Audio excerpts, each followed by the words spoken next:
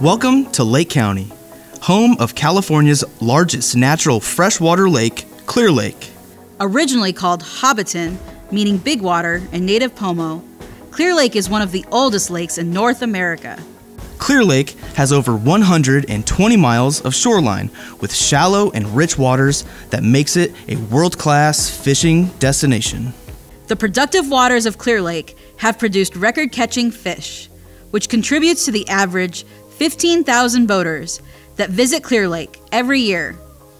Clear Lake is currently free of invasive quagga and zebra mussels. Monthly monitoring by Lake County's Water Resources staff help to maintain Clear Lake's mussel-free status. If invasive quagga or zebra mussels are introduced into Clear Lake, their devastating impacts will last forever. Mussels consume massive amounts of green algae when they filter feed lake water, which will decimate the sport fishing population as green algae is the base of the food web in Clear Lake.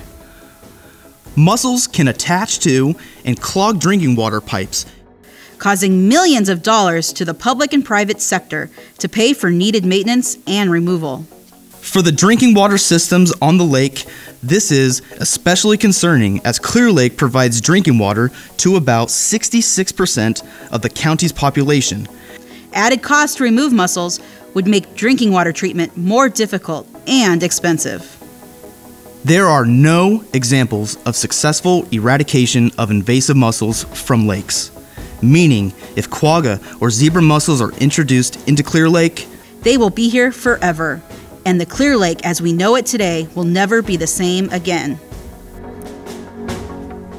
There are three simple things we can do to prevent the introduction of invasive mussels.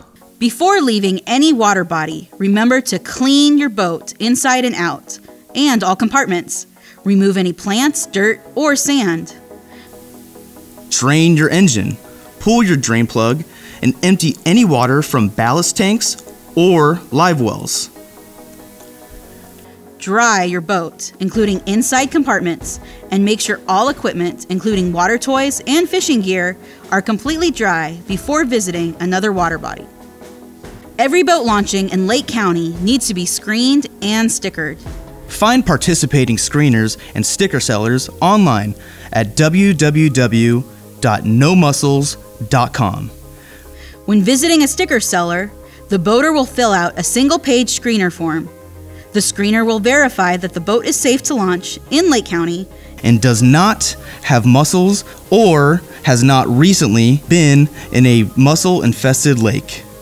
If a boat is high risk or likely to have mussels, an inspection is needed, and the vendor will call a certified watercraft inspector from the county and they will perform an inspection on the boat for free. Once a boat passes screening and or inspection, Boaters will purchase a sticker for $20. The County of Lake Quagga Mussel stickers are located next to the yearly California state sticker, which will be adhered to both sides of the bow, next to the registration numbers and the state's mussel fee sticker, as well as at the back of the trailer. Please report any violators without current Quagga mussel stickers. Even screen boats will sometimes be stopped at the ramps by ramp monitors for quality assurance. Sometimes, mussel sniffing dogs will also be present at the ramps to conduct impromptu inspections. This step won't take long, but it's important so that we can continue to protect Clear Lake from invasive mussels. If you have any other questions, or you think you see a quagga or zebra mussel in Clear Lake or in another water body in Lake County, you can call us at Water Resources at 707 263 2344. You can send us an email at water.resources at lakecountyca.gov. Or you can send us a message on Facebook. Find us at Lake County Water. Thanks for helping us keep Clear Lake clear of invasive mussels. And with your help, we can protect and preserve Clear Lake for future generations of people plants, and animals. Thanks to our funding partners at the California State Parks Division of Boating and Waterways for supporting this program and PSA.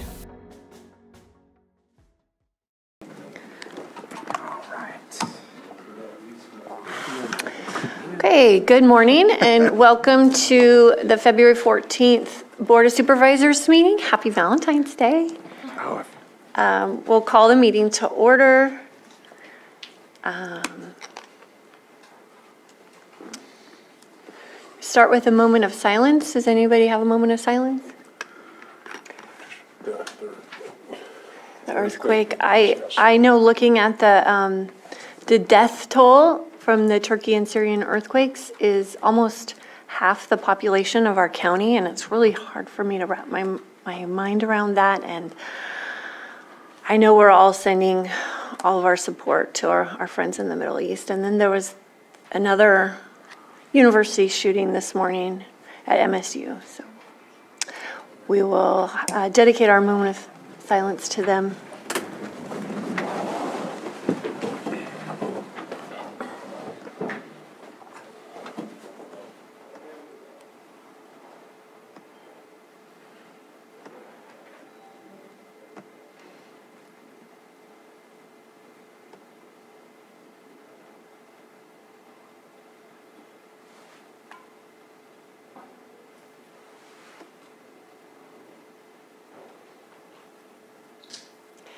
Robert Stark, will you lead us in the pledge, please? I pledge allegiance to the flag of the United States of America and to the republic for which it stands, one nation, under God, indivisible, with liberty and justice for all.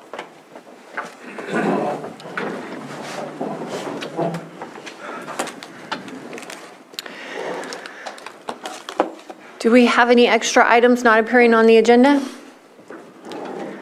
Okay, we will move on to number five, approval of consent agenda. Anything? I know we, we need to move 5.5 to a later date. Anything else? Yes, I would like to pull item 5.1 for further discussion, 5.2, um, 5.8, and 5.9 will come back at a later agenda after speaking with the Director Yeah, of uh, 5 Chief point- Probation Officer. Right, those two will be pulled, and so 5.1, 5.2, and 5.8 are for later. Uh, Public comment, eh, or does the public want to pull any items from the consent agenda?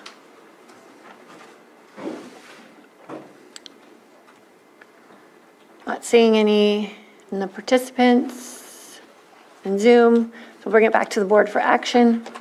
Madam Chair, I move to approve consent agenda items 5.3, 5.4, 5.6, 5.7, and 5.10 through 5.12.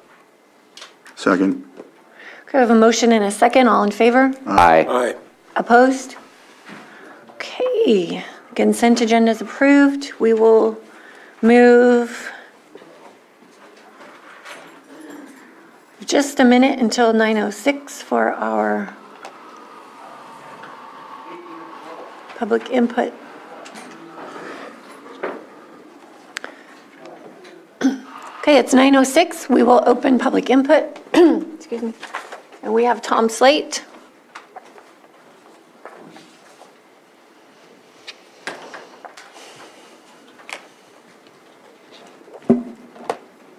Okay, and you can come to the microphone, state your name, and have three minutes. Uh, Good morning, everyone, and um, Mr. Green, welcome to the Board of Supervisors. My name is Tom Slate, and I live in Cobb, and I moved there um, January of '84. And I've, I I had a scanner back then, a radio scanner, and I've had some over the years. And I'm retired, and I'm home a lot, and I have the scanner on most of the time. And in the background, I don't pay too much attention to calls come in 24/7. But I have noticed it seemed to me, and I could be mistaken, that it seemed to be about four months ago, there was a lot more vehicle accidents than usual. And then I began to realize later, over the last four months, it seemed to me some of them um, single car, single vehicle accidents, like people running into poles and people with rollovers. And I could be wrong. The other thing that I seemed to notice that I had never thought about before was falls. And it seemed to me that I'm hearing a lot of falls And head injuries, falls with head injuries, falls with facial injuries. A recent one was fall and failure to respond. I may be completely wrong on this. I don't know. I'm a little hesitant to say all this, but that would be, there'd be a record of all this on the 911 calls. And one thing I'll add to that as a possibility is if some of these are due to people losing consciousness, could be an ex- explanation if there is an increase in falls, and if there is an increase in, especially in single-car accidents or in, or vehicle accidents, or any kind of accidents, a, a possible uh, loss of consciousness increases.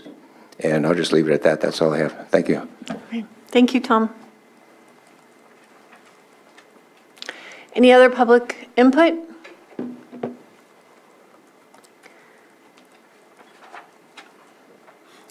Okay, not seeing any. And we have two minutes until our 9:10 item.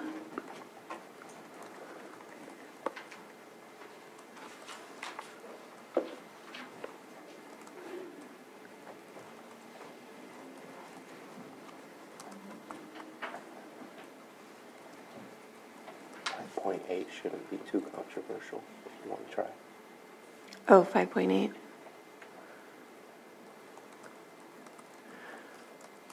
Okay. Uh, Let's move to 5.8. Approve amendment number three to the agreement between the County of Lake and Management Connections for temporary clerical personnel in the County of Lake Human Resources Office to amend the minimum hourly rate of compensation and authorize the chair to sign. Supervisor Sabatier?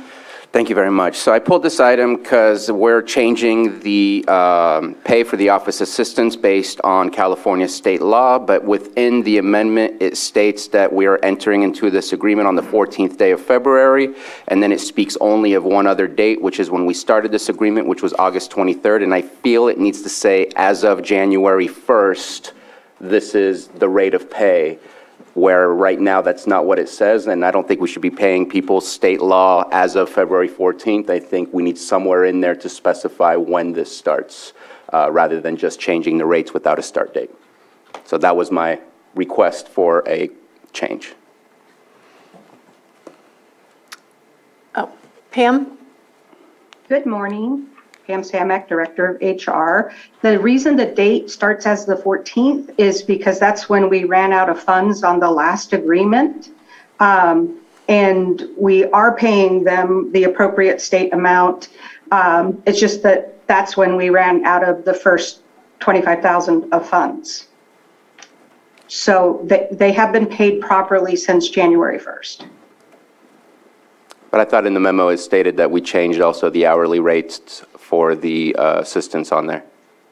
We did because the minimum wage went up, but the reason the agreement starts on the 14th is because that's when we ran out of funds. Okay. Any other comments? Public input? I'm not seeing any. Okay, I'll bring it back to the board for action.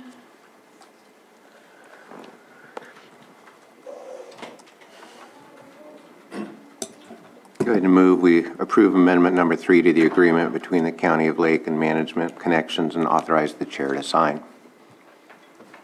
Second. A motion and a second, all in favor? Aye. Aye. Opposed? Okay, motion passes, thank you. And now it's 9:11, so we can go to our 9:10 item, which is presentation of proclamation designating the month of February 2023 as Black History Month and celebrating Martin Luther King's birth- birthday.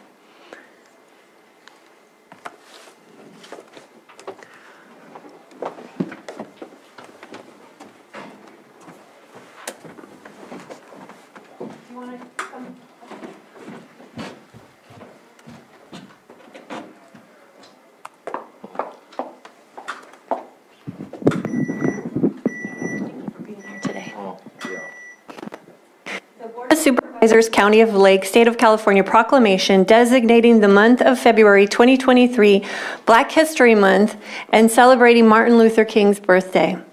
Whereas the Lake County branch of the National Association of the Advancement of Colored People, the NAACP, will celebrate a combination of Black History Month and Martin Luther King's birthday month as we reflect on the proud legacy of courage and dedication from visionary leaders like Martin Luther King Jr., Jimmy Jackson, Elijah Cummings, African American military veterans, and the NAACP has been at the forefront of protecting voting rights of people of color in this country and continue addressing voter suppression, gerrymandering, and urging the passing of the John Lewis Voters' Rights Ad- Advancement Act and the Freedom to Vote Act which includes the restoration of the 1965 Voting Rights Act, will ensure all citizen voting rights and protected under the United States Constitution. And whereas the NAACP history is one of dedication and struggle to maintain equality and justice for all citizens in the United States, and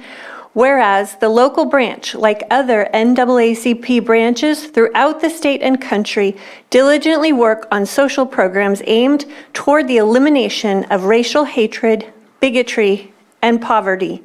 And whereas the Lake County branch of the NAACP is led by Rick Mayo, president and 1982 founder of the Lake County branch. Now, therefore, be it proclaimed that February 2023 is designated Black History Month, and the Lake County branch of the National Association of the Advancement of Colored People is commended on the vital role it has played in improving the quality of life in our local communities, and that the branch should be extended best wishes and continued success. Passed and adopted this 14th day of February 2023.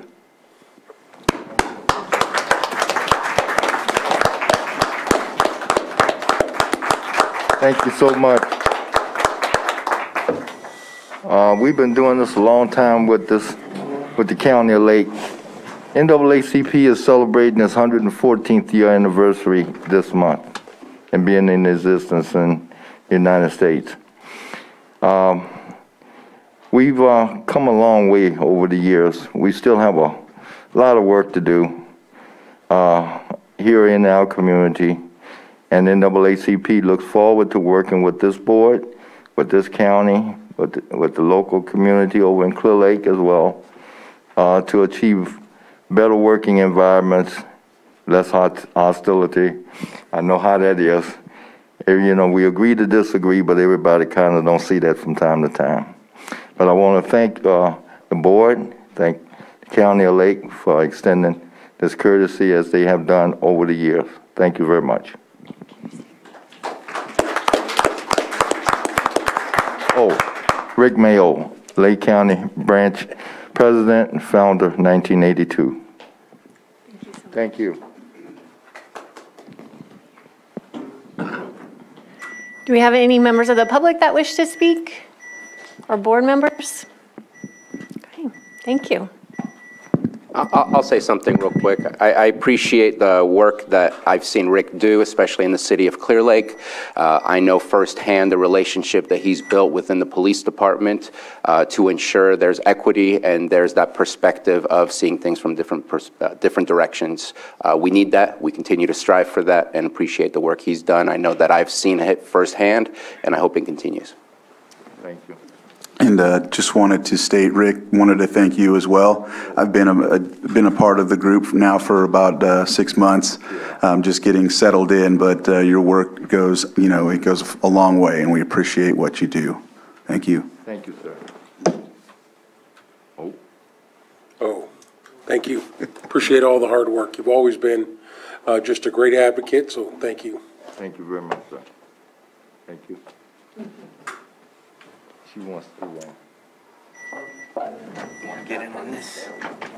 But Zoom hand? I'm not on Zoom, so. You want to open Yeah. Picture takes priority. Oh, I guess so. Oh, this is the moment. Yes, we captured it. Excellent, thank you. so much. it? Being here. Thank you.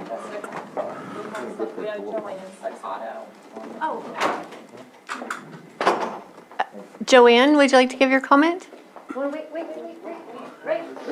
He's out of here. Yeah, he, he said he had. I'm so grateful that you're here There you accepting uh, just acknowledgement and presentation for Black History Month.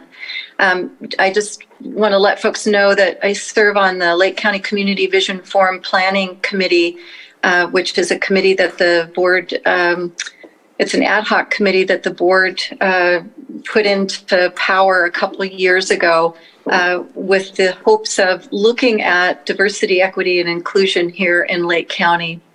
And we'll actually be um, sharing more information about that soon. But but we of course invite um, our local representatives from the NAACP to uh, to join us in these efforts to make sure that everyone in Lake County has an equal opportunity to be as successful and happy as they can. So I just want to thank you for this um, acknowledgement to uh, to the work that the local chapter of the NAACP has done uh, towards um, equity and and bringing these um, issues to our awareness. And I'm just grateful that the board is acknowledging that and and holding it uh, seriously. And and that means a lot to know that the board holds this seriously. So thank you. Thank you. Thank you, sir.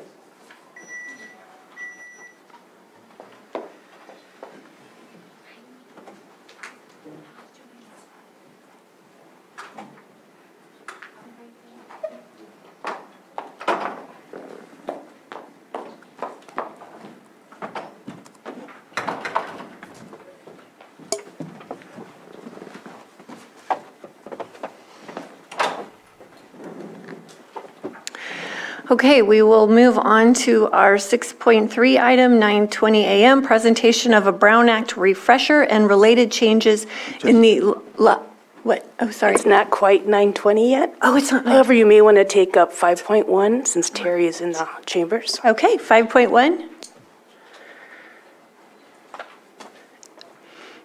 Uh, um, Approve the letter of support for Assembly Bill 297, wildfires, local assistance to grant program, advance payments, and authorize the chair to sign. Yeah. Thank you very much. So I pulled this item not because I don't think that AB 297, I thank uh, Terry Logsdon for helping me out in finding the correct 297 as I was trying to find the actual text of it. Um, I, I approve of what the bill is offering and uh, what it can do to help us. There, there, there's, and I'm sorry to pull it for being nitpicky like this, but there's just a sentence in there that I feel that we can change, and I, I, I may put my foot in my mouth here, but I'm going to project Supervisor Simon that always says we can make our own story. And here it says, "You will be aware Lake is one of the most under-resourced and impoverished California counties." And I don't like saying that again and again and again, and I'd like to cross that out. We're asking to, for them to approve for the resources to be available to not just us, but every county in California. And I think we should twist it into a positive way that we are being proactive in mitigating future disasters, and this bill will help us. I think is a much better way to approach this rather than saying, help us, we're poor. Um, I just think that we have our own ways to um, twist this story around. And so wanted to see how the board felt about that. Uh, that sentence just kind of stabbed me in the heart. You have a, uh, did I miss the, what Your was your microphone fix? Oh, I apologize. So the, the fix is on the second paragraph, second sentence. It says, "You will be aware Lake is one of the most under-resourced and impoverished California counties." I'd like to cross that out and say, we are proactively mitigating future disasters, and this bill will help.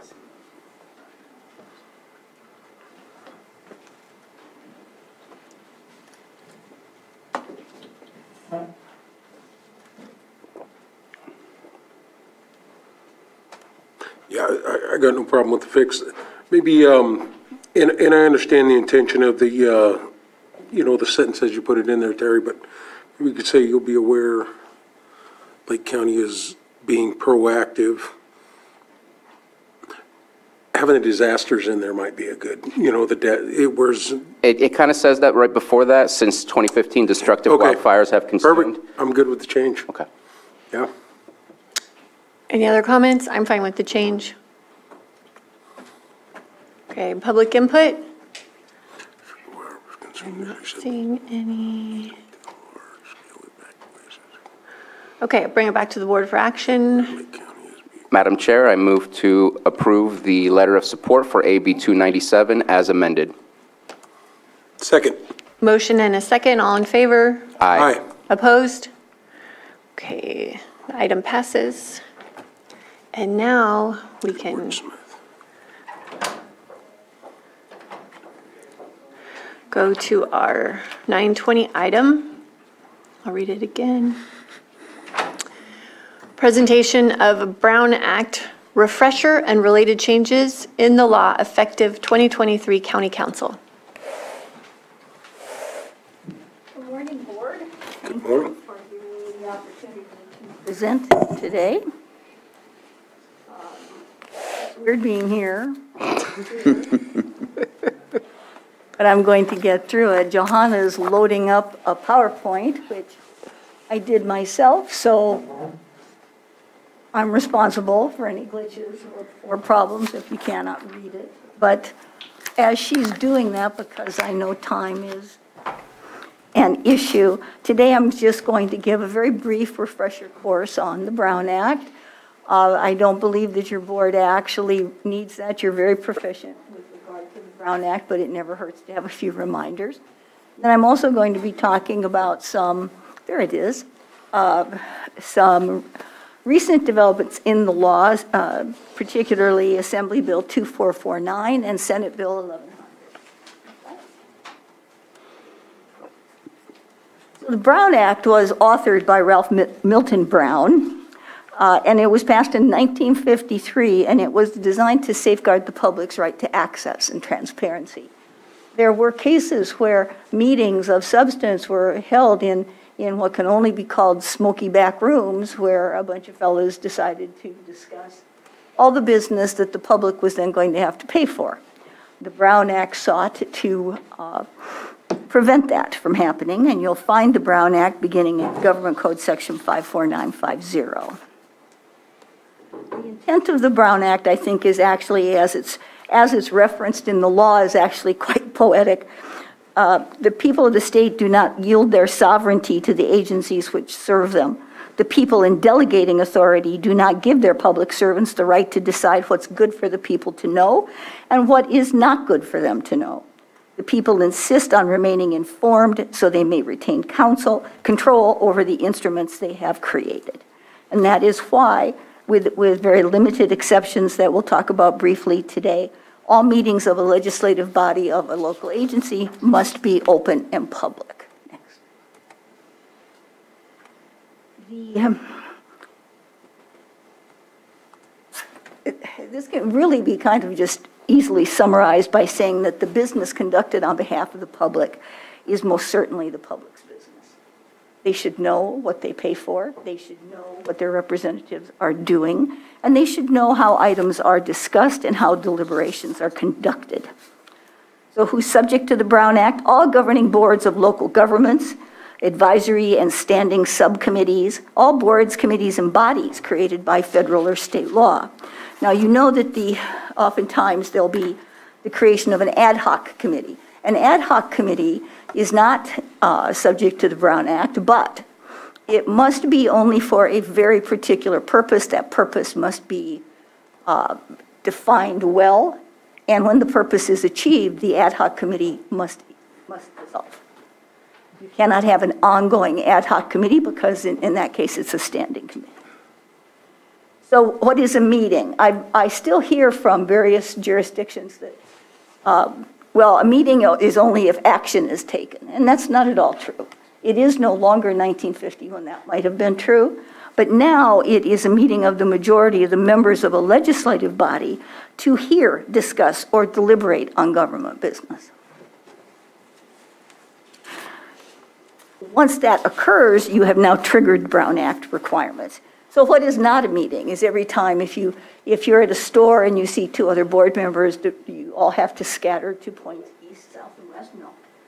Uh, What is not a meeting? A conference, a training, a seminar, community forums, the meetings of other government bodies, social occasions. Can you all attend the same wedding? Certainly. What you cannot do at any of these uh, events is huddle together in three or greater number and discuss county business.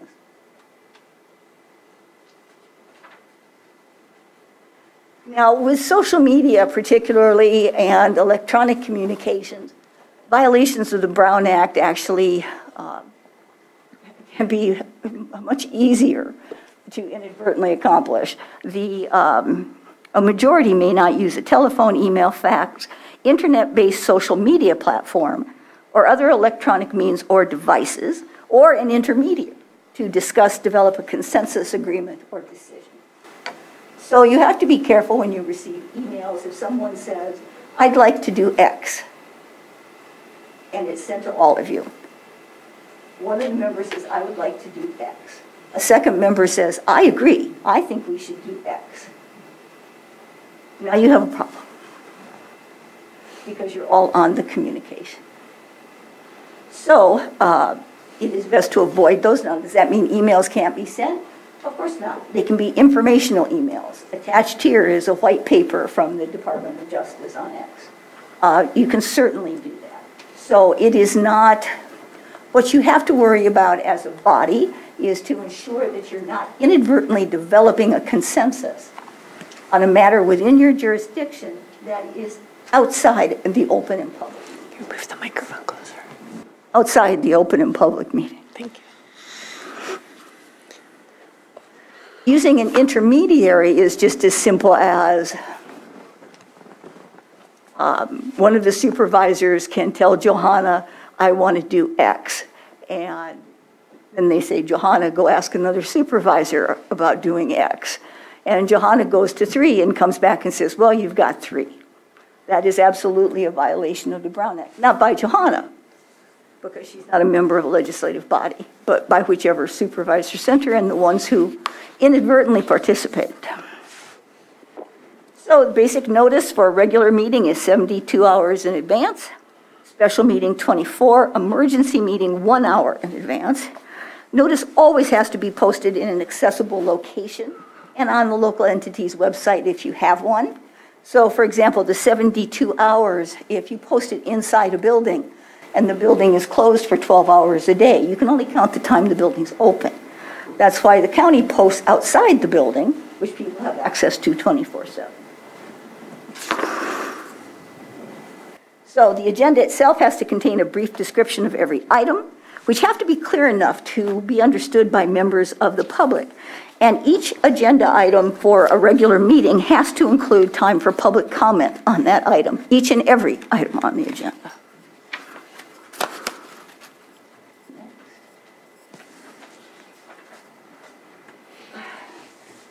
When I do these trainings to various local bodies, I tell them the agenda is the promise you make to the public. Here's what we're going to talk about. Here's what we might take action on. Um, and then keeping within the bounds of that agenda item is how a legislative body keeps that promise to the public. So it is a matter of public trust. And while an agenda item is usually 20 words or less, it has to be enough for the public to understand. You can't just say, we're going to talk about uh, patrol cars. That tells the public nothing. Are you going to purchase them, wash them, drive them? What are you going to do? But you have to be able to alert the public. So again, the public can see, is this worth my time to listen to? Is it worth my time to participate? Now, normally you cannot have an action or even a discussion on an item not appearing on the agenda except for public input. As you know, the public is entitled to speak um, on an item that is not before you on the agenda if it's within your subject matter jurisdiction. And because you have a plenary authority where you can, you can adopt a resolution to, to recommend or to support many things, that jurisdiction is relatively broad for purposes of public input. You can, in, in those circumstances, ask a question uh, for clarification, make uh, announcements. You can ask staff to come back with an item for discussion, review, or consideration. Now, obviously, you can take action if there's an emergency or what we call an extra that need to take um, uh, immediate action, which came to the attention of the board after the agenda was posted, but again, an immediate need. Now, the determination of that normally would require a two-thirds vote of the members of, of the body, which is four in this case. However, if less than two-thirds are present, then just a unanimous vote. Now, that's not the case for all matters where your board has to approve certain things by four-fifths vote, but it is when it comes to an extra item. That's why you may recall there have been circumstances where there were only three of you, and you took a vote unanimously to approve an extra, and that is well within the bounds of the law. Okay, so the location of meetings, they have to be held within your jurisdiction. There are exceptions. You can go out to inspect real property, personal property. You can meet with federal or state officials, or you could hold a closed session with your county counsel. So, the rights of the public here are to address the legislative body on both agenda, which is the public comment, and non-agenda public input items. Unless subject to a closed session exception, everything in a meeting of your body has to be open in public. And the public is entitled to be accommodated if disabled to ensure access. They're entitled to obtain copies of all written mater- uh, materials that are distributed to you, except for privileged materials. And they're able to uh, audio and video record and take photos of proceedings or broadcast them, unless doing so creates a disruption. Closed session, as you know, has to be narrowly construed. The agenda has to contain a brief description of each item. And each item requires a pre-closed session announcement and a post-closed session report. That is why your board reads the items listed on the closed session before you go into closed session. And after you report out if, if and whether there is any action taken. Other than those requirements, the confidentiality of closed session has to be strictly observed. So closed session is personnel matters, labor negotiations, pending litigation, real property negotiations, and the security of public facilities and services. Violations of the Brown Act can lead to invalidation of an agency's action, payment of a challenger's attorney's fees, civil liability, and criminal liability. What I can tell you, however, is the purpose of the Brown Act is not to set up an ambush or a gotcha for legislative bodies. The purpose of the Brown Act is to keep everyone aware that democracy is messy and deliberations of, of uh, public issues have to take place in open session so the public can participate, listen, comment, etc. And while I think it must be incredibly difficult for your board to have to engage in all of these deliberations in public, it is still the right of the public to see and hear those deliberations as they occur. Now, telephone uh, conferencing or teleconferencing under the Brown Act, um, I put till the end because it leads me into 2449. Traditional tele- teleconferencing under the Brown Act can be used if you meet the requirements of Government Code Section 54953, which means you have to post an agenda at all tele- teleconference locations. Each telephone teleconference location has to be identified in the notice and the agenda, and each such location must be accessible to the public.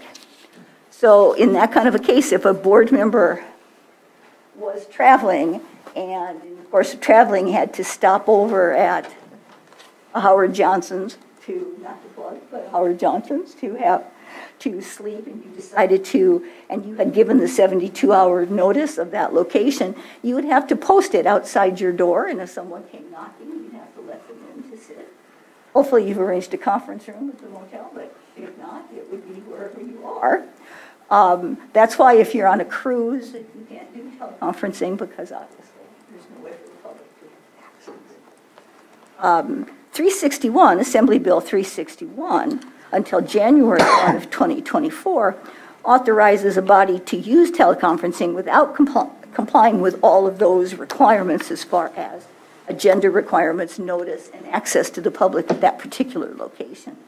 But it only applies in very specific circumstances, proclaimed state of emergency where state and local officials or local officials have imposed or recommended measures to promote social distancing, uh, hold a uh, meeting during a proclaimed state of emergency for determining by majority of vote. Whether as a result of that emergency, meeting in person would present imminent risks to the safety of you and the attendees, or the legislative body holds a meeting during a proclaimed state of emergency and determines pursuant to uh, majority vote. That as a result of the emergency, meeting in person would present imminent risk.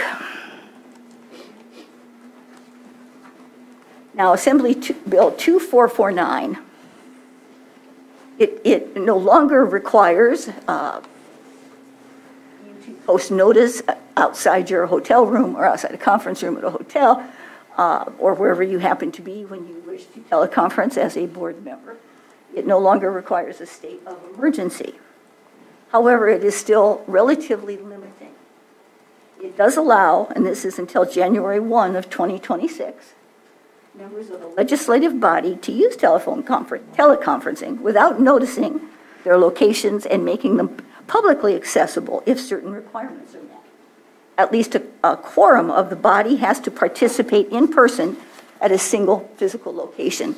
That location is usually your meeting location, which would be here for your board. You have to provide two-way audio-visual platforms or two-way telephone service and a live webcasting of the meeting by which the public may remotely hear and visually observe the meeting and also remotely address the body. You have to give notice of the means for the public to access the meeting and offer public comment. You have to identify an opportunity for all persons to attend via a call-in or internet-based service option. You have to provide an opportunity for the public to address the legislative body and offer comment. Now, it does authorize a member of the legislative body to participate in a meeting remotely only if one of the following circumstances applies. The member notifies the legislative body at the earliest opportunity possible, including just at the start of a regular meeting, of the need to participate remotely for just cause, which has to include a general description of the circumstances related to their. The provisions cannot be used for more than, by a particular member for more than two meetings in a calendar year. So if you have just cause, which is defined specifically in the law, you can only use it twice. Now, the member, a member can also ask the legislative body to allow them to participate remotely um, as a result of emergency circumstances. And there again, the body has to, is required to request a general description as to why that is necessary. It does not require, obviously, a member to disclose any medical diagnosis or disability or any personal medi- medical information at all. So you may decide as a body to allow members to participate if the request does not allow sufficient time to place proposed action on such a request on the posted agenda. But Then you take it up at the beginning of the meeting as specified. And the above provisions cannot serve as a means for any member to participate solely by telephone conference for a remote location for a period of more than three consecutive months or 20% of the regular meetings for the local agency within a calendar year, or more than two meetings if the legislative body regularly meets fewer than 10 times in a calendar year. And those conditions apply to the emergency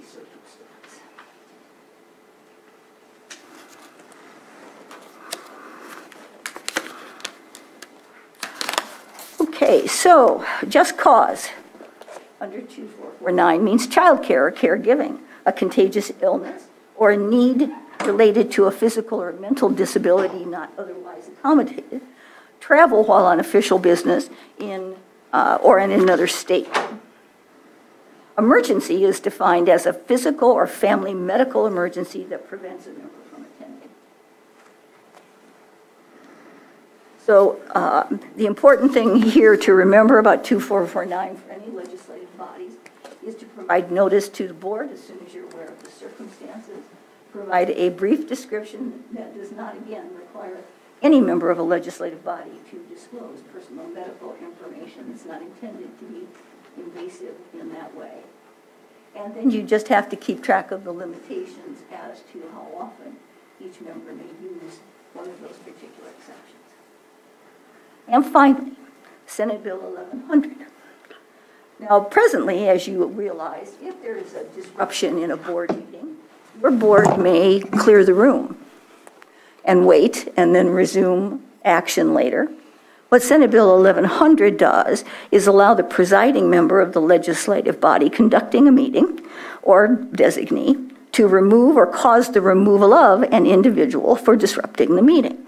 The individual, prior to removing an individual, the presiding member or designee shall warn the individual their behavior is disrupting and that failure to cease may result in their removal. If it continues, then you may remove them if they do not promptly cease their behavior.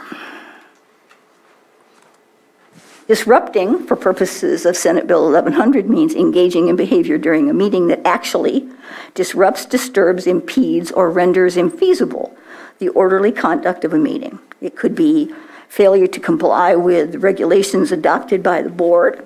It could be engaging in behavior that constitutes a use of force or a true threat of a use of force.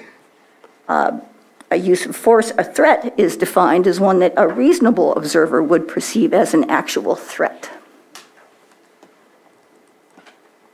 And not a moment too soon, we're at the end. I do think that the changes in the law under 2449 are a positive step. You'll notice it, it has a sunset date, and I think that is because the legislature, frankly, wants to see how it's all going to work.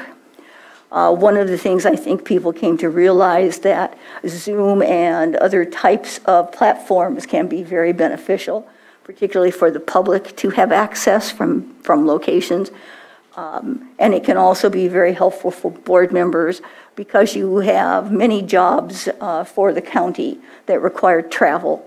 And uh, that travel sometimes can put you away from the county seat on any given Tuesday board meeting purposes. Thank you. Um, Anything from the board? Supervisor Green?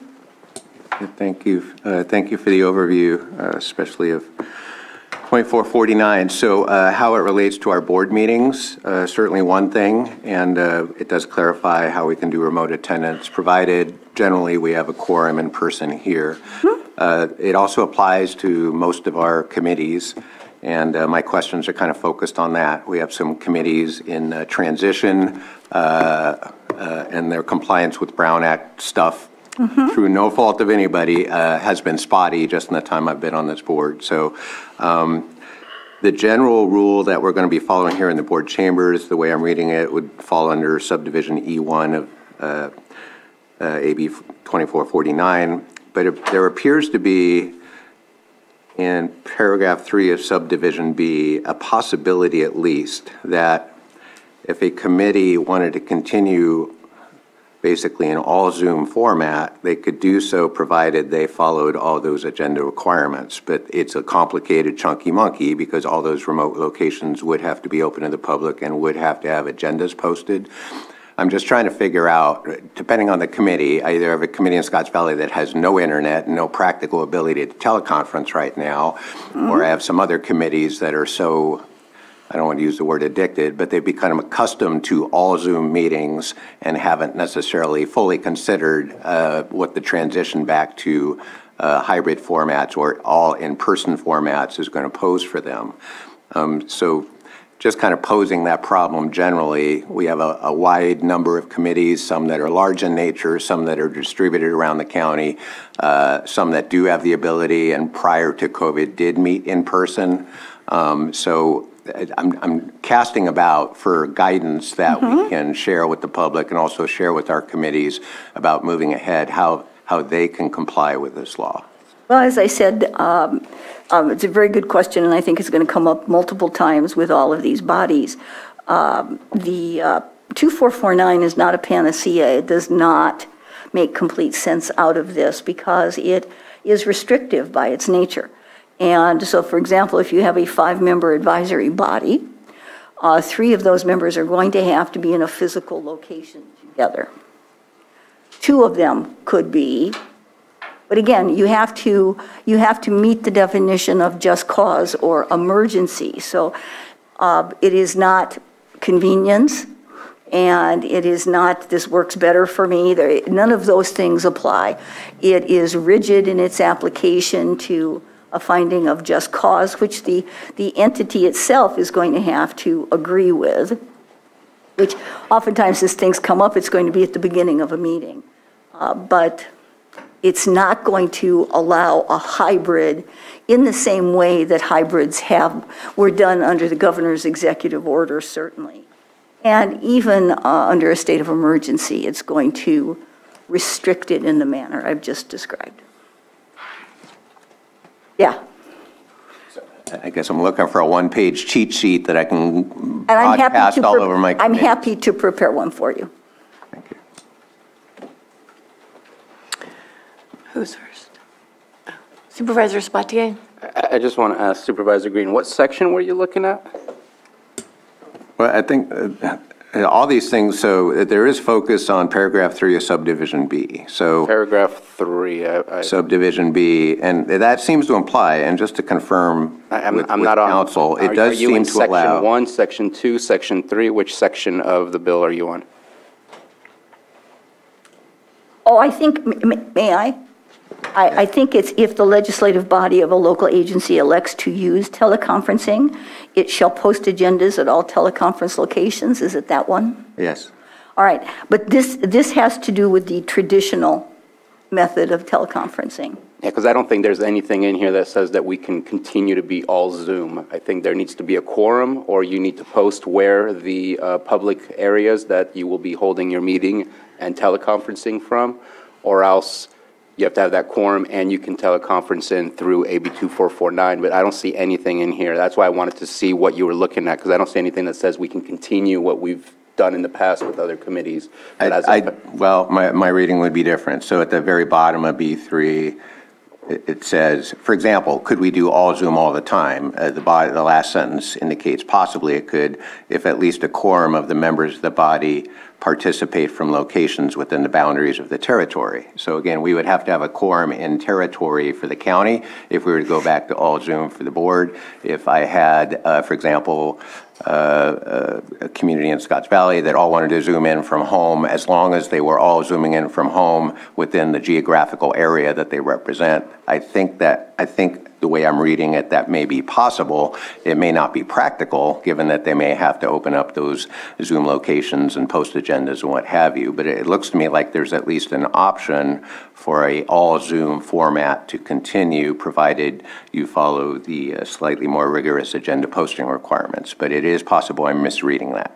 I believe that the section you're referring to is addressing the traditional tele- teleconferencing.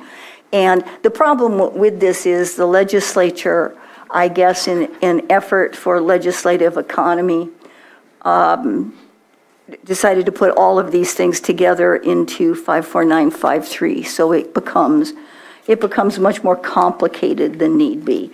It also addresses 361, and then it further addresses um, 2449. So if you look at, what I will do is I will provide you uh, with a breakdown of where those sections stop and start so that you can see that.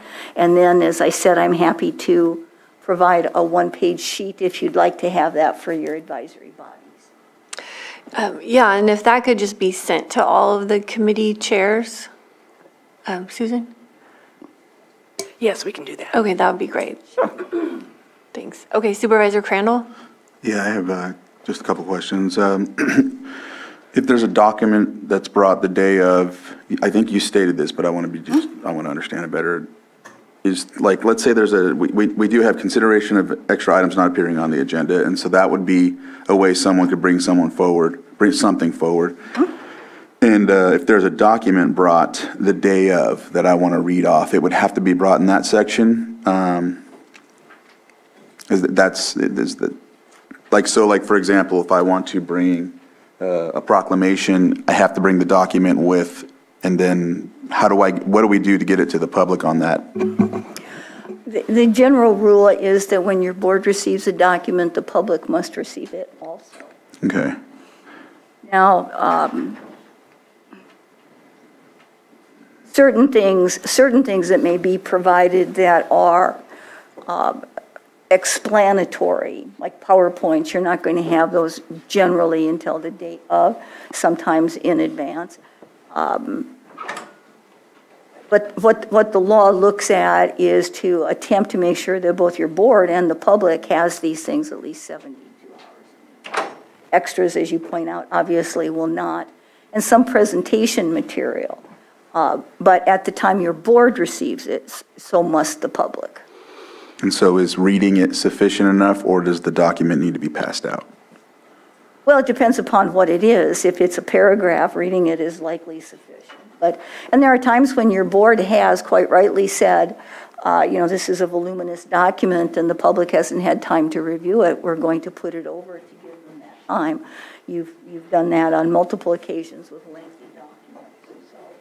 The point of the requirement is to ensure that the public has an opportunity to review and consider whatever is in front of you, so their comments have perhaps more significance to them, so they understand the issues and can pinpoint exactly what they want to be able to say to a body, uh, but also so that your board can ensure that all of the information for your consideration and discussion is available to you and. All right. My last question is like, in regarding description of the items on the agenda, when, when you create the agenda, it needs to be under 20 words. But with the written expl- explanation, and d- does it need to be general? Is there any room for like uh, auspicious wording or uh, wording that reflects negatively on the item? Um, It's, it's really not meant to be an editorial, it's merely just meant to be a descriptor. So for example, if you are going to, if you want to have a discussion um, about the Brown Act, and all you're going to do is discuss it, then you put discussion of Brown Act requirements. And it would be better if you specified which Brown Act requirements you wanted to discuss. But um, it's 20 words is a general rule. It's not really a requirement that you stay under. It can be a little bit over. But it's, it's supposed to be enough so the public can understand, okay, on this item, they're just going to discuss it, but there's no action. So if the public thinks, well, I'll wait until they, this culminates in a vote for some type of action, they may not want to attend. If you put discussion only, then you can't take action. You can direct staff uh, to bring something back to you or to look into something for further review. But you cannot take action as a body. So the description should include discussion and consideration of proto- board protocols to address AB 2449. Now the public knows exactly what you might do and as to what. So they have time to review 2449, they have time to consider the protocols that, if the document, and the document should be available uh, 72 hours in advance, and they'll have time to review that to see whether they like those protocols. The public oftentimes has very good ideas that your board takes note of and incorporates. Thank you. Supervisor Green? Just- Just last question. Um, Although everyone's very accustomed to it, under 2449, teleconferencing is entirely optional, right? So for those smaller committees, uh, may have remote internet access issues, or just we don't have enough horses to run a Zoom and run a meeting, uh, a, a, a local committee uh, can set its own rules. Absolutely. Based on its own needs and abilities. a, lo- a, a physical presence meeting is always appropriate. 2449 simply allows for a hybrid in the manner described. Okay, I'll open it to the public. Is there anyone in the chambers?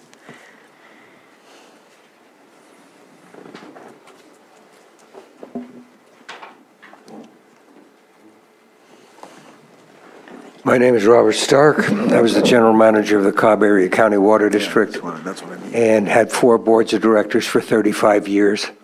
I would suggest, I would ask if, or recommend that, this presentation be mailed to every agency as the Special Districts Handbook used to back in the days uh, of old of Cameron Reeves. Uh, and that a cover letter by counsel be on that recommending that this be placed on that, on their next agenda, and that agenda be sent back to show that every agency, and I realize that's a lot of agencies, cemetery districts, lighting districts, sidewalk districts, water districts, fire, that's a lot of districts, I understand that. But I have seen repeatedly in my 35 years, attempts to, oh, let's just get it done. God, do we have to put it on an agenda? Let- Let's just do it and be done with it. And that can't be the way it is. So that is just my recommendation. Thank you. Thank you, Robert. Anyone else in the chambers?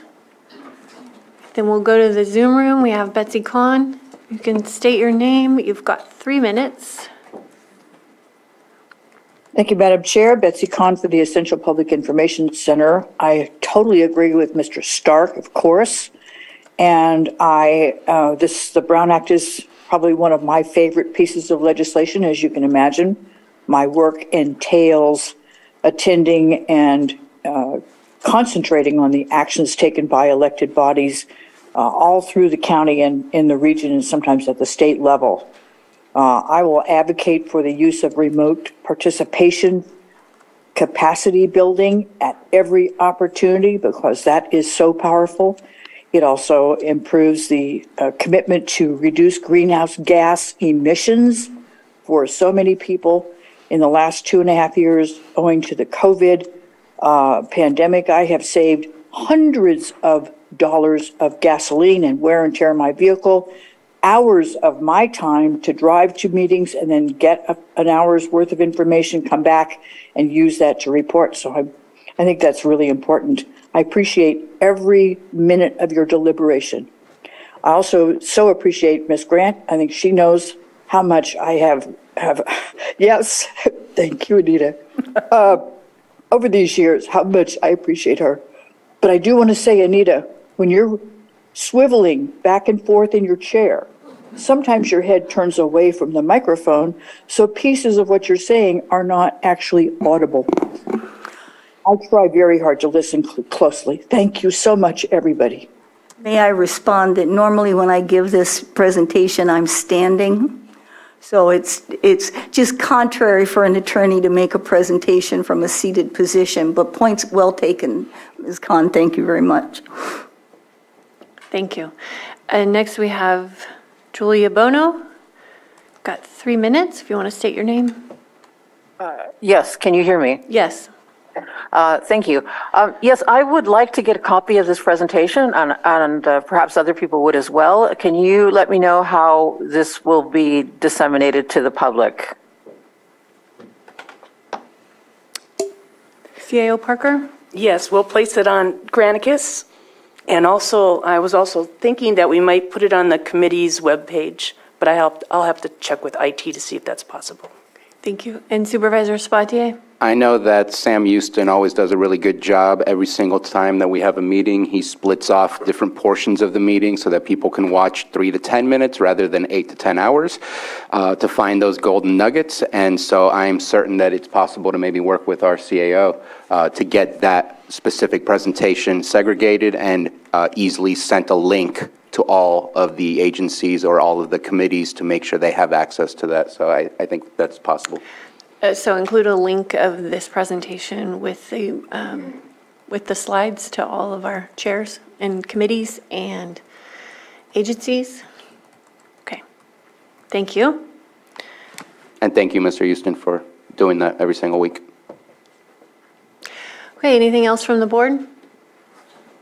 Yeah, I- I just did like the suggestion the gentleman had, uh, a model agenda. uh, You know, here's where it goes, here's your findings, 2449. If there is an extra item to be added, there is a thing you do. So having basically a blueprint for them to follow, I think would be super helpful, uh, not only in Brown Act compliance, but in their own thought process about how, how they're supposed to conduct these meetings. So something of of a model agenda would be helpful. That's the board's wish. I'm happy to do that. Yeah, That's fine. Hey, I see three heads. All right, thank you. Okay, that was the end of our timed item, so I am wondering, oh, should we go forward with the mid-year budget?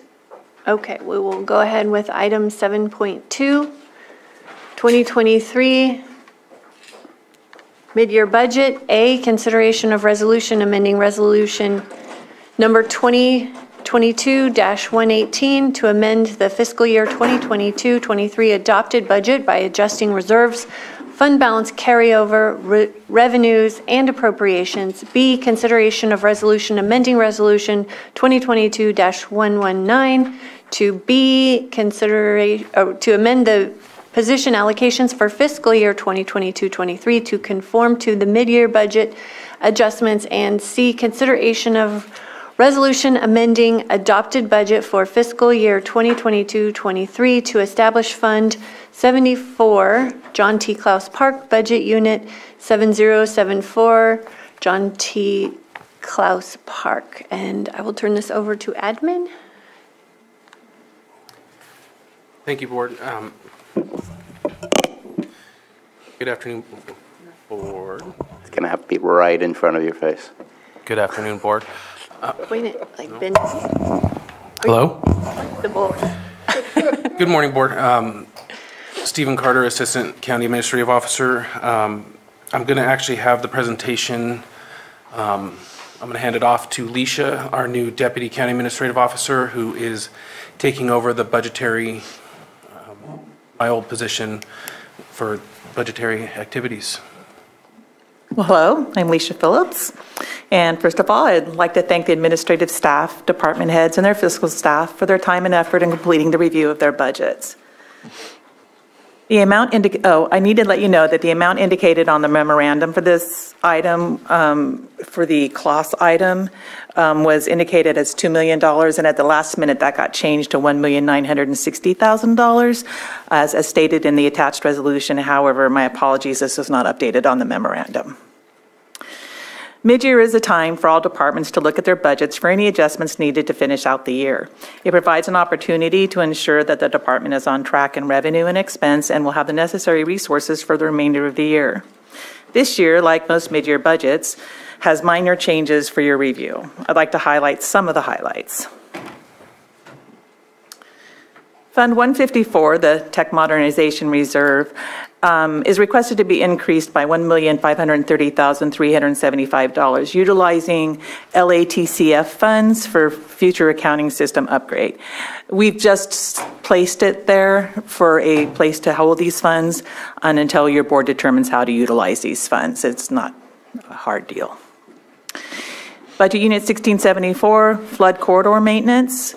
Um, The maintenance reserve is requested to be decreased by 380,000 due to a delay in grant reimbursement. This is a reversal of a $300,000, $380,000 increase they did at the fiscal, the final 22-23 budget. Budget Unit 4014 Behavioral Health is requesting an increase of $85,000 in reserves to facilitate the repayment of the loan from Substance Use Disorder Services. Uh, The total loan repayment is $600,000. Um, Also, $998,364 in reserves are being released for the Collier Avenue project. Um, They also received $250,000 for the care court. Budget Unit 4015 Substance Use Disorder Services is requesting $969,068 increase to reserves due to the receipt of that amount in opioid settlement funds. Um, These funds are currently in Budget Unit 1120 and will be transferred to reserves in the Substance Use Disorder Services Budget Unit when their work plan has been developed and approved. Budget Unit 8354, LACOSAN Southeast. Um, The reserve is requested to be decreased by $40,000 to cover the purchase of a septic hauler dump station. And their O and M reserve is, is requested to be decreased by $438,863 to be transferred to their capacity expansion reserve in order to correct that reserve balance. Budget Unit 1012, the Administrative Office is requesting a transfer of ARPA funds in the amount of $199,750 to fund the Housing and Economic Development staff. as um, $2 million of ARPA funds had previously been allocated for housing and economic development. Four positions have been created in the admin office, and this is the estimated 22-23 expense. In Budget Unit 1671, Buildings and Grounds, the request is to accept $62,000 from Sunrise Special Services Foundation to reimburse for utility costs at the warming center at the former juvenile hall. Budget Unit 1785, Public Safety Facilities, has a request to accept $988,600 as a contribution of federal funds um, via Mike, Representative Mike Thompson for the Lakeport Armory Facility repurposing project. In Budget Units 2201, 2202, and 2301, which are the Sheriff Coroner, Central Dispatch, and Jail facilities. They're requesting a transfer of cannabis funds under the Cannabis Policy for Hiring and Retention Incentives as follows.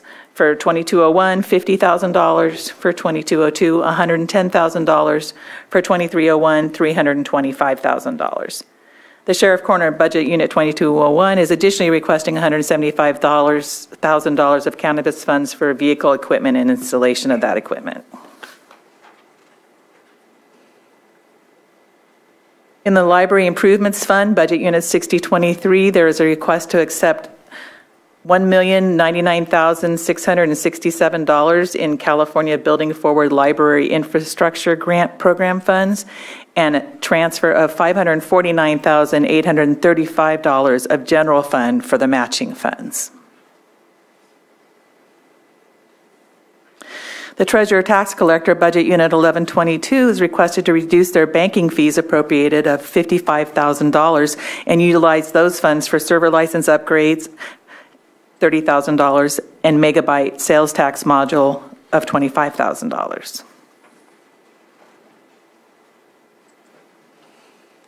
The Jail Facilities Budget Unit 2301 has requested an additional $43,139 for food and an additional $20,000 for the cell check project.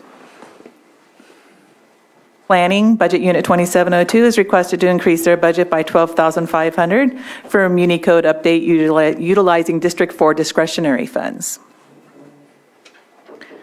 The Lampson Field Capital Projects Budget Unit 3123 requested to budget 109000 from general fund for preliminary engineering for design and environmental work for the hangar project. For staffing, Budget Unit 2201, Sheriff Coroner, is requesting the addition of one accounting technician uh, slash accounting technician senior, moving that position from Budget Unit 2301. The addition of one accountant 1-2, again moving from Budget Unit 2301.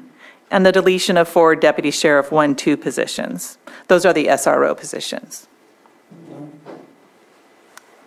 Budget Unit 2301 Jail Facilities is requesting the deletion of one accounting technician slash accounting technician senior, which is being moved to Budget Unit 2201, and the deletion of one accountant 1-2, again being moved to Budget Unit 2201. Budget Unit 4010 Environmental Health is requesting the addition of one environmental health technician, which is a new classification for them. 4011 Public Health is requesting the addition of one health programs coordinator, the deletion of one nutrition education coordinator, one two registered dietitian, and the increase of the physical therapist from fourth, fifth time to full time. The behavioral health budget unit 4014 is requesting an additional behavioral health program manager. The substance use disorder services budget unit 4015 is requesting the, the deletion of one substance abuse programs coordinator, the addition of one staff services analyst 1 2, and the elimination of one half-time compliance review technician. Social Services Administration, Budget Unit 5011, is requesting the deletion of one accounting technician and the addition of one social worker 123. Budget Unit 5164, Housing Administration, is requesting to change the Office Assistant allocation to Office Assistant, Office Assistant 3. For capital assets, the Treasurer Tax Collector is requesting to purchase a megabyte sales tax module for $25,000. Public Safety is requesting an additional 988,600, which was the funds received from Representative Thompson for the Armory project. And as previously stated, they're requesting 20,000, an increase of 20,000 for their cell check program. Their uh, Budget Unit 2206 um, is requesting a reduction in their asset of 340,563 to match the funds they had available for that project. The roads department is requesting 17,000 for a printer plotter. Behavioral health is um, requesting um, 130,000 for their South Shore remodel, which were funds received from the Behavioral Health Continuum Infrastructure Program. Social Services is requesting $65,000 for a secure cabinet with tracking system. This is a secure key cabinet with tracking software for storage and tracking of vehicle keys and gas cards, among other items. The Library Improvements Fund, 6023, is requesting to 1,619,900. This is, these are funds that they received from the California State Library Building Forward Infrastructure Grant. Museums, Budget Unit 721 is requesting a large overhead scanner in the amount of $70,000. Um, This is a very large book scanner for being able to scan the large old books. Watershed Protection District, 8109, is requesting an increase in their appropriation for the F-250 crew cab pickup of 12350 for a total of 54350 Lake Sand Southeast is requesting the 40000 for the septic hauler dump station. CSA number 21, North Lakeport Water, Budget Unit 8481, is requesting $20,000 for a land acquisition for Pressure Zone 2 and $155,000 to upgrade the programmable logic controller. Kelseyville Waterworks District Number 3, Budget Unit 8593, is requesting $55,000 to replace a three-quarter ton utility truck.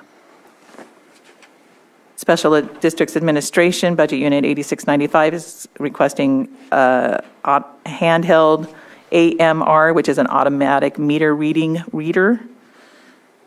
Central Garage 9905 is replacing pool vehicle TO 146, 47,818. And Heavy Equipment 9908 is requesting a Ford F-350 um, pickup increase of 17,100 for a total cost of 59,100.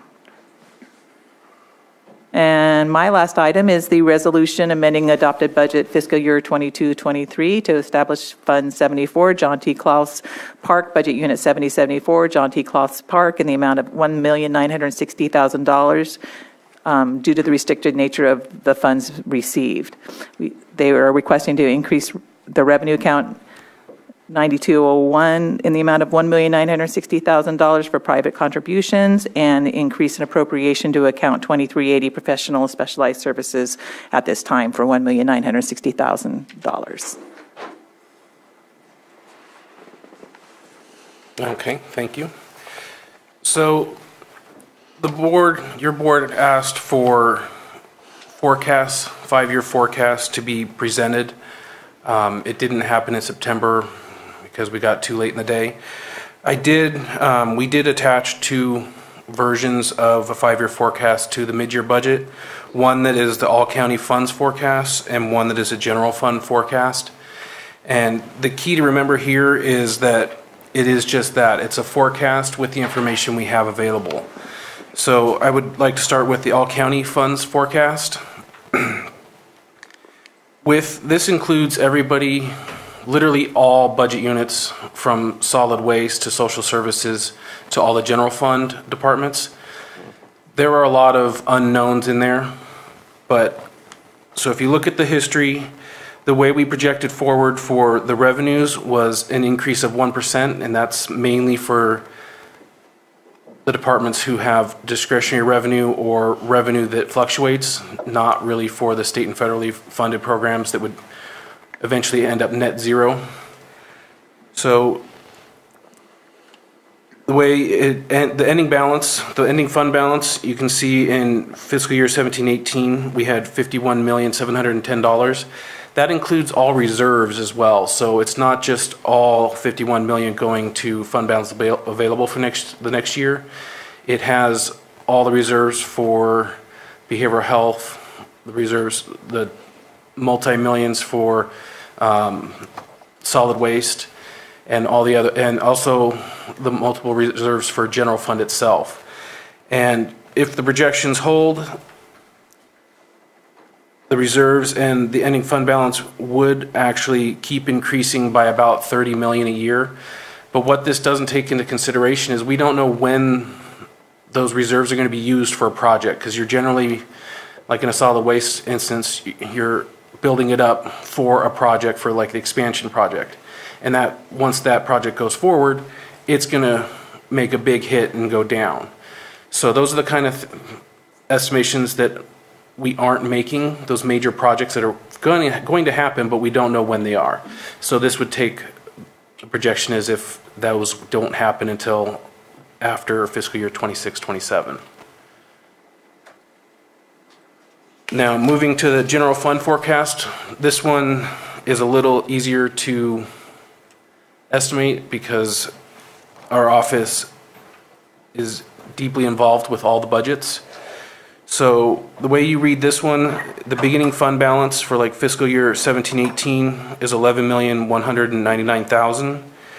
And then all the revenues combined to make a total resources for that year of 57,863,000.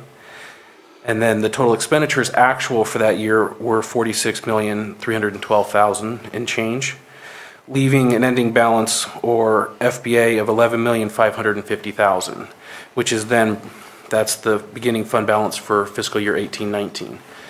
And before I go any further, the, this one is built slightly different because we know exactly where all the reserves are and in a nice little compiled section below. So if you were looking at both all county funds versus the general fund, if you were doing apples to apples, the 51 million includes both the 11,500,000 from the general fund forecast and the 14 million that's in reserves. But because we know very well what the reserves are, we broke them out, so you just see the standard FBA, not including the reserves. As we move forward, fiscal year 22-23 is where the first, we labeled that as estimated, because if you put in the budgeted figure, it will look like we spent all of our funds and then there's hardly very little for the next year's beginning balance. But as we all know, it's difficult to spend between 80 and 90% of what's actually budgeted. So this estimated column brings it down to about that ratio of the budget. And during the fiscal year 22, 23, 23, 24, and 24, 25, you'll notice quite a a large increase in operating expenditures, and then it goes back down for fiscal year 25, 26, 26, 27, down to relatively normal levels. The reason for that is 12 million from ARPA funds and all the other funds that are coming in from grants that we know of within the next three years. It's a large amount, and they will, so like the Armory project, at the beginning of the year, it was part of the FBA, the fund balance available but we have already transferred 3 million plus over to outside of general fund to 1785 where that project will be completed. That would show as an expenditure here and it would, would not show as FBA for next year. So those are the kind of projects that we know are happening and money is moving and we expect it to come down to normal normal expenditures in fiscal year 25 26 but it does look like we have a healthy general fund as well as all county funds.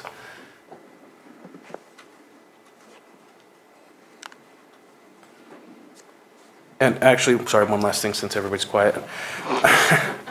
the very last line, the general reserves as a percent of resources, that's where during recommended and final budget, um, I use where GFOA, Government Financial Officers of America, the general practice, good practice is about 25%. That's where you see in 17, 18, it was 12%.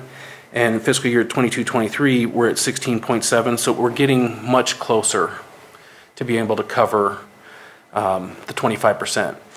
And the 16% is relatively low, but think about how much revenue we had in that fiscal year. That's an abnormally large revenue year. So that's why in fiscal year like 25, 26, even without increasing reserves, it jumps to almost 20%. Supervisor Sabatier? Uh, First off, thank you for, both of you, for taking the time to meet with me and to answer some of my questions. Uh, I, I want to ask if you can add something to your presentation, and I'm sorry I didn't ask you about this yesterday, but I think what's important is for us to understand the health of our retail sales tax and our property taxes. How are those going as far as what were our expectations and where we stand? Uh, I'm going to say that it looks good, but I would prefer it come from somebody with a little bit more expertise than just me. So since I didn't prepare for that, I will say that on the general fund forecast, we are forecasting for both property tax to continue to go up by 2% or 2 to 3% per year. Even with our housing market going down, we are also still catching up on Prop 8s, et cetera, that will actually make up the difference. Eventually, probably in the next few years, property taxes will, will level off, but I don't foresee it, it taking a downward turn for at least three to four years. And the reason why I say that is even during the recession, if you look at a 20 year history of our property taxes, only one or two years in that 20 years, it actually went down. So even going through mega recessions. But flatten out, absolutely. On sales tax, um, over the last three to four years, obviously it's taken quite a jump. Um, I do expect that it will level off and actually start declining down to where we see our new normal. And I would expect that to happen around 24, 25, 25, 26. But that's what I can do without knowing ahead. Yeah, apologize for not preparing you for that question. I just think it's important because it's the global general fund type I don't see either taking a nosedive. But we're meeting expectations of what we estimated based on our budget uh, approved on in September. We are actually above on all counts. And that is actually being taken into consideration in mid-year where all the items that are being requested of general fund, pulling general fund dollars, there is, it's all covered by the known increases in property tax and sales tax that we didn't budget for in September. So it's, uh, other than one, which is the library, 549,000 uh, match, that was known in September. We didn't budget it that time because it wasn't finalized and approved. But at that point in time, um, I stated that it was going to be part of the FBA that we already had. So that's FBA, but all the other increases are, are off of the increases that are already known for property tax and sales tax over budget. So I have a, a few comments that I want to make, and a lot of these I'm looking for consensus from the board. I'm not asking for changes today. I'm asking for things to uh, come back to us over the next uh, few months, or at least at the next budget hearings in June uh, for 23-24. Uh, but first, I want to start off with um, Right now, I know that staff is working on uh, building and has made great headway already for the Economic Development and Housing uh, Division. And I'm really looking forward to the day where we have a five-year, hopefully maybe even a 10-year strategic plan where we can attach some of those plans to uh, what we're projecting coming up in the future to help us understand why there's so much in the fund balance carryover and what is planned to be done with those funds rather than just seeing a number that gets bigger. I think it helps understand things, and I think it helps to also uh, predict what's the next thing that's going to happen here in Lake County. So I'm really looking forward to that. I think we're taking the right steps to get into that better place. Um, one of the things that I was talking to uh, the team about yesterday that I'm asking for consensus, um, talked about this last time. Uh, there was a little bit of a um, subtle but yet direct um, concern raised that if we do get to a, a it's probably never going to happen, but if we do get to a place of zero vacancies, uh, 0%, that we are having to borrow money from places that, in my opinion, are one-time use types of money, like cannabis tax. And so I had asked during the budget that we kind of review where we were with the fiscal crisis management plan before we said to get rid of it because part of the crisis management plan was to reduce position allocations in order to ensure that what raises we provided we would be able to afford if we ended up at a 0% vacancy rate. Again, most likely not going to happen, but I would rather we be there than continue to borrow and find ourselves in a place where uh, it would be uncomfortable. So I'd like for us to kind of have that discussion. I think that would be appropriate for budget um, or anytime you feel it's appropriate between now and next budget, uh, to kind of review what was the plan then? Is this something we can still uh, put into play to ensure that there's not that three-year uh, prediction that you had stated if we had gotten ourselves to a zero vacancy? I want to make sure that uh, borrowing to continue to provide the services is not, in my opinion, a very solid uh, prediction of the future. We need to make sure that we um, pivot where we need to. Uh, So that's my one, that I'm looking for consensus, that we have that conversation. I believe we had consensus on that during the budget to have it for mid-year. Uh, I'm willing to continue the conversation and, and place it later, uh, but just asking the board again. Um, Would you just want to do zero, or do you want to look at different thresholds, like if we get to a 5% vacancy? I'm just looking at where we are, where we're heading, and. Yeah, let's do multiple thresholds. Yeah. I'll do zero, but I, it, within that, it's, once you have that number, it's fairly simple to Yeah. do. Yeah, so zero, five, 10. Because 10 is unfortunately realistic, 20 is actual. Mhm. Okay. Uh, My next one is, um, I'd like to request, because I don't see it in here, it was something that I brought up during our budget. So we're having the Regional County Park and Rec District conversation. Um, And right now, there is money being accumulated by some of our partner jurisdictions, uh, but we have zero dollars accumulated thus far uh, to come to the table. And um, my personal opinion is if I'm going to create a partnership and I see a partner coming to the table with zero dollars, I don't know if I want to partner with that partner. And so I want to make sure that we're showing we're serious. And so I'm hoping that in June, you can find a million dollars to set aside to show that we're serious, that we do want to take part in this and continue that conversation with something behind us rather than just continue the conversation with words. Uh, And that's something that I'm hoping that we can find and make possible by June. And I know that we can do that. And looking again for consensus to see if we could put that on. Is it possible to get consensus? Because that did come up in September Mhm. and wasn't sure, I, I had a question mark next to that, whether the board actually wanted to try to do that.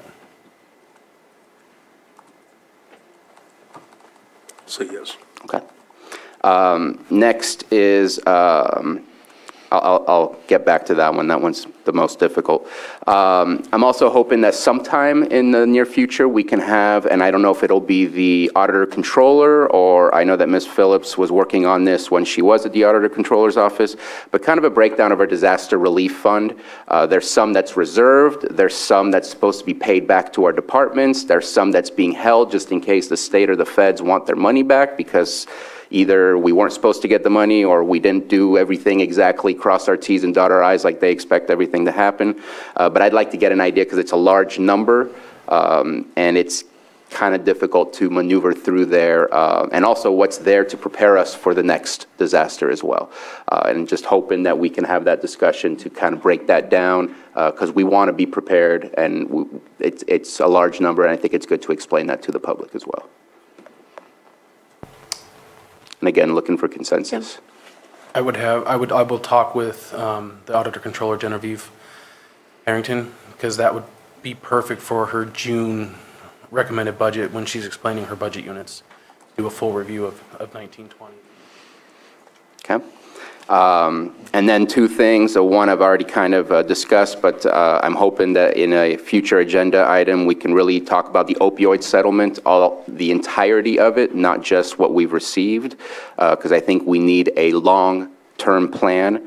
Uh, And then also the LATCF, which I'm sorry, Local Agency Tribal Consistency Fund. Fund. It's just the name of the fund. Yes, and um, so I- I'd like to sit down, it's about $3 million, I believe, that we're going to receive, uh, half of it in May, we've already received half of that. Uh, And I know that right now, it's not dedicated, but it's been placed under tech modernization. I don't disagree that we need to modernize some of our software that we're using, but at the same time, I'd like to have the, the bigger conversation about what is our priority for the, the entirety of the $3 million. And so hoping that we can do that too. And that was actually the intent. It was not to change the color from LATCF funding. to tech modernization. It just, eventually, it's hard to track all the FBA numbers, 12 million ARPA, 1.5 here. It puts it in a reserve ready for when the board has a specific project or idea for that funding, then we pull it down and either replace the funds in there with general fund or just pull it down and use it, because we have to claim that funding. So it's, once it's used, we have to claim it, so it needs to be tracked carefully. And and then my last one, um, again, needs consensus because I think this is kind of a somewhat large undertaking. Um, But I'm looking at the list of capital projects, capital improvements, and I'd like to under, better understand what is the equity of our spending of large dollars, because it gets pretty blurry in the gritty details, of what districts are we putting funds into, and is it done in an equitable way? And is there a plan maybe for long-term equity rather than on an annual basis equity? But I, it's hard for me to know and understand um, the equity of our capital improvements and services when compared from township to township, uh, district to district. So I think district would probably be the easiest. Uh, And I'm looking at large things only, not nitty-gritty. I don't need to know, is code enforcement more focused on this and that? I think that gets difficult. Same thing with the sheriff's office. Uh, But with the capital improvements, roads, things like that, I think it would be important for all of us to understand uh, where the majority of it is going and is it done equitably? Well, in the need basis, because you're looking at capital projects where there's significant need and there, you know, it's been years of um, putting things off, so that has to be part of it too. No, I think there's so many more Yeah. things that could be a part of it. I mean, we could look at population demographics as well, but I, I, I think start simple, and, and it doesn't need, mean that it's going to guide us, but it's going to help us better understand things. Um, and it's something I've been looking into and, and trying to figure out on my own, and thought I'd ask for consensus to see if that's something that staff could come back with. Again, no set date. That one Uh, will be difficult but doable.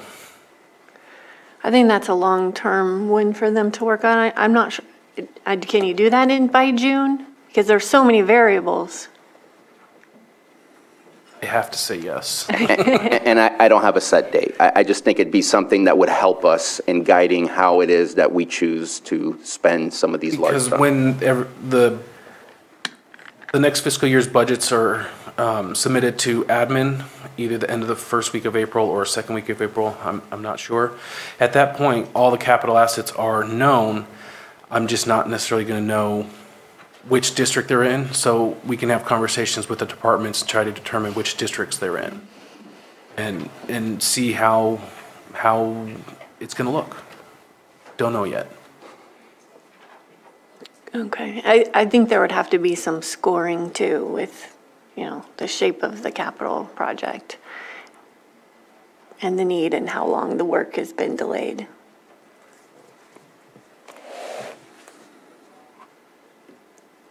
I'm not prepared to move forward with that request at this time, so.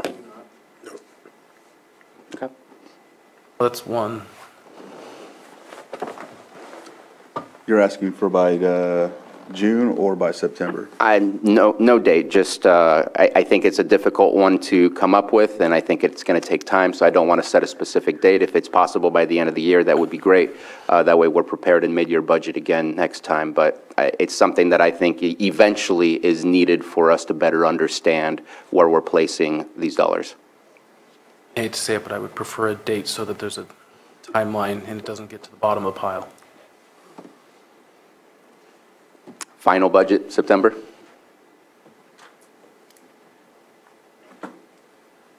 I'm okay with that. Can I just dive in, because I'm not sure what I'm consensusing to or not, just because I'm the new kid on the block. So if I can just confess a little bit of confusion and maybe follow up with what you're asking for.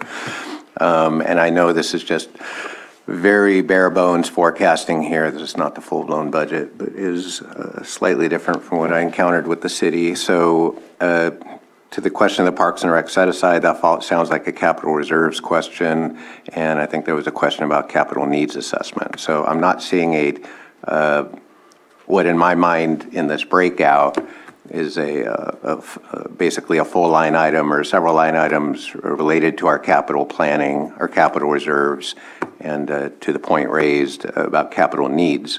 Um, So on the Park and Rec set aside of a million, if, if I had a better handle of where that particular project was going in terms of capital needs, uh, or whether the dollars might be expended for pre-planning and stuff like that, that, that weren't capital in nature, you know, that'd be okay. But the set aside to me, if it were to happen at all, would go into a capital reserve fund. Um, That is what he means. It would be a Parks uh, Reserve. Do we break out capital reserve separately, though? Okay. All right. And then to the question on the uh, opioid settlement, we park that money in a tech modernization fund? That's in the SUD's um, budget right now in their reserves. So the opioid is, cur- was currently deposited in Budget Unit 1120, which is the depository for all general fund that doesn't have a specific budget unit attached. And mid-year is transferring it to Budget Unit 4015, SUDS. And then once it re- lands in SUDS, it's going to a reserve there specifically for opioid activities, which the board would have to approve to um, remove it from the reserves for usage, once there's plans. The LATCF funds of a little over 1.5 million, that's the funds that we are putting into the tech modernization reserve. And it's going to be tracked the whole time because it has to be claimed. And once the board has decided what we want to, you guys want to use those funds for, we'll pull it down and utilize it. Or if, since we need to do a new accounting system within the next three to five years, use it for that, it would stay. Otherwise, when the board has a project, we remove it and you put it towards that project. And then lastly, to the last ask, I, I think it was generally you were requesting a, a better roadmap of where we're at with our capital projects. Um, I don't know exactly what you're asking for. Capital assets by district. Yeah, yeah, I support that.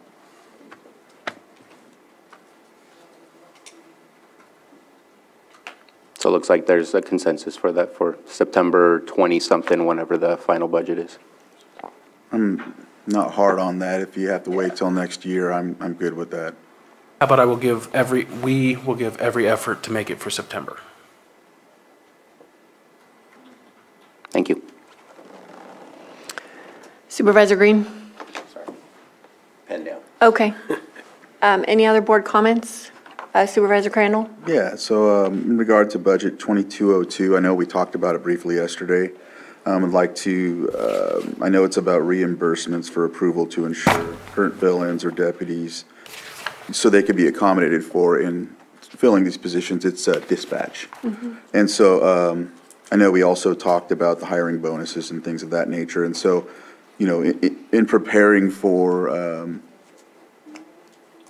an anticipation of those positions being filled, can we ensure some of these, uh, I know this is backfilling for 2021, 22, but I want to ensure that, that that it's maintained, or if there's another discussion that needs to take place to ensure that uh, we can provide that uh, benefit to that department, so that that way we don't have to utilize deputies anymore? Is that a discussion we have to have, like, in general like this, or can we have it at the next budget timeframe? That can happen in June. The reason why is this mid-year is moving 50,000, I believe it is.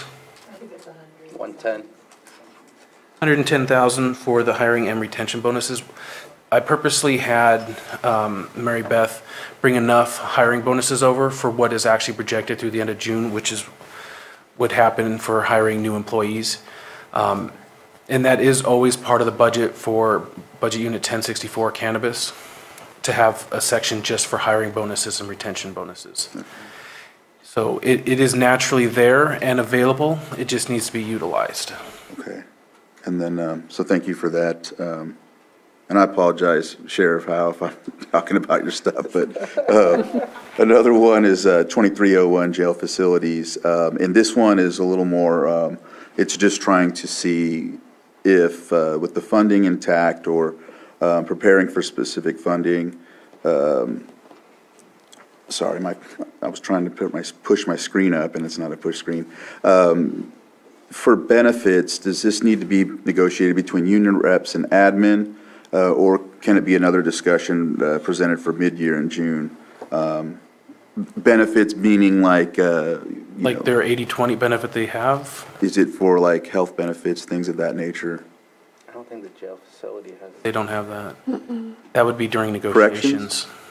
Is that the same as corrections or? Yeah. Okay. That would Is that, be- is that something that has to be determined between the, uh, the? It'd be negotiations. Okay. Yeah, just So making it's sure. in, in the determination out of that, when you sign an MOU or a, a side letter, then it goes into budget. Okay. Just wanted to, um, yeah, see if that can be something to look at. That's it. Is that it? Well, as I mentioned, um, during our governance meeting, we're going to have to allocate a significant amount of funding for hazard tree removal with the um, OES application once that's completed. And so I just, I need everybody on board with that um, because we are going to have a 25% match and we're looking at many millions of dollars. And we're, we're looking at other places, but um, ultimately this ball is rolling. And once that application goes through and we start doing that work, we're going to have to um, use that funding. And just wondering what your recommendation is for that, Stephen? Could we use AB 297? So there are multiple possible funding sources. Currently, um, there is about 1.2 million available in cannabis funds that would be able to fund it for a little while. But with the ongoing revenue for next year, it would probably be about 1.5 available. It would have to be fund balance available or cannabis at recommended and final budget time. And that's going to be a large amount, potentially in between 1 and 5 million. So that would, there's no one location I can find that. Okay. And just for the board's awareness, um, RCD is working on a CAL FIRE grant to take care of some of this work, but that, um, that award would be likely uh, midsummer and not funded until fall. And then um, we're also working with Congressman Thompson's office for federal funding options. But all of those are really far out, and so they will augment this and, and um, this work, but we have to get the work started, and so we're going to need that funding. And let- with last week's, uh, as you all know, I've been working with um, Senator McGuire's office since last May to try and get the 25% match that CAL FIRE did provide, and then we were told no in January, but last week, the U.S. Forest Service aerial report was released and showed that um, tree mortality is uh, incredibly widespread across all of California. And so I do suspect that the state is going to have to take another look at this because the counties that were impacted before and the counties that received that 25% match are back in the same boat. And although we were the first county to declare this emergency last May, um, and Napa and Mendocino have followed, I think we're going to see a lot of counties now that the data is out there. And I know that um, Supervisor Crandell was doing that work for us in DC last week. So but all of these things that we're doing, um, you know, it- there's still a lot of work to do, and it's going to cost us a lot of money. Supervisor Crandell? Yeah, just, I didn't explain why I asked about those budget items, and I'm just trying to give the table legs basically to um, get some of our deputies on the, you know, on the streets rather than having to deal with uh, these, these uh, backfills of the position. So that's, that was my, that's my uh, trajectory, if you will, so. Supervisor Sabatier? Yeah, I just want to, um, on the uh, tree mortality thing, I know in May, we do plan on getting another 1.5 million, and I don't know if there's any anticipation for that to be kind of uh, scheduled for an- a specific purpose, but I would say that that's an opportunity there as well to help uh, with the 2 point, the 25%. Talking about cannabis? Talking about cannabis? The LATCF, the uh, second payment. All three theoretically can be used for that. Yeah. Right, they're all, yep. Okay, anything else from the board? Open it to the public?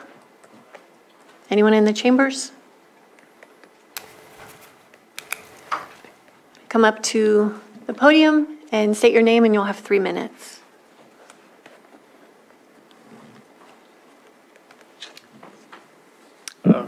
Good morning. My name is Greg Holmes. And I have a letter here I'd like to submit to all of the board members, if uh, anyone could hand it to them. Thank you.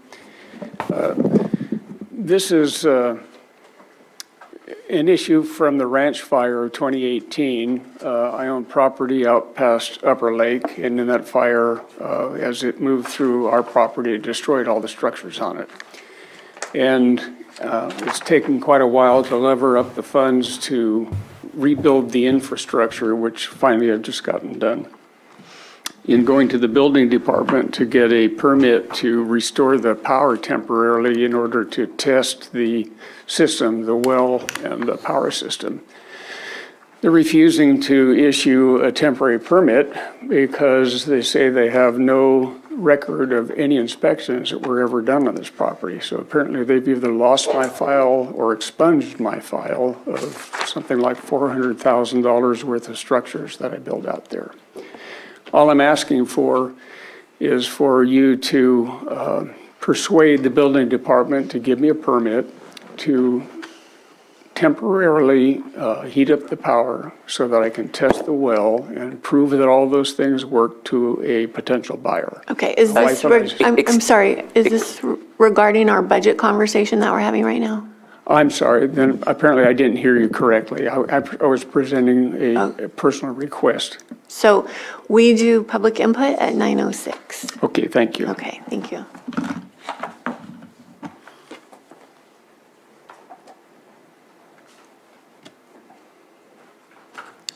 Okay, I don't see anyone in the chambers, and I don't see anybody in the Zoom room. So I can, we can bring this back to the board for action.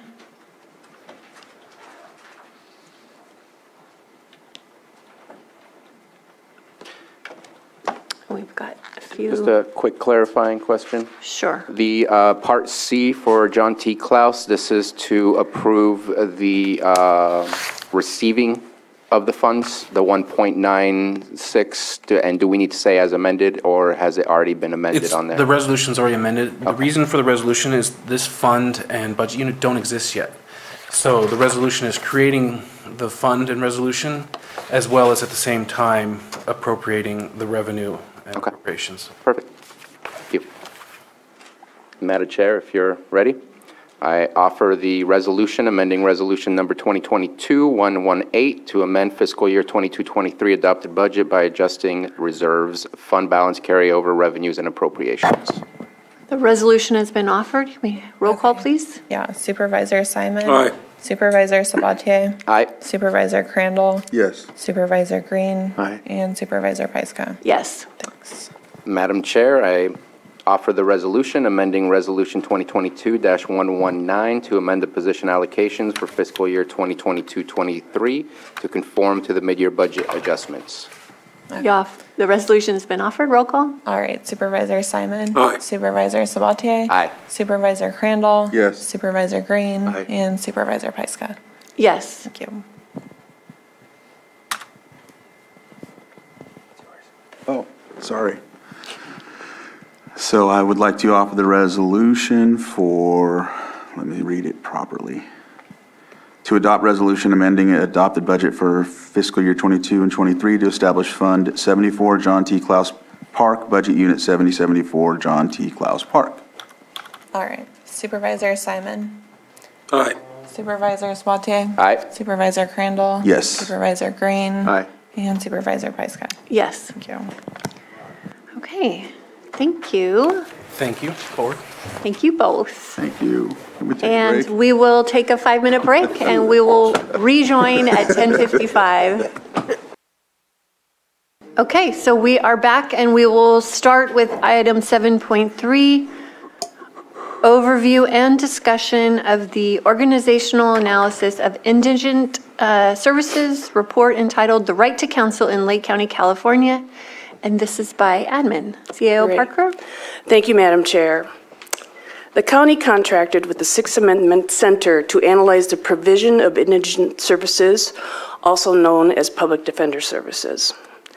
Beginning in September 2021, the Sixth Amendment Center observed approximately 170 court proceedings and interviewed several different stakeholders. Since the 109-page report is available online, I plan to briefly share the consultant findings and recommendations. The board item 7.4 following will present the initial steps staff recommends as next steps. Please note, the findings and recommendations do not, I mean, I'm sorry, let me start again. The findings and recommendations are that of the Sixth Amendment Center. So under findings, there were four findings. The first is that, just as an overview, the state of California has not established any means to ensure that Lake County provides to every indigent defendant an attorney who has the time, training, and resources to provide effective present, presentation at every critical state of a criminal or juvenile delinquency case. Uh, in short words, or in short terms, it's, it's an unfunded mandate by the state of California. The second finding is that although the contract provides a means by which the county can oversee the partnership's administration and provision of the right to counsel, Lake County does not do so. The county does not know on an ongoing basis whether the right to counsel, if being provided effectively to how many and in how many cases of what types, by whom, and how much the provision of the effective right to counsel should cost. Um, that's,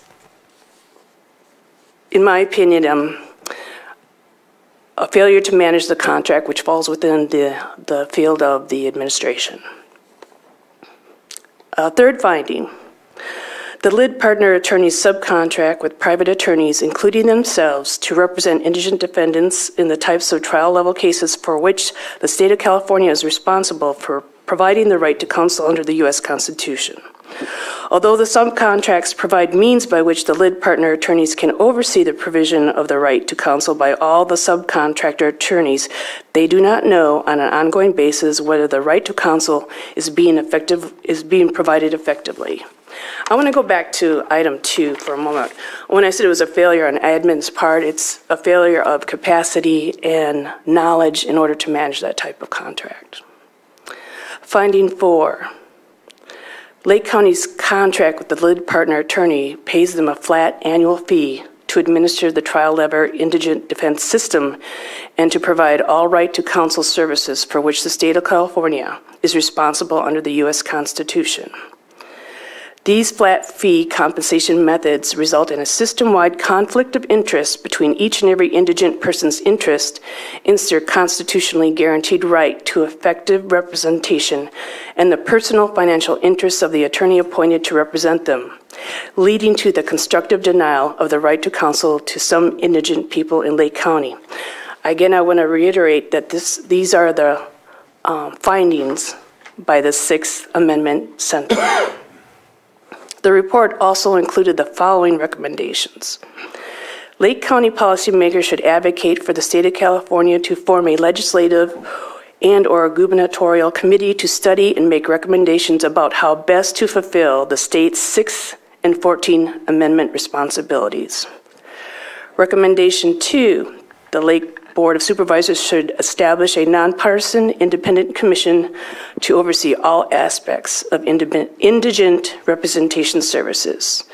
And lastly, Lake County Board of Supervisors should establish, immediately establish an Office of Indigent Representation Services to carry out the day-to-day duties of the Commission, headed by an Executive Director Attorney selected by the Commission.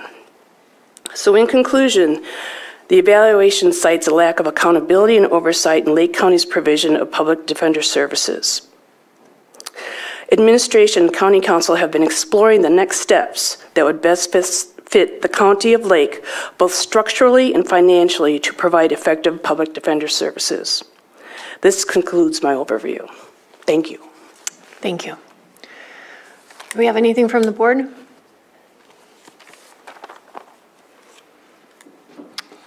Do we have anybody from the public in the chambers?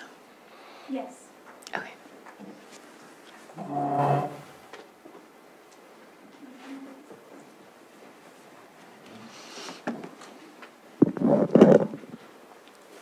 Good morning. My name is Andrea Sullivan. I am a co-administrator of uh, Lake Indigent Defense, also known as LID. This is my partner, Tom Feimer, and together we administer Lake Indigent Defense, which uh, administers public defense in Lake County. We have had the contract, I have been the original partner since 2017. Um, There's been a couple of other partners that have uh, assisted and then went on to other things. One became a judge and another has recently retired. Since 2017, we have not gone off of con- uh, the contract at all, and we have done that ethically and legally. We uh, represent over 95% of the defendants in Lake County. And we do that at a budget that is well than less than half than comparable counties. Um, so some highlights that uh, from the report. Uh, the report says that two felony uh, defenders have no previous criminal experience. That's blatantly not true. All of our defenders on the felony contract are experienced in criminal law. They may be referencing two former district attorneys that came to work as uh, felony defenders. I also take issue with the idea that a flat fee uh, creates a system wide denial of the right to counsel. A flat fee by another name would be a salary. Um, so uh, I'll let uh, Mr. Feimer uh, discuss some of the possible options that the board could take. Thank you, Andrea. Let me restart your three minutes. Thank you, uh, and I appreciate this opportunity. Just to follow up uh, what um, my partner, Ms. Sullivan, and co-administrator said, uh, yes, the um, flat fee uh, finding is a bit puzzling. Uh, The report also, uh, 6AC, as if you look at their other findings in other places around the country, usually does is recommends a statutory public defender office wherein everybody would be working for a fixed salary. Uh, It is true that uh, our contractors are effectively carrying the load of a uh, full-time public defender, uh, and we are not paying them as much as somebody doing comparable work in another county. The reason uh, we justify that system is defenders are allowed to take uh, other clients, private clients, clients out of county. Uh, Again, in, if uh, this is creating a conflict, uh, frankly, we're going to need to look at some form of greater compensation uh, in order to basically just retain people. Uh, Right now, we are forming, I take issue with the idea uh, that we're not denying people the right to counsel. I can say we are guaranteeing everybody who needs a lawyer counsel. Uh, Counsel, if you look at the numbers in the 6AC report, although they don't do much analysis, counsel that is providing outcomes that is as good or better than many of the statutory offices within the state of California. Uh, But we're doing it at uh, bare minimum of staffing levels of attorneys. Uh, And the reason is because, again, uh, the pay is not kept pace with uh, inflation and also uh, what uh, comparable other counties are offering. We just had a very uh, talented, very, uh, very good attorney leave us for Mendocino County. Their public defender office simply because they offer what we cannot, which is a higher salary and benefits. Um, Nonetheless, uh, our attorneys are, under what are challenging circumstances, are doing a phenomenal job. I, while I welcome more oversight from the board, I think the counties and, you know, should and can expect that. Uh, I do take issue with some of the ideas of establishing another office or some other thing to sort of direct, you know, attorney performance. Uh, fundamentally, our people know their jobs. Uh, they know how to defend people, and they do it well. I, I think adding more and more layers of, uh, you know, officers or other administrative staff isn't going to get anybody out of jail sooner who shouldn't be. Uh, isn't going to get anybody a shorter sentence if they're deserving it. What we need are uh, more attorneys and more resources for those attorneys. Thank you. Thank you. And we can uh, answer any of the board's questions if. Okay. Thank you. Let me check the Zoom room. Is there anyone else in the chambers? I don't see any hands up in the Zoom room. Bring it back to the board. Supervisor Sabatier? And I don't know which um, item this belongs in, but I think it kind of, both items offer the same opportunities for some of the comments I want to make. But the impacts to someone's life if um, we are not overseeing or ensuring that all appropriate services are provided, uh, the impacts of going to jail, the impacts of being arrested, the impacts, um, the impacts are very real uh, and can be not just a setback, but can also uh, close a lot of doors. So I think this is an important topic for us to lean and move forward with. Um, but we need to set up a system that will not just be people who care, but people who understand the system in, in, in a legal way.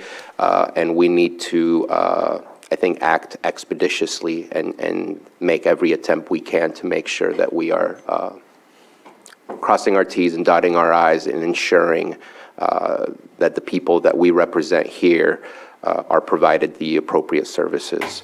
Um, I don't have the statistics in front of me, uh, but I do know that a lot of people in our community have interactions with the justice system um, and ensuring that that interaction is uh, the appropriate process that they go through is, I think, of utmost importance for all of us.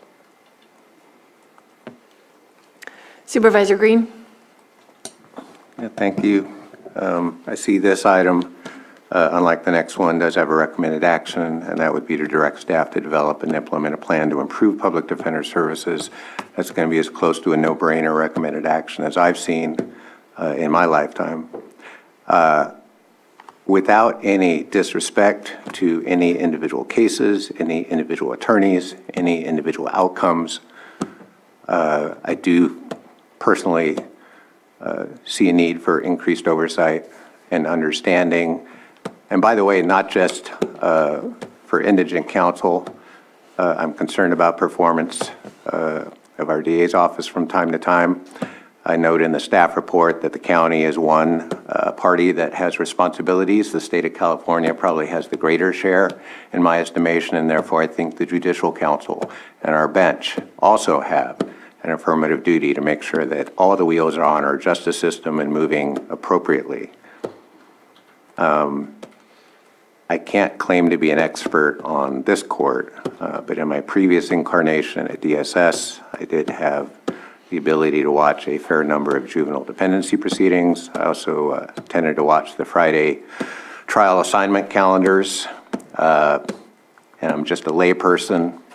Uh, but uh, in both settings, it has been bumpy sometimes. Uh, it has been uneven.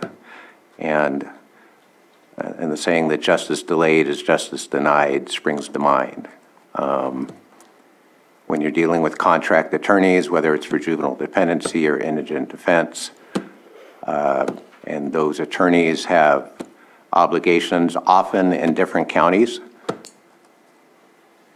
Um, it, you know, how would we even begin to uh, do over, adequate oversight of that?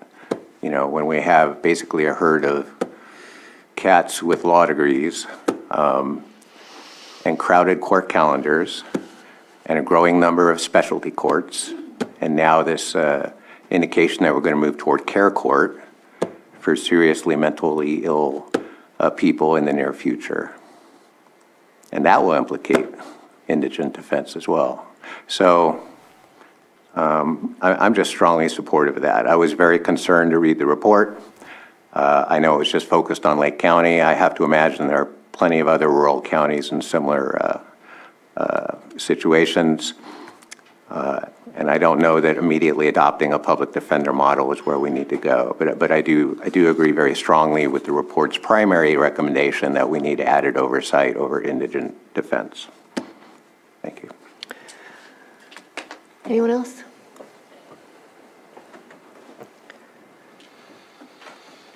Supervisor Sabatier? Well, for direction, I think that I'd like to see something come back to us as to what that uh, oversight looks like and who are the uh, members of that oversight uh, committee. I know we have something right now, but I think we need to revamp and re- review uh, and possibly renew um, just to make sure. And that's not the subject today, so I don't want to get into the details, but I, I definitely hope that that will come back to us ASAP so we can start putting out applications, reaching out to uh, specific individuals that we know meet the qualifications. But I think that's uh, a good step in, in moving forward at first. Um, and I think that we, we, we, we do need to look at what is the next uh, iteration, because I don't think as it's been working, uh, no one from LID has approached us saying it's not working. Um, Unfortunately, we, we paid for these um, comments that were made, uh, these recommendations that uh, were read out loud from the uh, Sixth Amendment uh, group. Um, But that is their findings, and I don't think their findings are too far off of uh, what, what is happening. And so I think we need to do a change, and we need to figure out what that change looks like. But I think first and foremost, bring back to us um, that committee. So we, do we have consensus to direct staff to implement the plan? Yes. Yep. Okay. Thank you. And we will move on to item 7.4, presentation of initial steps in the county's ongoing review of the provision of legal services for indigent criminal defendants, county counsel.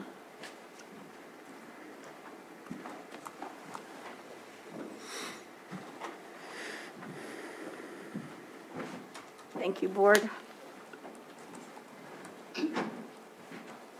I'll be presenting this along with Carlos Torres, a deputy in my office, who's also sitting as your advisor today.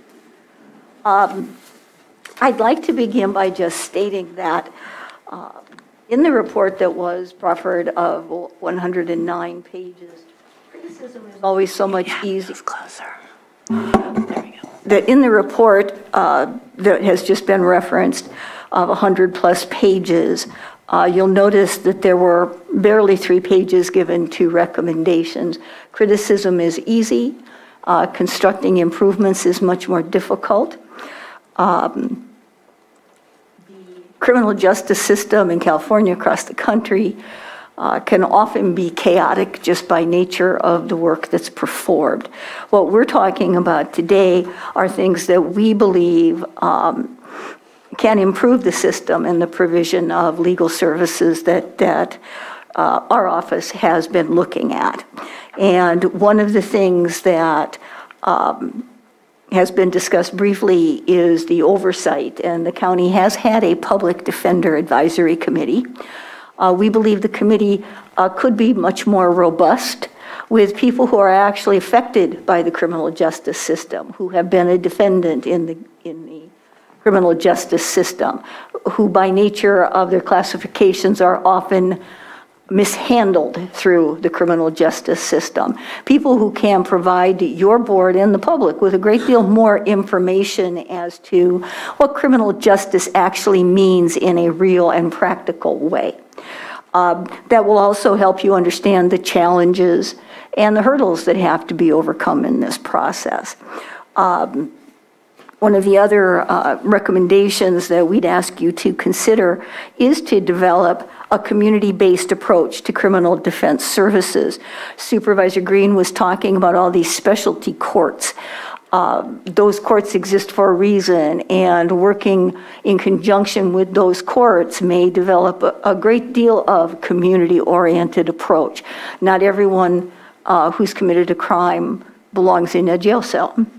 The um, item number three in our presentation uh, is to retain the services of a former public defender to assist the county in ensuring the comprehensive provision of indigent services, not a um, high optic review, but an actual uh, on the grounds, roll up the sleeves kind of assist in this in this program by someone who is uh, the person we have in mind, and I'll let uh, Carlos Torres explain that to you in more detail. The person we have in mind is a retired public defender of some significant stature who is well-known throughout the state and one of the most dynamic people I've ever spoken to.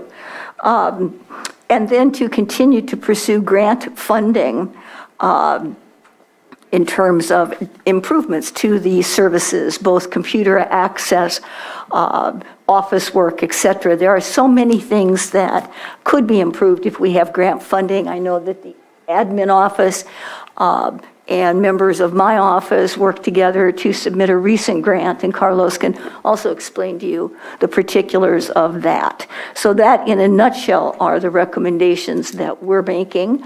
And uh, again, none of this will happen overnight, but a steady progression along these lines will both provide your board with more information as to the nature of the services and where things may need an assist from the county, both uh, in terms of resources and staffing. But it will also, I believe, help to drive a more community-based approach toward public defender services as a whole. And with that, I'll let Carlos go ahead and,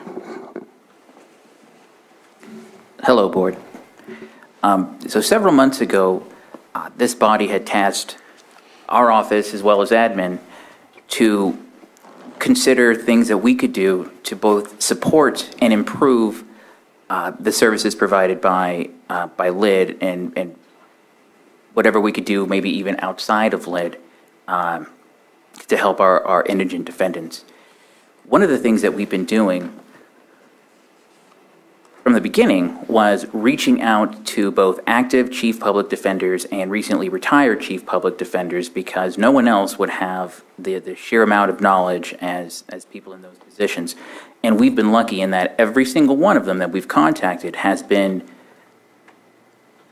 readily available to help. They have suggestions and they want to be part of it. They want to help Lake County do better. And now, with the publication of this report, they have all seen it. It has made the rounds through the public defense world very, very quickly. And so, the, the, the public defender, most recently, that we've been talking to the most, who has been the most helpful, uh, his name is Jose Varela. He's the retired chief public defender of Marin County. Uh, he was in that position for 16 years. Uh, he currently runs trainings. He uh, he's somebody who is involved in public defense from top to bottom, and he is willing to, under a uh, service agreement, assist us in all the changes that are necessary, at this point necessary, uh, to improve the level of services for our indigent defendants. Um, he's been an incredible help, and at some point, I would uh, I would love for the board to be able to talk to him and, and, and ask of him questions, because honestly, we from this office, we don't always know what we don't know. We're county counsel. We handle civil issues all day long. But criminal is a different animal. And so we only know so much. It's important that we ask someone who does. Aside from that, uh, we've been in touch with the, uh, the California office, uh, the state public defender's office for California. Uh, they've been incredibly helpful and not only helping find new grant opportunities, of which we've recently uh, applied for a, a third one. Uh, all three of our grants combined um, would total over 1.3 million, which is what we're really looking to do is help boost the amount of money that we can use as resources for this for this project. Um, but also in putting us in contact with other public defenders, both chiefs, high deputies, people who are involved, professors, everybody who has a stake in this process. Um, and it's been, it's been really great. Uh, so, so currently, we're in negotiations with that retired chief public defender to offer his services on a more continued basis. Uh, we're continually having conversations with the state. We're continually looking at, at new opportunities for new funding. And ideally, we want to work with our partners in LID because we understand the attorneys that work for them now, they're going to be our partners going forward, right? These are going to be the attorneys that are still going to represent Lake County. We want to support them. We want to help them do the best that they possibly can.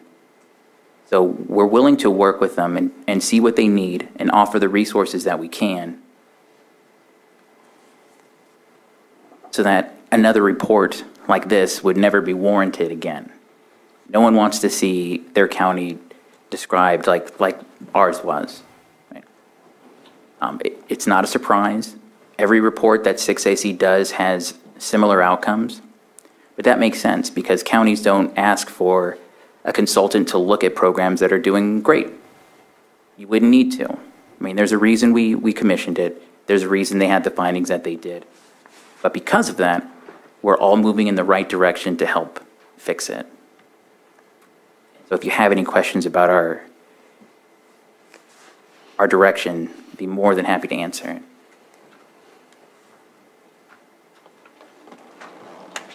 Supervisor Green? Yeah, Thank you. Strongly supportive of all the uh, proposed ideas in here.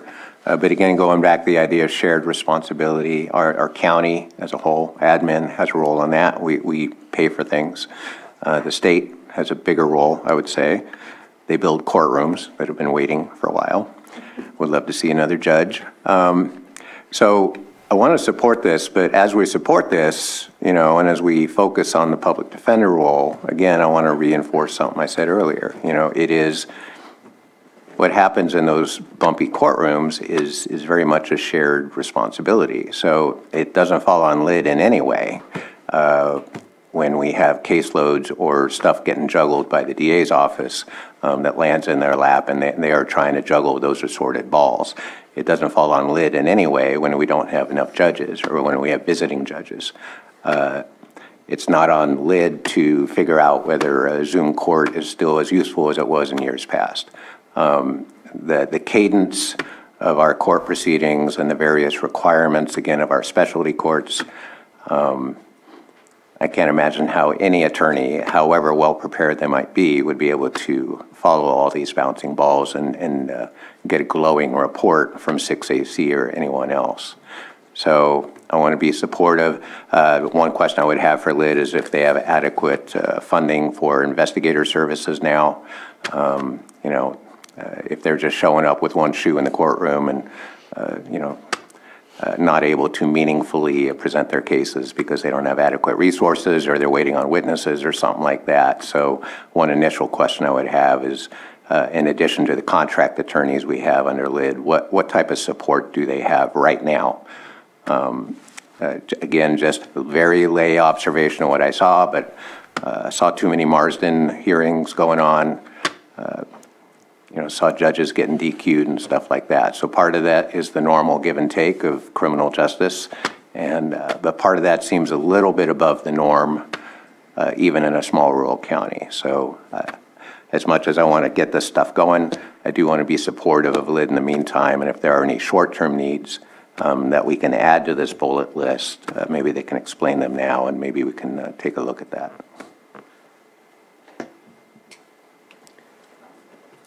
Supervisor Sabatier? I, I just wanted to make the comment of I- I'm in support, uh, looking forward to uh, where your negotiations end. Hopefully, we can have that conversation with the gentleman who uh, may be interested in coming here. Um, All of those things sound good to me, and you, you, you mentioned something that I kind of want to change your words. I hope we can set expectations and that whoever we're working with will be meeting those expectations because we, we are the ones representing the people that are being um, defended, and uh, we want to make sure that we set a standard for what those people experience when they go to court. Uh, If I may, one of the things that we'd like to be able to bring back with you, if, again, you give us the direction to do so, is going to be some more definitive uh, list of what can be done immediately, what, what we recommend begins over time, and what the longer-range goals are. As far as the, the prior report that um, was commissioned at some point, whatever the, whatever the goal of, of that report, it provides no substitution for the hands-on involvement of someone with the type of public defender experience of Mr. Varela, and we are hopeful that your board will agree to something along those lines so that there's going to be an on-the-ground person who can work to to make improvements, and those improvements would include recommendations for resources and what's lacking. Um, Not just, again, it's, you know, criticism apparently can take place in 100 pages, but recommendations just needs three. So um, I don't think that's really lost on anyone in, in regard to that report. Uh, But every system is certainly worthy of improvement, and public defender services and the constitutional obligations of this county certainly deserve a very thorough, comprehensive review of how to do better. Sorry, uh, just to Supervisor Green's point, uh, we do believe that a, a stronger and better resourced uh, PD defense system will, in- will improve uh, the DA system as well. The tougher the competition is, the higher the DAs will have to raise, will rise to the, to the moment, is the hope. Currently, we don't have any oversight over, the- over the DA, this office, we do not. But we do think that um, the better resource the, the, the public defenders are, uh, the better trained that they are, the more accountable that they are, uh, the better the fight they're going to put up to the DA's office, and the DA will have to compensate for that. Um, and, and currently, a lot of the things that are being requested and being discussed would require um, more transparent information from LID, and we've started that process. We have been getting more information from them, and we hope that all of our future requests for information um, continually comes as, as quickly as it, as it has, uh, and perhaps with a little bit more detail, so we can truly address these issues and not just leave them in the air as requests that never get answered.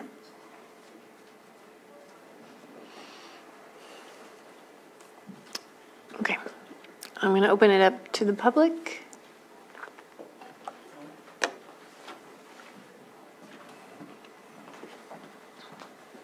I will uh, reintroduce myself. Again, I'm Andrea Sullivan, co-administrator for Lake Indigent Defense, and this is Mr. Feimer, uh, my partner and co-administrator. Um, One of the things I didn't bring up in my last presentation, and one of the things that the 6AC um, report fails to mention, what county counsel fails to mention, and is the giant elephant in the room, is the independent contractor model which LID is based on. The reason why there is no direct supervision is to maintain the public, um, the independent contractor model. So since, as long as I've been in Lake County, which is 2014, and well beyond that, the board has always contracted with an entity that utilizes independent contractors. And part and parcel of that is maintaining the subcontractors' uh, independence from the county, because the county has made clear they do not want to or cannot fund a statutory public defender office, which would be in excess of $4 million. Again, LID handles over 95% of the criminal defendants at a higher, uh, with some of the lowest dis- uh, conviction rates and the highest dismissal, dismissal rates in California. We consistently rank in the top third for uh, higher numbers of dismissals and in the top low third for um, felony convictions. So the result, if you go to trial with a LID attorney, you have probably a 50 50 chance of uh, getting a hung jury or an acquittal, and that is well better than the, nas- uh, the state standard.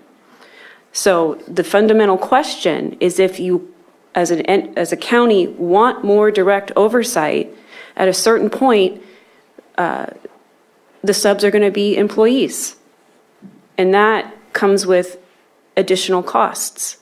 So there's a fork in the road that this board. It's one thing to say you want more oversight, but what does that fundamentally mean? We are already paying our subs about two thirds of a comparable county for size and uh, budget. And the way that they can supplement their in- income and maintain their independence, so they can, we can, we've been audited more than once by EDD, and we can truthfully say these are independent contractors. These are not employees. They're not employees of LID, and they're not employees of the county. So um, I, I think that is something that we've been tiptoeing around, but that needs to be addressed head on. And myself and Mr. Feimer, we are happy to do whatever the county wants, but the county needs to be clear. Do you want independent contractors, and with that comes a lack of oversight? Or do you want more direct interaction? You're going to make them employees. Thank you. Uh, I just wanted to to comment briefly on some of the. Can you just state your full name? Yeah, my name is Thomas Feimer. I'm sorry. I uh, shouldn't assume everybody. it reads. For the record. Yeah, I, and I should be used to that, given I state it multiple times myself every day. Uh, so um, I, I want to uh, respond just uh, briefly to a comment Supervisor Green made, which I think is very well taken. Um, there is a tendency, and it's not particularly new, but it's increasing uh, for sort of uh, what will happen is the legislature will pass all kinds of new forms of, of relief and mandates and programs. Uh, the mental health uh, diversion is an example of this and one we've been struggling with. Uh, and the tendency in the within the system is it's unfunded and there's no structure and the uh, responsibilities all just sort of get passed on to the attorney to sort of actually make all this kind of stuff happen that really what we need are social workers uh, adminis- you know assistants people to get this stuff done uh, where attorneys uh, i've heard a lot of saying no ever defended somebody. You know if you've ever defended somebody who's facing life in prison uh, on charges. Just that in investigating uh, that and doing that is an immense and very weighty responsibility. Uh, and so, um, again, uh, I, we welcome uh, oversight and we welcome just involvement. You know, we're we're at 390 Forbes Street. Anybody, including anybody here, uh, can come in and talk to us if they want or learn more. We're not we're not some opaque kind of like you know secret cabal over there. Uh, walk on in uh, and set up a meeting and talk with us. Uh, but again, uh, I appreciate and what is uh, needs to be explored. I think is. Uh, sort of support for the attorneys that kind of frees them to do the job of attorneys in a lot of fashions and invest additional funding for investigators, social workers, uh, administrative assistants are really something that I think do needs to be explored uh, because again, taking somebody's you know life into your hands and and defending them and their liberty is is a full time job, uh, and we keep putting more and more burdens on our attorneys to do additional things, and they pick up the slack uh, very brilliantly but it comes at a cost eventually. It comes at a cost in uh, burnout. It comes at a cost of uh, maybe having to prioritize things uh, that you otherwise wouldn't want to. Thank you. Thank you. Is there anyone else in the board chambers? Anyone in the Zoom room? I'm not seeing any hands up. Bring it back to the board? Yes. I might. Uh, Certainly, um, just to clarify, uh, I don't think anyone is attempting to ignore decisions that your board is going to have to make. Uh, As I said, what what we would like to bring back to you are immediate uh, actions that can be taken and then more long-range. Your board is going to have to develop your plan for this as you get more information, more data, more reporting, uh, and hopefully uh, with a consultant's assistant, assistance, a better idea of priorities uh, that at least can be recommended to you. But eventually, your board is going to have to, to look at systems and how best you wish to provide services in, in this area. That's a given. Supervisor Sabatier. I just wanted to respond to some of the comments. Uh, just because something's been done a certain way for a while doesn't mean that there's not the possibility of change. Uh, might be difficult, uh, might be seem unattainable, but I think that change is always possible. And on one end, I have um, one attorney saying, here are our great stats, and on the other end, but we could do a whole lot better. And I think we all want to do a whole lot better. Uh, And so I think that's, if we can find that common ground, I think that we can move forward and we can figure out a good place to go. Uh, So just want to make that statement. Supervisor Green? Yeah, and just uh, to clarify the comment, yeah, the independent contractor is what it is. I don't think it's appropriate for public defense. Um, One of the biggest takes from that report is a lack of ability to know what's going on with all these various contract attorneys. To actually maintain independent contractor status, you have to consciously, as LID, not give them express direction on how they handle any particular case. At least if you're holding true to what an independent contractor truly is, you would not be giving that direct direction. So um, thank you for doing what you have under the current model. Um, But I think definitely a pivot is uh, forthcoming, expensive as it might be, and change in business models as might be required. But um, I I get, I get where you've been in your journey, and I appreciate it. Uh, But, you know, very clearly to me, to the specific point of whether independent contractors are going to continue to be a thing, uh, I hope as we move forward, uh, we'll realize pretty soon that isn't working out very well. Thank you. Vice Chair Simon? Yeah, just appreciate the, uh, you know, the, obviously, the conversation from both sides, but, you know, I think what's presented to us today is the right step at this point. So, in complete support, you know, because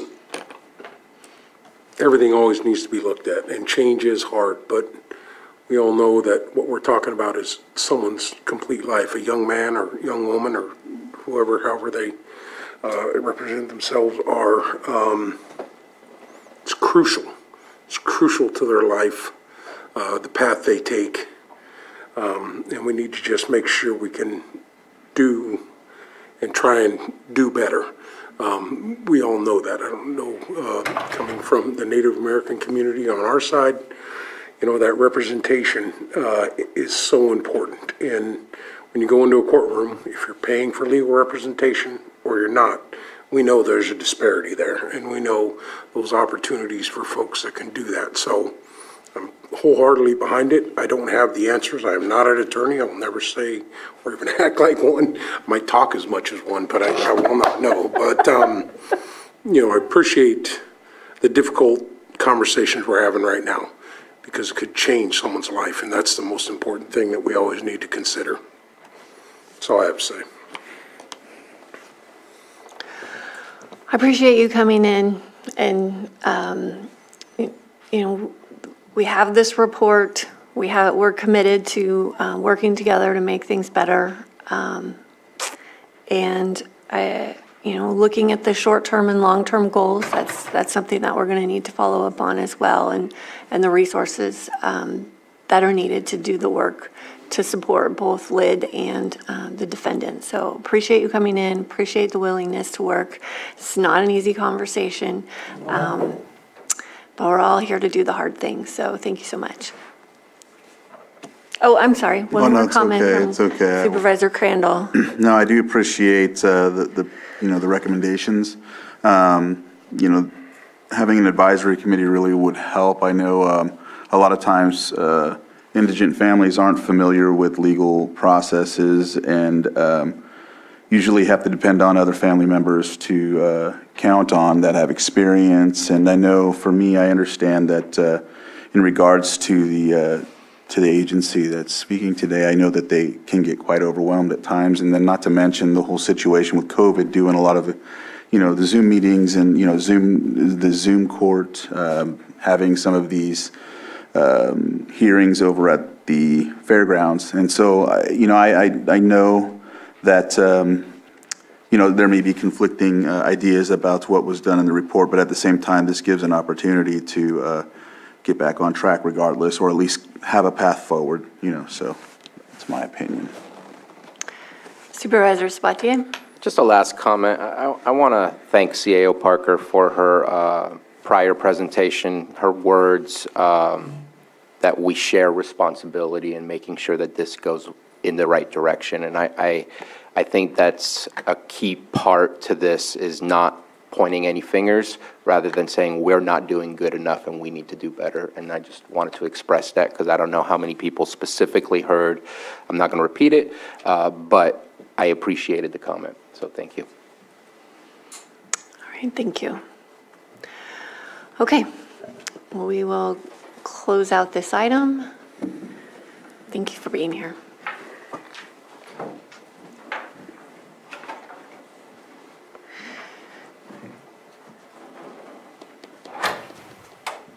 I just want to kind of understand some timing on some of these items that we have.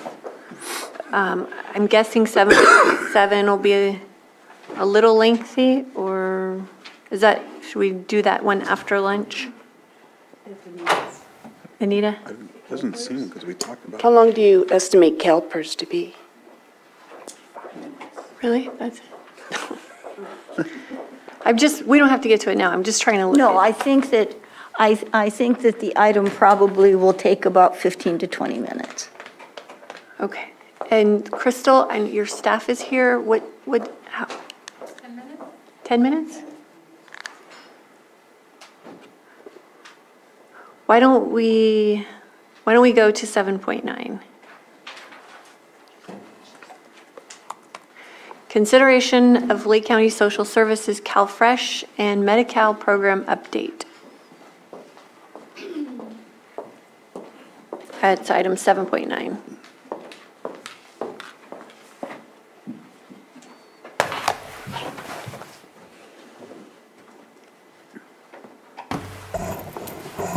Good morning, Board. Crystal Markytan, Director for Social Services, and with me today is Rachel Dillman, our Eligibility Program Manager.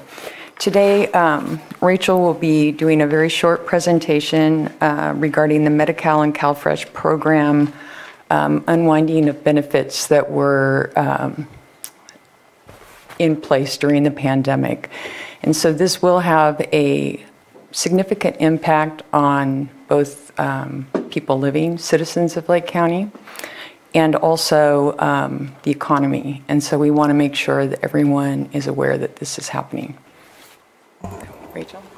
All right, thank you. Uh, as Crystal said, my name is Rachel Zillman. I'm a program manager at Lake County Social Services, and I have some program updates for you and the public today on Medi-Cal and CalFresh benefits. We're going back to uh, business as usual, essentially, is what's happening as the uh, COVID waivers uh, come to an end with uh, the end of the public health emergency declarations.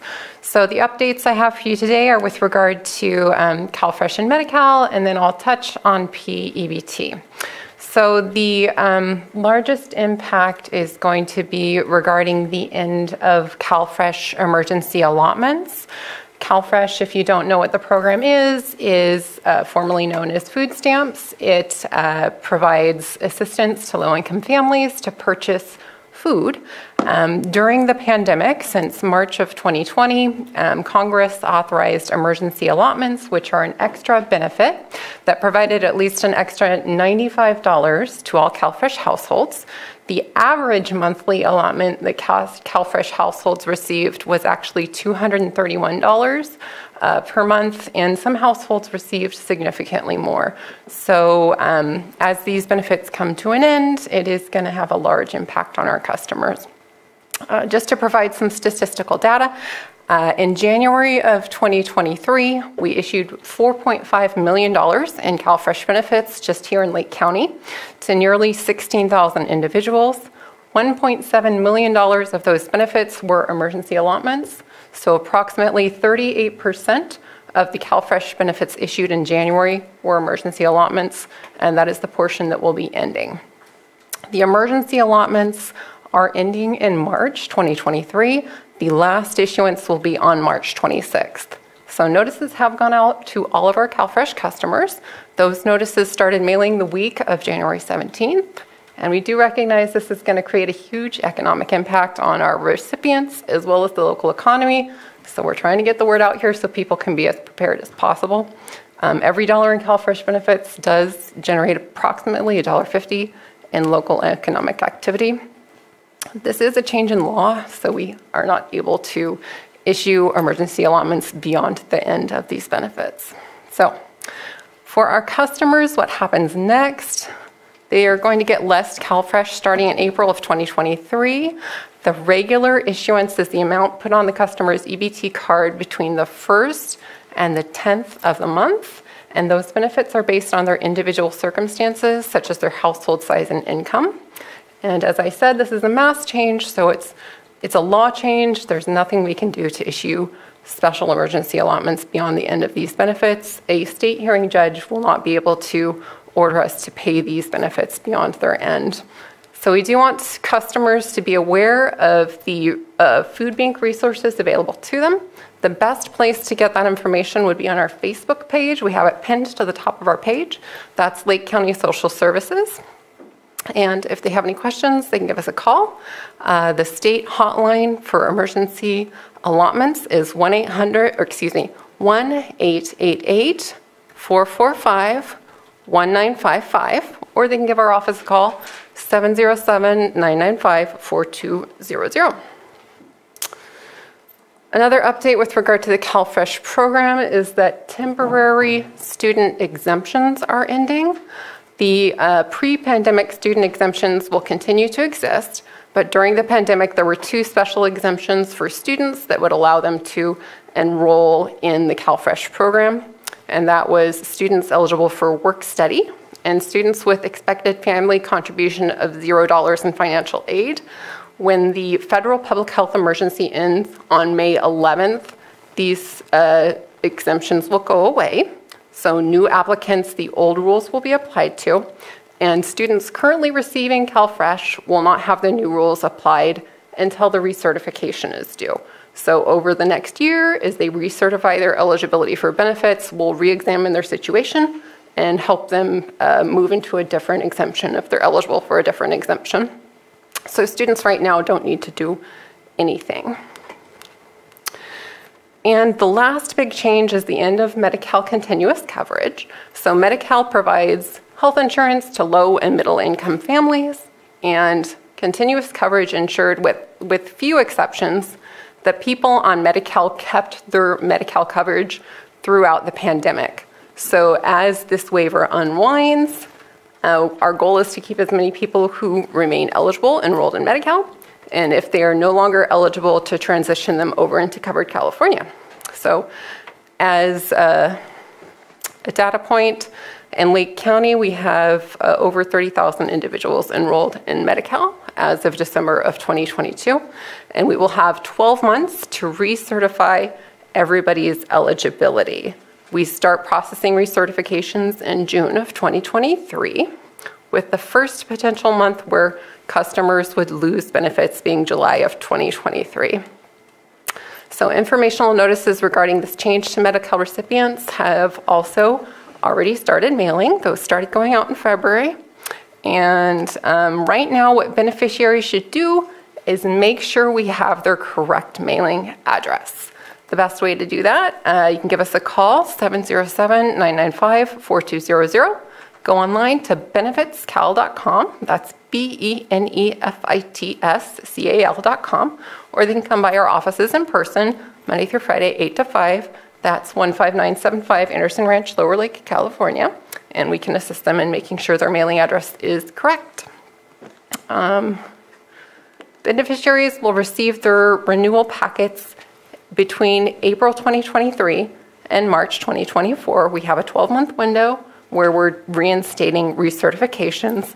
They don't need to take any action until they receive that recertification packet. Uh, their benefits will remain the same until it comes time for them to renew. So, this is going to be a big workload effort for my staff, uh, and we're going to be all hands on deck. Uh, we are going to be launching a counter service unit uh, on site at Anderson Ranch for people who have questions about how to fill out their paperwork, uh, get new paperwork if they've lost their paperwork. That'll be launching in March. And uh, we're looking forward to partnering with the Department of Health Care Services to meet these challenges over the coming year and make sure as many people as are eligible remain enrolled in Medi-Cal. Um, There is a public state website launching with more information if people are interested in keeping an eye on that. It's keepmedicalcoverage.org, K-E-E-P-M-E-D-I-C-A-L, C-O-V-E-R-A-G-E E dot org. And then lastly, I'll provide just a really quick update on PEBT. We don't administer this program. Um, It is administered by the California Department of Social Services, but I get asked about it a lot. So as it is also tied to the pandemic, I'll provide a quick update. So Pandemic EBT, or PEBT, is a federal program that gave families uh, food to replace lost meals uh, lost at childcare or school due to the pandemic, and these benefits are also tied to the public health emergency. The final round of PEBT is in the works. The state is putting together their plan for federal approval, and they hope to have those benefits issued by September of 2023. So as details regarding that plan come out, the public can keep an eye on capandemic dot, or excuse me, dash ebt.org, or give the PEBT helpline a call. That's 877-328-9677. And that is all I had to share today. Supervisor Crandell.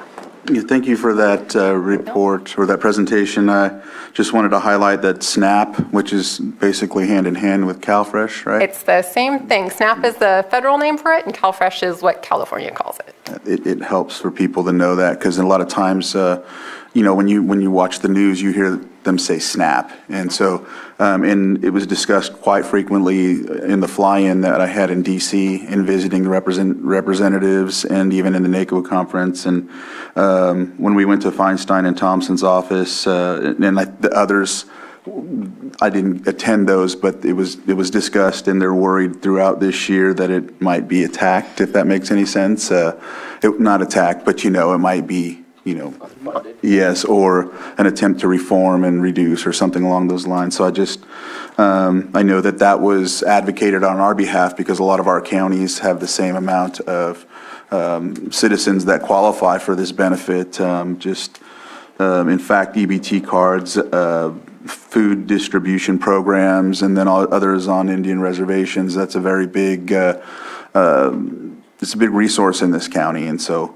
I'm worried about that. Also, I know another uh, benefit and is the fact that SSI and SSP benefits may qualify for, for, uh, for individuals in our county. And I'm only highlighting that because not a lot of folks might know that, or they do, but I just know that some, uh, That transition happened pre-pandemic, but yeah, um, let's Yeah. remind the public that if you're on SSI, SSP, you could potentially qualify for CalFresh benefits now. Yeah, no, I, I know it did, but I know that sometimes there's some folks that I don't, uh, I'm not qualified for it because I'm on SSI and no, that changed, you know, so just giving that a shot. And I know too that this is mainly about a lot of the uh, legislation or the, um, not legislation, but the programs that were put pandemic-wise are coming to a halt. But I just wanted to throw those out there and let you know as well that it was discussed quite frequently um, in DC.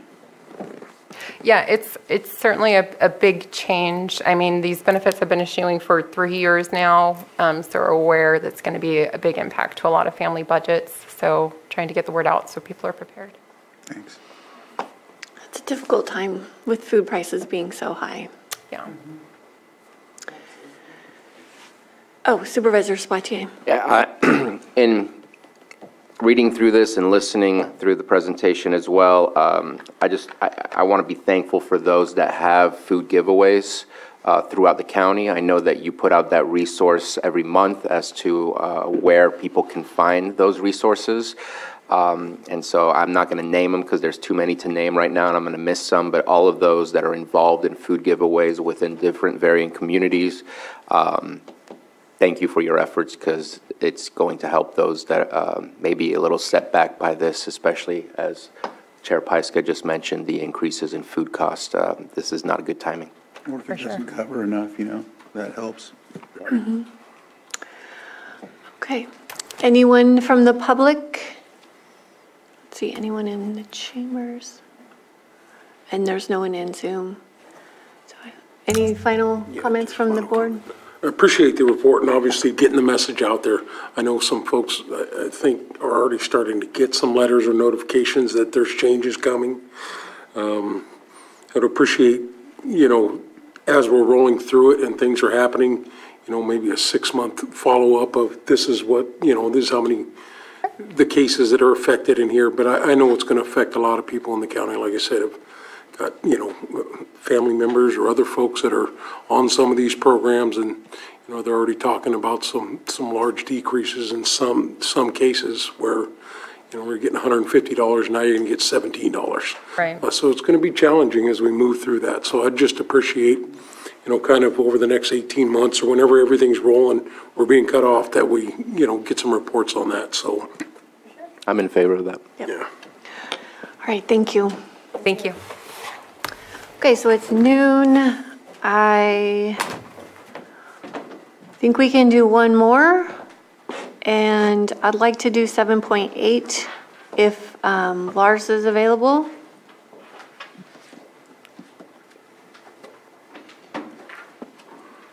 All right, thank you, Lars. There All you bet. Sorry, you caught me off guard here. I'll grab my, grab my papers. All right. So, uh, Board, I appreciate you taking up this item. Uh, Lars Ewing, Public Services Director. Uh, Up for consideration today is conceptual approval for the purchase of real property uh, for a Cobb Area Community Park uh, and to appoint a negotiating team. Um, So this, uh, the- the way this process is is presented, it's it's in line with, uh, with the county's uh, real property policy um, that includes a, a process for uh, uh, the, the purchase of any real property. And the, the first step, or one of the first steps, uh, is to get conceptual approval uh, from your Board of Supervisors uh, to appoint a negotiating team that will then come back to your board um, with a, a summary of things, one of which is um, the, the negotiations that would occur.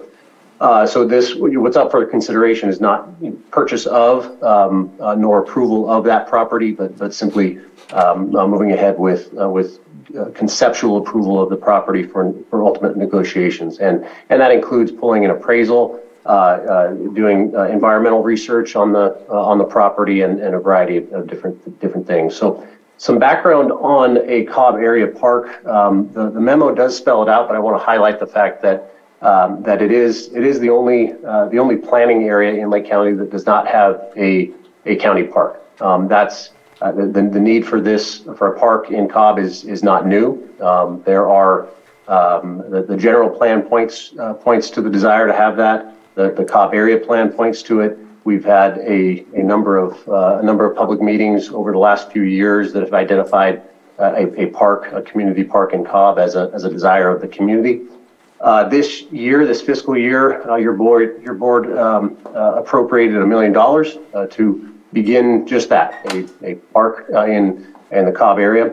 There was, there's discussion of, of the Trails Network as well. Um, And so this is one of the steps associated with that. So um, happy to answer any questions. Um, And to, to really summarize it, the, the negotiating committee um, would be recommended to be a member of Public Services, me or my designee, uh, and then the county administrative officer or her designee. So happy to an- answer any questions.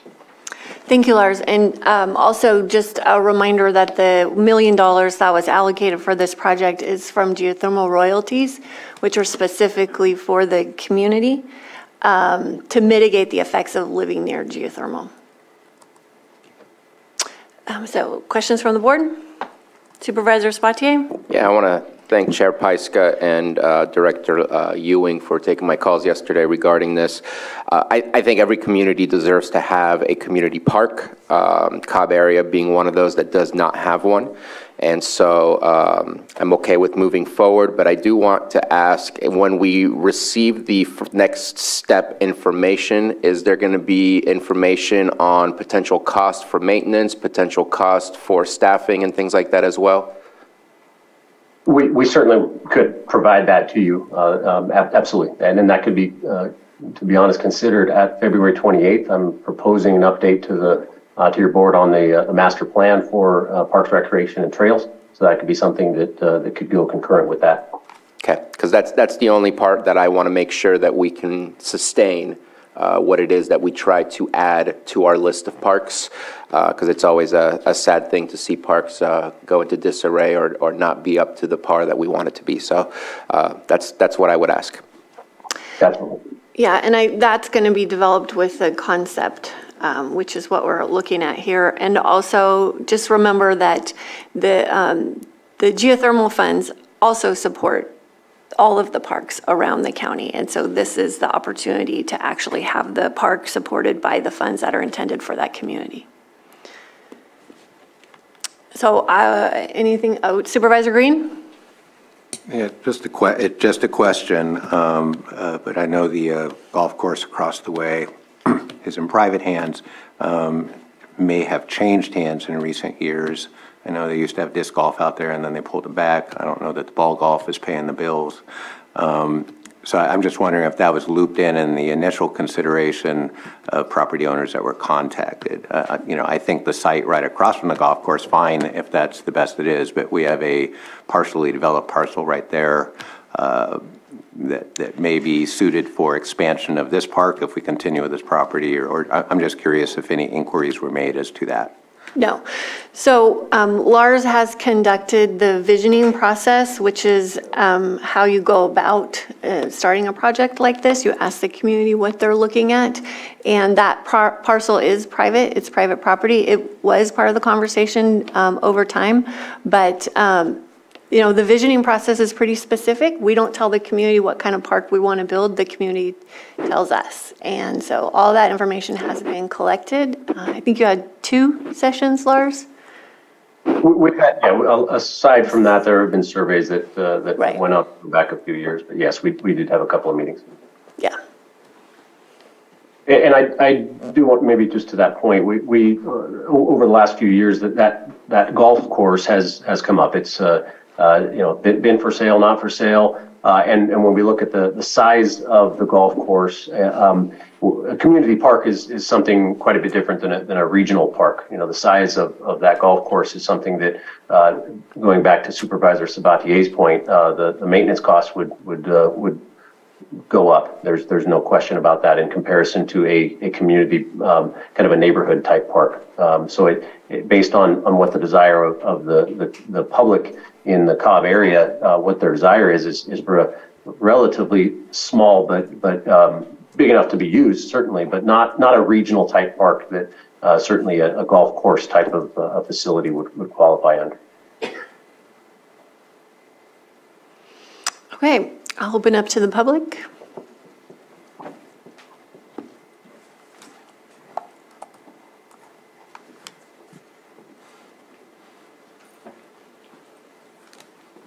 Uh, Robert Stark. Uh, I have applied for and received uh, in excess of $200,000 from this fund for uh, infrastructure projects by the Cobb Mutual Water Company at that time. Uh, We haven't received any funding in recent years from the Geothermal Mitigation Fund or the AB 1905 fund, which this is, one must realize that my personal property, I do not own anything but the surface. The state of California owns everything below the surface. And if geothermal royalties are paid, unless they travel across my property, I get nothing. The state of California gets that. Now I only have six acres, so that's only $96 a year at the 1650 an acre they offered me in 1975. But one must realize that these funds are at the cost of the property owners of Cobb. No one else but the property owners. The Binkley Ranch, 1,600 acres. 800 acres of that property was homesteaded. AB 1905 took the mineral rights away from that 800 acres. So they received nothing for the steam below their feet. Because they, for that 800 acres, they only own the surface of that. So when you think about these royalties. These are the fees that the people, the landowners in Cobb, are not getting. And so we should at least get the benefits of some And I realize we used to get them in the 80s, then the state took all of them. Then the state gave some back and you bought some property on top of some mountain down here. And now they're giving them back to you for you to distribute. But you need to understand that that money belongs in the Cobb area.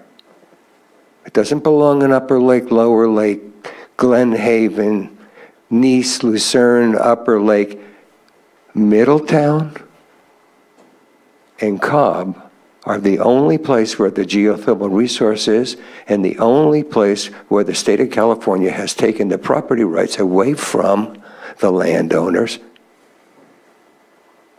and has benefited financially from it. So, like I said, we have gotten the Cobb area, the, the then Cobb Mutual Water Company, we're a district now since 91, but we have received monies from, from this fund. Thank you. Days in the past. Yeah. Thank you. Well, and some of the royalties are earmarked for infrastructure and some of them are not. And so that's the difference for the benefit of the rest of the board. And so these are the, these are the funds that are not earmarked, earmarked for infrastructure improvements. Uh, Good morning, I'm Tom Slade again. I had a few thoughts on this. I saw this on the agenda, this item, and I thought, um, well, how did that happen? I'm, I'm not opposing anything uh, as far as what's going on with the park and Mr. Lars, or Lars Earwing, whatever his name, pardon me, anyway, Lars. Um, But it was uh, the process that interests me. Uh, He said, uh, I think we had uh, discussions, were they maybe more like presentations? I don't know. I mean, it looks like it's going in the right direction other than the cost of maintenance. But um, I would have preferred something, and maybe we didn't have like a public hearing where people can be specific and have it entered into the record what they said. This seems to me rather loose-knit sort of process. And uh, so really, that's what I had to say. I- I'm questioning the, the process of how we're getting to something that might turn out all right. I mean, I, I think this was kind of a, it was going to happen one way or another. There's money for a park, but anyway, I'm questioning the, pro, the process. Again, I'm still clarifying as I stand here that, that people could be on the record saying whatever they had to say. Thank you. Sure, Lars, um, do you want to comment on the visioning process? Yeah, I'd, I'd be happy to. Um, and I, I don't disagree with, with anything that, that the, um, the individual um, man spoke about there. Um, I think it's important to note that what, what we're talking about here is, is just conceptual approval of, of a, of a property that, that we are looking to, uh, to get more information on. Uh, pull an appraisal, um, start, uh, start negotiations with the property owner. We're, we're not purchasing that. Uh, there, there's, there's nothing to say that the, the next step that would come to the public is, um, is board approval of the, the purchase of this property. Uh, there are, uh, there have been visionings that, that, have, that have occurred. Uh, there have been public meetings going through primarily through the Cobb Area Council, um, um, but also other other meetings. We had a we had a meeting at the Little Red Schoolhouse. Some that, that come off the, the top of my head. Um, but I, I think it's entirely appropriate to um, to have some more forms that include public input uh, prior to uh, signing on the dotted line, so to speak, of, of this property. We we uh, we we have uh, a lot of work to do to to identify how the uh, how this property would uh, would, would work. We, we need information to to move to move ahead, and that's the next step. That's the, the well, not the next step. That is the way the the county's policy is written. So we we need we need to take this step in order to um, to take the you know steps two, three, and four.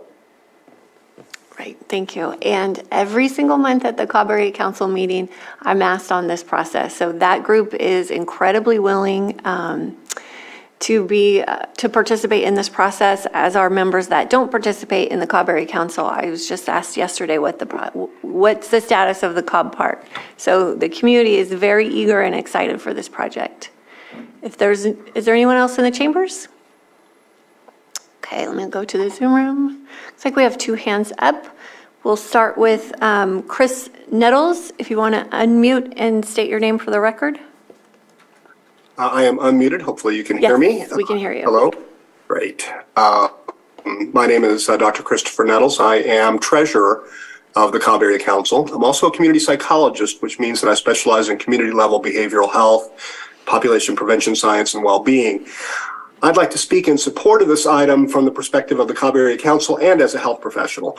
First, from my perspective as the Cobb Area Council treasurer, since 2020, I've been deeply involved with the participatory community process, along with a well-known uh, local nonprofit SSCRA that resulted in the creation of the Cobb Resilience and Development Strategy, published in 2022 and available on the Cobb Area Council website. We included creation of a park uh, in the Cobb Mountain area as a major priority in that development strategy because it was a consistent theme and requested by many residents. Also, during that same time period, um, Mr. Uh, uh, mentioned, he visited Cobb at least twice to gather community input on this proposal. So, visioning for the um, park project has already happened. The community has given their extensive feedback on what they want which, um, as I recall, is a natural landscape community park requiring uh, pretty low maintenance, uh, from what I recall. Uh, as Mr. Ewing pointed out, Cobb is the only area in the county without a community park. And as Supervisor Pyska noted, um, I hear her asked at every Cobb Area Council uh, council meeting uh, about this project. Uh, and I just want to reiterate Mr. Stark's, uh, Robert Stark's comment about the geothermal royalty funds that was set aside especially, intended to mitigate the effects of geothermal in and around our community. So that includes promoting health and well-being. Uh, there's not been a project done with this money in our community since the 1980s. So as a community psychologist, I can speak about the enormous health benefits to people that result from having public spaces available for recreation and community gathering. You all know how challenged this county is regard to all major health statistics. We often come in at or near the bottom of statewide county comparisons. The county's attention to our population health issues through participation in the Blue Zones project would seem to lend support to building a park in Cobb as well, where one does not currently exist. So this park is important to the Cobb area. I want to thank you for the opportunity to speak on behalf of this item and to lend my full support to it. Thank you. Thank you, Chris. Okay, looks like that's all we have in the Zoom room. And we'll bring it back to the board. And it looks like just the recommended action is to provide conceptual approval for the acquisition of property located at, we don't need a motion for this or just consensus? You may need a motion because Okay. the, the agenda says appoint a negotiating team. Okay. Make the motion for me. Yes. Uh, Madam, if there's no more discussion, uh, Madam Chair, I'd like to move to approve, all right, let's see, let me, we're going to start here. I'd like to move, uh, make a motion to appoint a negotiating team that includes Public Services Director or designee and County Administrative Officer for the property 16540 State Highway 175 on Cobb. Would that work? Or did I mix it all up? If I could just offer the, the, or adding the or designee uh, for the county administrative officer. I think I did say, I, I heard it for the public services director, just not for the county. oh, okay, for Public Services Director designee and County Administrative Officer or designee, sorry. Second. Okay, we have a motion and a second. All in favor? Aye. Okay, motion carries. Thank you, everyone. I think it's time for lunch, but I just want to just check with everyone that we're all on the same page. Okay. Um, Just suggestion, you think we could knock out the 7.5? Okay, let's see what that, Go it. I think you already lost, uh, Oh, if we lost, that's all right, that's fine. I- oh, no, 7.5 is fine. Sorry, I thought you meant the LACO one, because I know. No, we talked no, about it. 7.5 is just consideration of the following. Oh, sure. advisory yes. Board appointments. Okay, 7.5, consideration of the following advisory appointments, Animal Care and Control Advisory Board, Child Care Planning and Development Council, Fish and Wildlife Advisory Committee, Scotts Valley Community Advisory Committee. Supervisor Sabatier? I'll speak on the first one, Animal Care and Control. That's um, Lieutenant Martin Schneider from uh, the Clear Lake Police Department, who is in charge of the Clear Lake Animal Control, and I really want the interaction between our Lake County Animal Control and Clear Lake Animal Control, and so I was waiting for his application, and I'm happy to uh, move forward on that. Okay, public input on Martin Schneider. I'm not seeing any. Okay, bringing it back. Madam Chair, I move to approve Martin Schneider to the Animal Control, Animal Care and Control Advisory Board. Second. A motion and a second. All in favor? Aye. Aye. Okay. Childcare Planning and Development Council, we have three, we have three applicants. Um, I can speak to Cassandra Johnson. Uh, She has been involved in childcare for a long time. I believe is uh, working with, uh, I forget the name of the uh, agency, uh, uh, but providing uh, help for uh, youth with special needs, and uh, takes part in our first five conversation, as well as the Child uh, Council, and so uh, definitely a good uh, candidate to place on there. Okay, any public comment? Okay, bringing it back. Um, And the rest seem like uh, appropriate uh, additions as well, and I think we might as well just do all three at the same time if anyone, unless somebody objects. Seeing none, I move to approve um, Cassandra Johnson as community representative, Miriam McNamara, uh, discretionary appointee, and Kimberly Gentle, child care provider to the Child Care Planning and Development Council. Second. Motion and a second, all in favor? Aye. Opposed? Motion passes. And Fish and Wildlife Advisory Committee, we have seven vacancies. Um, know, I was looking on the, the spreadsheet on our website, and has that been updated? Because it, it has all the past uh, advisors with them all expiring in 2023. So there's just a little confusion on the county website when I was looking at it yesterday. That's not updated. It's not updated. Okay. But these are the current vacancies we have. Agriculture, District 1, District 3, District 5, Education, Fish and Wildlife Conservation, and Land Conservation. If I may correct, District 1, I believe, is filled. It starts with District 2. Oh, sorry, correct. Okay. Then we have one um, applicant for reappointment, Greg Giusti. I think that's an appropriate uh, Yeah. addition. Not addition, reappointment. Okay. Public input? Okay, bring it back. Madam Chair, I move to approve Greg Giusti to the Fish and Wildlife Advisory Committee. Second. Okay, motion and a second, all in favor? Aye. Aye. Opposed? And Okay, we also give instruction to, uh, this is going to be an important committee moving forward. Some of our other committees have had trouble filling themselves up. So just as I had to re-advertise for uh, this next committee we're talking about, it might be appropriate to re-advertise for the Fish and Wildlife Committee. Uh, We need to fill that out. Okay. Scotts Valley Community Advisory Council, And just to respond, I'm okay with that as far as uh, requiring consensus. Yes. Uh, Speaking of councils that kind of came and went, so uh, uh, we had, uh, all five of our council members' terms ended uh, on January 1. So a couple weeks ago, this board did pass a resolution, we're going to set staggered terms uh, after we uh, make these five appointments. Uh, I do want to thank everyone who applied on short notice, and uh, uh, it it was a little doing, but I think we're on track. Uh, and I have reviewed all the applications. This district, for the most part, falls within my district. A little slice maybe up in EJ's. Um, But I do have uh, uh, five people I'd like to recommend for appointment. Uh, And so while giving thanks to Ms. Goldenbrook and Mr. Grothy, I would like to recommend that we move forward with appointments for Gregory Scott, Jared Hendricks, Jason Weston, Cornelia Sieber Davis, and Jody Altick. And following action on that, uh, we'll have a little lottery to set who gets the uh, staggered terms here. Okay, public comment? All right, bringing it back.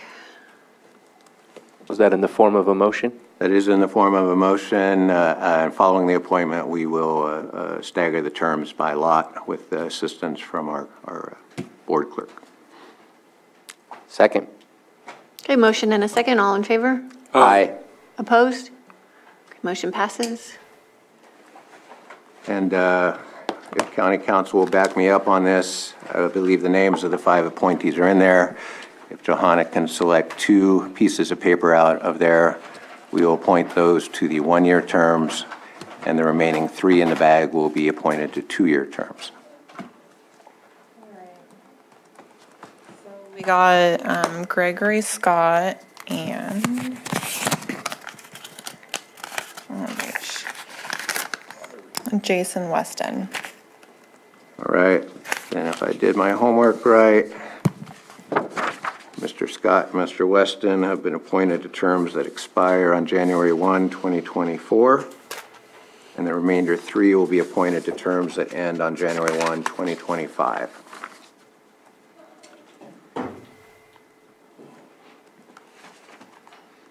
That was new. Um, Do we have another five-minute one or so, or should we just do the rest of them after? What about one of the pulled consent? We have 5.2 left. Is that a?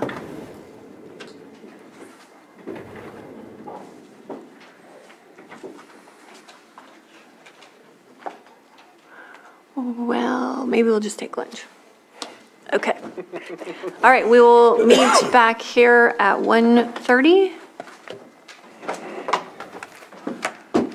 Okay, thanks so much.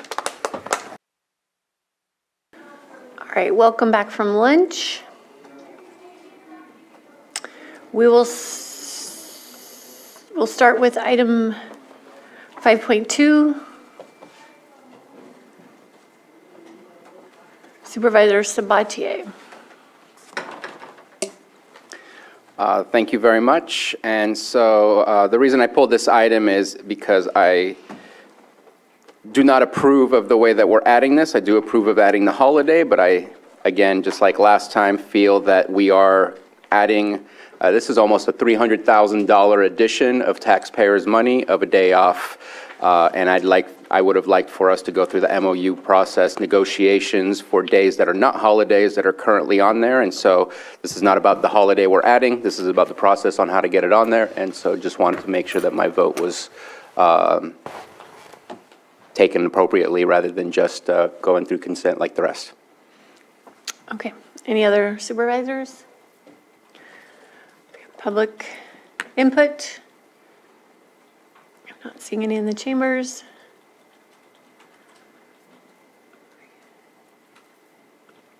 And nothing in Zoom. All right, so we'll bring it back to the board for action.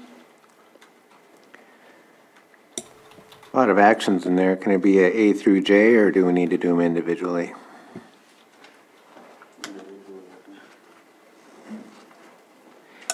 Uh, Individually would be preferred. Right, well, it wasn't broken down that way, but I think I would start off by moving to approve revisions of Personnel Rule 1801 holidays, adding Juneteenth as a county paid holiday. Second. All in favor? Aye. Nay. Opposed? Okay, I think I heard an A, okay. next. Uh, Move to approve a side letter to Lake County Correctional Officers Association, October 21, 2121 through June 30, 2025 MOU. Second. All in favor? Aye. Opposed? Nay. Move to approve a side letter to Lake County Deputy District Attorneys Association, October 21, 2021 through June 30, 2025 MOU. Second. All in favor? Aye. Opposed? Nay. Losing my thing. Move to approve a side letter to Lake County Deputy Sheriff's Association, October 21, 2021 through June 30, 2025 MOU. All in favor? Oh, oh, sorry. Second. I apologize. All right, all in favor? Aye. Opposed? Nay. All right. Move to approve a side letter to Lake County Employees Association Units 3, 4, 5, October 21, 2021 through June 30, 2025 MOU. Second. All in favor? Aye. Opposed? Nay. Move to approve a side letter to Lake County Safety Employees Association, October 21, 2021 through June 30, 2025 MOU. Second. All in favor? Aye. Opposed? Nay. Move to approve a side letter to Lake County Sheriff's Management Association, November 1, 2021 through June 30, 2025 MOU. Second. All in favor? Aye. Opposed? Nay. Move to adopt Offer the res- Offer the resolution amending Resolution Number 2021-122, uh, establishing salaries and benefits for employees assigned to the confidential unit, Section A, for October 21, 2021 to June 30, 2025. Okay. Supervisor Simon? Yes. Supervisor Sabatier? Nay. Supervisor Crandell? Aye. Supervisor Green? Aye. And Supervisor Pyska? Yes. Offer the resolution amending Resolution 2021-123, establishing salaries and benefits for employees assigned to the confidential unit, Section B, for October 21, 2021 to June 30, 2025. Supervisor Simon? Yes. Supervisor Sabatier? Nay. Supervisor Crandell? Yes. Supervisor uh, Green? Aye. Supervisor Pyska? Yes. Thanks. Offer the resolution amending Resolution Number 2021-124, establishing salaries and benefits for management employees for the period from November 1, 2021 to June 30, 2025. Okay. Supervisor Simon? Yes. Supervisor Sabatier? Nay. Supervisor Crandell? Aye. Supervisor Green? Aye. And Supervisor Pyska? Yes. Okay, thank you. Thank you, Pam.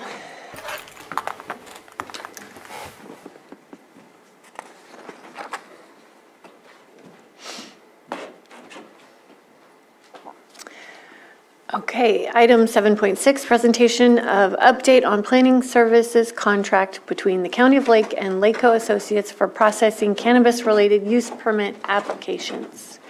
Director Turner. Thank you. Mireya Turner, Community Development Department. Uh, Towards the end of December in 2022, on December 21st, the county entered into an agreement with LACO Associates to offer planning uh, services to assist with the processing of our cannabis grants. These services included, but were not limited to, the technical analysis, the uh, environmental analysis for CEQA, and staff reports. Last summer, the end of July, on July 26th, the board received an update regarding LACO's progress so far, and at that time requested another update six months from then, uh, which is what we have here before you today. Uh, One thing I'd like to add, and um, I will turn it over to Deputy Planning Deputy, yes. Director for LACO, uh, Byron Turner, in just a moment. Um, And then we're, um, he'll give his presentation, which will have some new information since the memorandum that they did submit was actually dated in January, and they've been pretty busy since then. Um, And then if there's anything else, we're both available for questions. Additionally, I do have some information from the narrative for our local jurisdiction assistance grant uh, to process the cannabis grants that we're working on upstairs that will be available for you after that, too. Thank you. Thank you. Um, Yeah, I'm Byron Turner with LACO Associates. I wanted to update your numbers since that memo that was provided to you was dated in January. Um, At this time, uh, by my count, we have now been assigned 92 cannabis projects um, from the county. Uh, Since then, there have been four additional approvals at the Planning Commission. There will be two more projects going next week to the Planning Commission. Um, Seven more are in the queue, staff reports ready to go. We're just verifying some information. We've found that an abundance of caution is necessary when these projects have changed so many times over the course of the last few years. As, uh, as the laws change, uh, projects change, and so we are confirming with applicants, this is indeed the canopy, this is indeed the location, this is- these are indeed the license types. Um, We are also reviewing at the request of the Community Development Department and the Planning Commission, reviewing hydrogeology reports and drought management plans. Um, Our senior geologist, uh, principal geologist is in the Zoom room, um, or at least was earlier today. Um, If you have any questions about, about uh, what we're doing there. Um, With that said, you know, we continue to process applications and reduce the backlog, and we've worked with the county to streamline, to streamline the permitting process, and we're working directly with applicants to help them um, create a more uh, complete application. Most of the applications that have been forwarded to LACO were not staff report ready.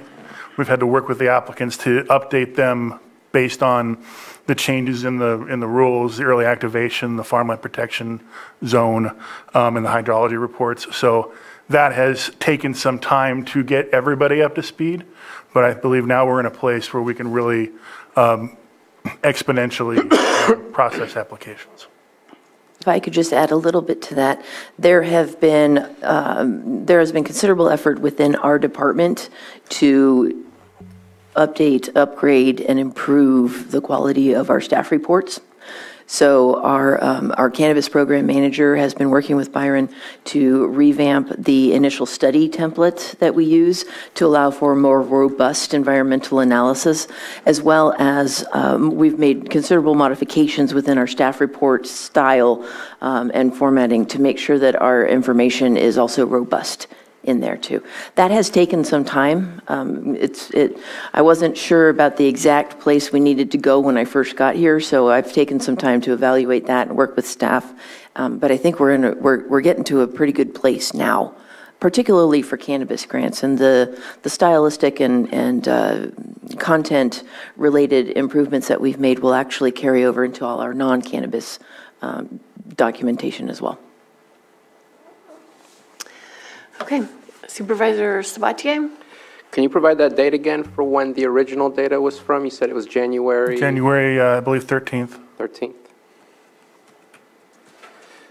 And then you provided uh, some data on uh, that you had 16 projects uh, that basically were completed. One uh, was continued to a later date, one was denied, and 14 were reviewed. Was that 14 since the last time we met in July, or was that 14 for the entirety of our relationship that we've had since August of 2021? Well, there's been more than 14 reviewed. Um, There's been, or maybe, maybe you mean approved at the planning commission? Well, you use different language for, because I went back to July and grabbed all those numbers, uh, but the numbers that you provided in this memo uh, that are dated from January January. 13th, are they for the entirety of the entire uh, scope of our work together since August of 2021? Or is it since a I specific believe that date? reflects the entirety of, uh, since the 2021, although I should point out that we weren't working on projects when the, the- we were hired in 2021. In August of uh, 2021? Yeah. Okay. Um, But you were in the review process at least uh, to Yeah, provide when- some When LACO assistance? started, we started uh, staffing, basically staffing in-house in the planning department while there was no planning director in place. And then um, eventually were assigned to one project and then went from there. Okay. Um, So I'm just going to give out some numbers of where we were in July. Uh, In July, it looked like we had six projects that were completed. Um, Here it shows 16 in the memo. Again, please correct me if that's incorrect, but that's what I I see in there. Um, Before, there was 37 project review status memos. Now we're at 53. Um, Looks like there's been a whole lot of initial reviews conducted because that number was 77. Um, What, what exactly does initial review, is like a pre-application type of thing, or? It would be past pre-application, but it would be reviewing it for completeness and then advising the county on what necess, what, what uh, items were necessary to complete the project. Okay, okay, which is a process that you spoke of that uh, helps um, expedite the processes and making sure that you don't push something far ahead knowing that you're missing some information. Um, Then I, I, I got some information that I requested from staff uh, for the entire year of uh, 2022, because we had a contract for, uh, from July 1st to December 31st for 2021 uh, for 400,000. Then we had a contract from January 1st to December 31st for another $400,000. And it looks like here, um, the services cost us about 291,000. Um, I just wanted to make sure that that was made public.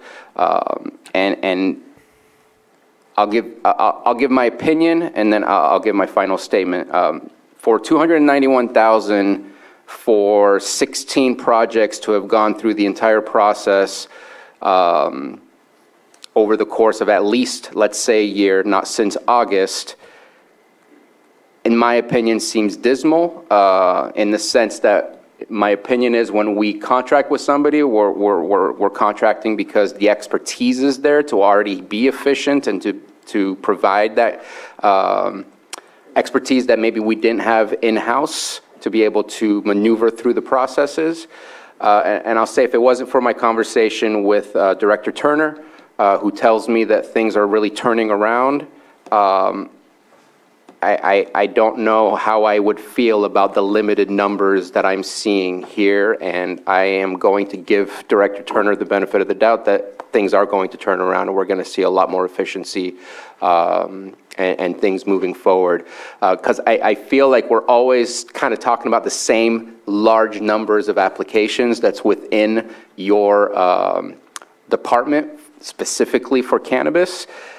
And the purpose was to try to dwindle that down, and I hope we're going to get there, because if all we're doing is staying afloat, then I don't know that that was um, the, the end uh, outcome that we were looking for from this contract. So I just wanted to uh, state those numbers, state my opinion, but I, I am willing to uh, um, let it continue to ride, and, and I hope that uh, things will get uh, more efficient, better, and uh, move forward. Director Turner, did you want to respond? I just want to say thank you very much. I am encouraged um, by the progress that we are making. Uh, One of the items that was not really enumerated in the LACO memo, but which is pertinent, is when we get our monthly invoices, they are, they are showing the time that they're logging on the, a a multitude of projects. So in any discretionary permit process, be it cannabis or not cannabis, it's rarely a straight linear line. You know, the, the completeness period, the first 30 days that we're reviewing that project that, that Supervisor Sabatier mentioned, is actually the essential first step because first we're actually, we're taking a look to see if the application is even worth sending out for agency review yet but we're also taking a look to make sure that it has all the items that are necessary for not only agency review, but then secondarily moving into the environmental analysis. So that completeness step um, is, is vital. We, we can't move forward without it. Um, And it's taking place also not just in LACO, but we're also doing some in-house as well. And that is in order to expedite. So our intention, it was not to just hand over all cannabis to LACO and be like, okay, have at it, guys. You know, it was, it was more of a coordinated effort that needed a little fine tuning um, when I got here last year. And so we've been working together um, to do that. Some days are more fun than others. Sometimes we're making some tough growing decisions. But I, I am encouraged by where we are now. So I appreciate uh, Supervisor Sabatier's confidence in that. Okay, Supervisor Green? Yeah, thank you. Um, I'm also mildly encouraged by the progress, uh, only because I know what it was like before this progress was made, uh, having lived through uh, some dealings on the other side of the counter. Um, And Byron, I thank you for the time you spent with me on the phone yesterday. Uh, uh, I- I'm not, uh, again, new kid on the block, so I'm not totally familiar with the total grant amount that came or how far that's going to get us down the road. Uh, I guess uh, not necessarily an update from LACO, but maybe an update from you about uh, how how much bang for the buck, uh, but more importantly, how many bucks we have left in the grant uh, before we have to come back asking for more money. Uh, So how much, how much longer do we have uh, with this money to try to attempt to deal with this backlog? Um, But, but, but the backlog is the thing, you know? Uh, We haven't been open to truly new applications for several years because of this board's current policy requiring a water board permit as a prerequisite to applying So my ears did perk up. If we have 14 more cases that have been assigned, I don't know if those are uh, actual new applications, again, from moldy oldie water board permits that are on board, or, or what's going on. So in addition to the concerns about how quickly can we process this backlog, so I am encouraged we have some system and some improvements that maybe we can finally get there. But when are we going to be ready to open up the new applications? And how are we going to find the money to process those? And so this is an open-ended question. I know this item is not the day we're going to discuss this, uh, but to me, it's an open-ended question. It's the question, is whether continuing down this process of all discretionary use permits all the time, even for simple cultivation projects, is the model we want to continue going down, or do we want to explore models that have been used in other counties to varying degrees of success and failure, uh, where we would adopt more of a ministerial permit process for any cultivation operations, deal with any CEQA stuff that go with any buildings or stuff like that, and maybe have to fly a programmatic EIR that would provide overarching environmental review of those uh, ministerial permits. Although I'm not even convinced at this point that DCC is signing off on all those ministerial permits in those counties. So I do want to say I'm encouraged, but I'm also frustrated. Uh, you know, this is basically a, a recitation of a failure to scale this industry appropriately, a failure to, uh, you know, on the one hand, we're dumping more and more on this process. On the other hand, we have a cannabis task force being tasked somehow to streamline this permit process that in and of itself uh, is not built for streamlining. Uh, There's a need for speed in processing these permits. I am thankful for LACO, and I'm thankful for the grant funding that has kind of righted the ship on our current process. Um, But it's an open question to me, even with the enhancements, even with the help of LACO, um, that this is the proper direction moving forward. I'm going to set aside all the policy-related things, which are rightly left to you all. Um, But the local jurisdiction assistance grant is a three-year grant for 1.2 million total. I may have missed a couple, couple thousand, but I'm pretty sure it's 1.2 million for a three-year period, which we have encumbered in an agreement with LACO over the three-year period for 400,000 per year. And we're on year three. And I'll get a number of texts in a minute if I said something wrong. Everybody upstairs. But we're going with that. Have it open. Is it real Did quick you vote on follow-up? something? Oh, Sorry. I'll wait for him. Sorry. Never never mind. Supervisor Crandell?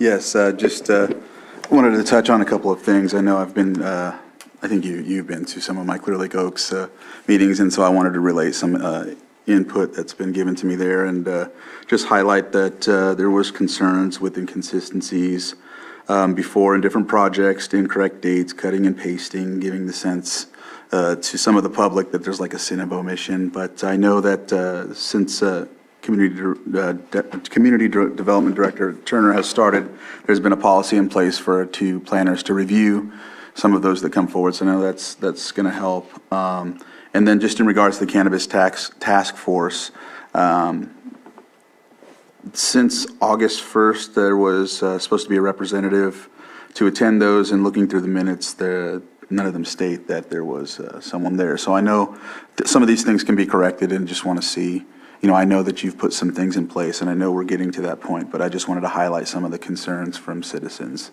about the LACO uh, item today. Thank you. One of the internal uh, systems we have put in place is that uh, the staff reports and documents shall receive peer review before they come to me. Um, And then after I'm done with them, they go to uh, county counsel for review. That has helped a lot, although that is one of the reasons why there's been a slowdown, um, is because we, we do not publish public hearing notices setting dates for hearings until after these staff reports are, are ready to go. Um, So I do anticipate that as we increase in our accuracy and standardize sort of our, our staff reports a little more, um, that that will hopefully move along a little more smoothly. However, um, I will frankly let you know that um, I am doing that final review because I have yet to hire a planning, uh, a principal planner or a deputy director. So it- it's, it's something that's essential that we do, um, but I often have my staff sending me reminder emails. Oh, we still have those staff reports that you, you know, you might want to get to. So It's we're working burdensome on it. you, Yeah, Hmm? it's burdensome on you, so, yeah, I get it. But I, what, we're making progress, so it's worth it. And could I also add for the record that we have had a LACO representative at all of the uh, task force meetings. We were not appointed as a member of the task force, so um, we're there to advise as necessary and, and behind the scenes, but we have, we have been present at all the meetings uh, as an observer. Okay. Just make sure, we'll have to make sure they put it in the minutes for you. Okay. Oh, Supervisor Sabatier. I just wanted to make a correction. I, I was not correct uh, in the numbers. It's January 1st, 2022 to June 30th, 2022 for 400,000. And then it's fiscal years from July 1st, 22 to June 30th, 23, 400,000. And then July 23 to June tw- 24, 400,000. And then the last one is July 24 to March 31st, 25, uh, 2025 for 400,000. So it's 1.6 million total, uh, and it ends on March 31st, 2025. That's what was approved. Thank you. And in addition, there are also excess funds because the grant totals 2.1 million. Yes. Thank you, Andrew. Okay, I will open it up to the public. I don't see anybody in the chambers, and we have two hands up in the Zoom room. We will start with Betsy Cawn. You have three minutes, if you'll state your name, please. Thank you, Madam Chair. Thank you, members of the board.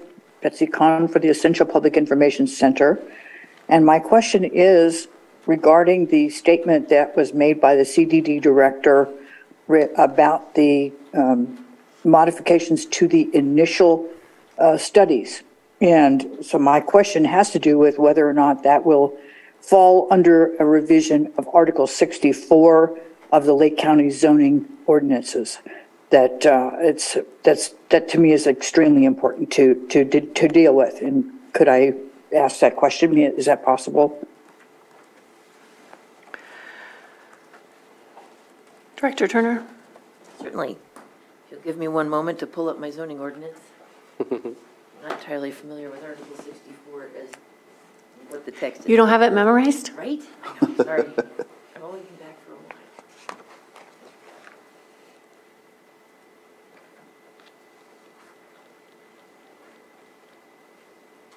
Environmental protection guidelines. Certainly, I, I think that I don't have to read that. It would be safe to assume that any, the, the, the whole purpose of the revisions that we're doing to the initial study is actually to add additional scrutiny to the items that are within the initial study checklist. So it will, by, by actually improving the quality of our initial study, uh, I can double check Article 64, but I'm pretty sure it's going to be, inconsi- it it will be consistent with all environmental review regulations. Okay, thank you. And then we have phone 7257.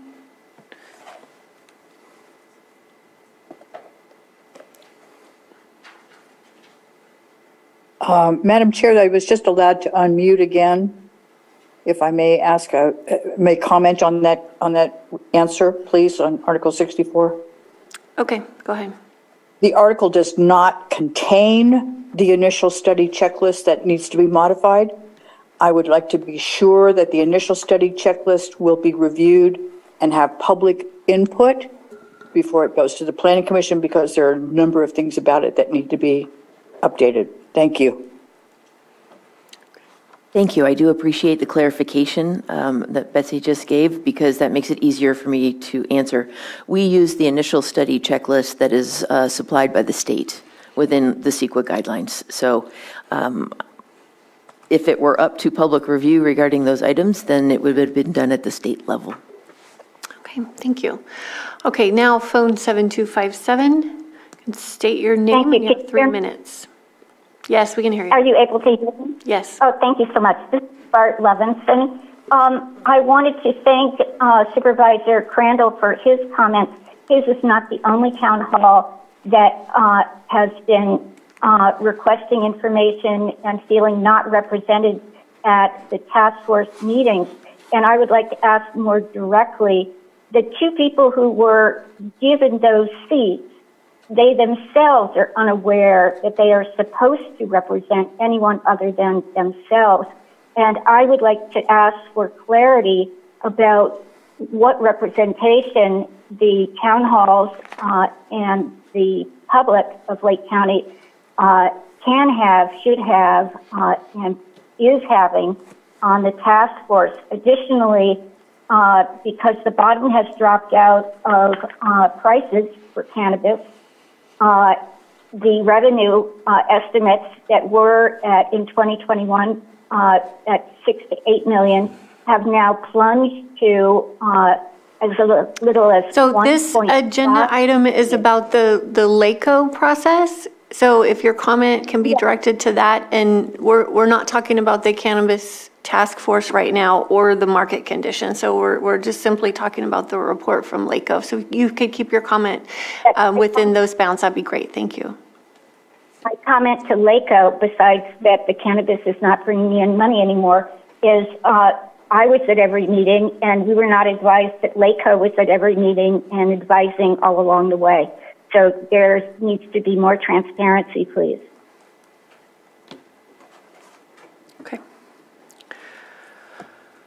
Okay. I think that's it for public comment. We can bring it back to the board. Supervisor Sabatier? So I have a, a final question, and I don't know if that can be answered or not. I don't want to put you on the hot spot, but it would be nice to get something back in return uh, in, in the near future.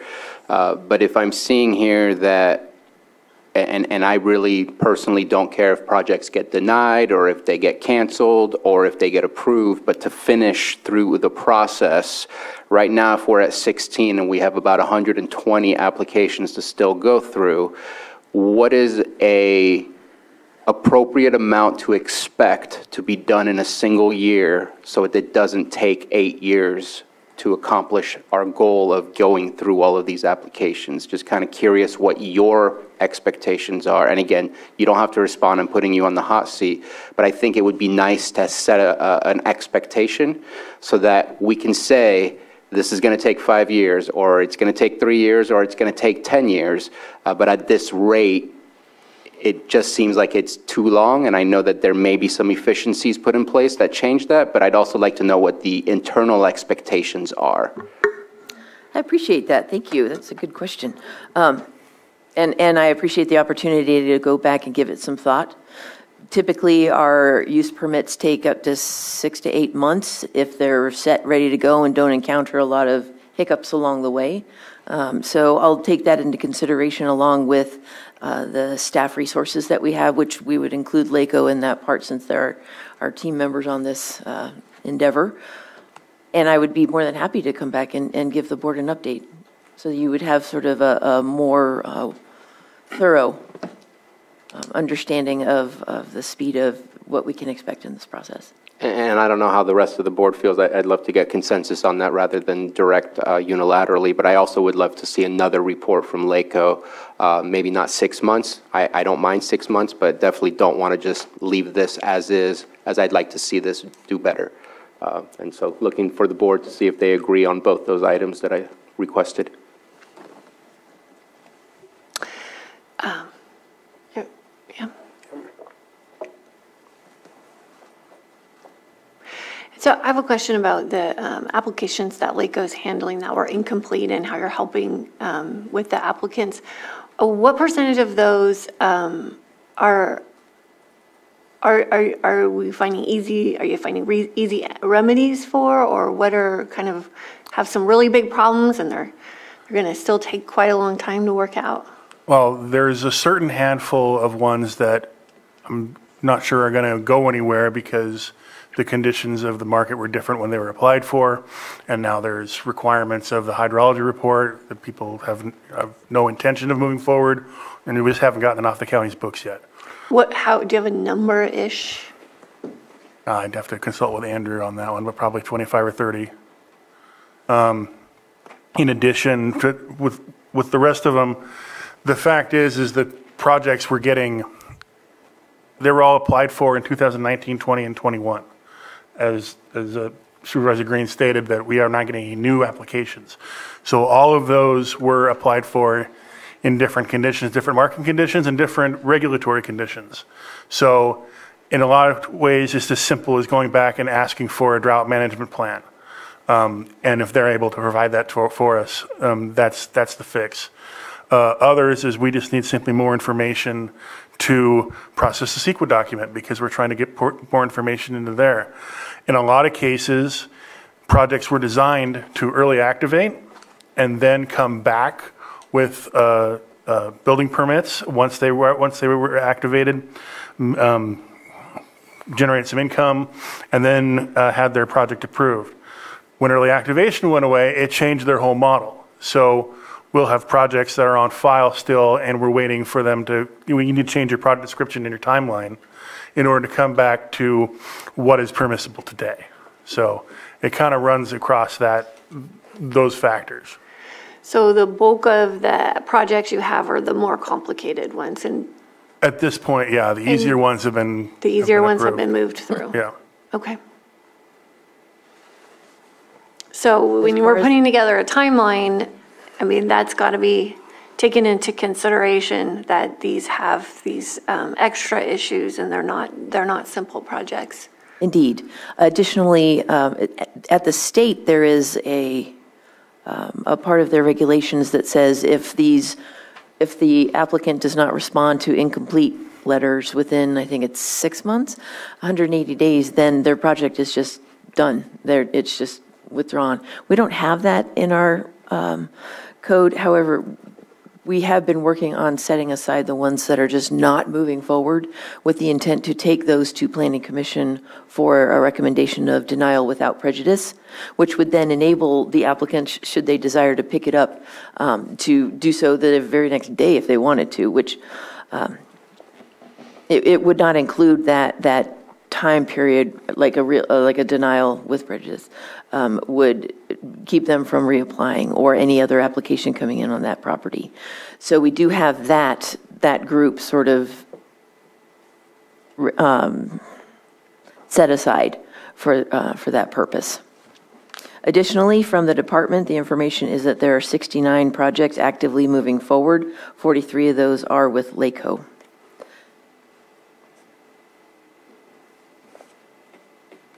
Should the board uh, decide, we'd be happy to bring you a report back in another six months to see what we've gotten done now that we feel like we're getting kind of all steering in the same direction. Uh, Particularly since I just gave you that 69 number. Let's see what we get done with those 69. So 69 are active, but are they um, still the very complicated ones? We didn't get that breakdown, but to me, actively moving forward means that we've got the data that we need in order to proceed with environmental analysis and then on to staff report. Okay.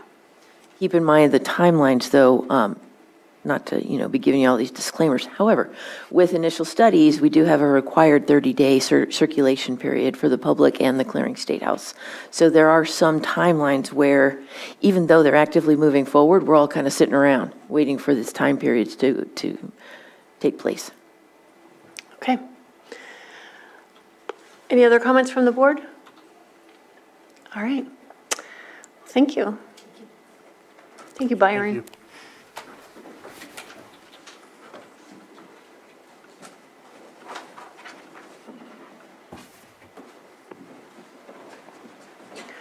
Okay, we will move ahead with 7.7, consideration of the following resolu- resolutions to correct benefit language as required by CalPERS.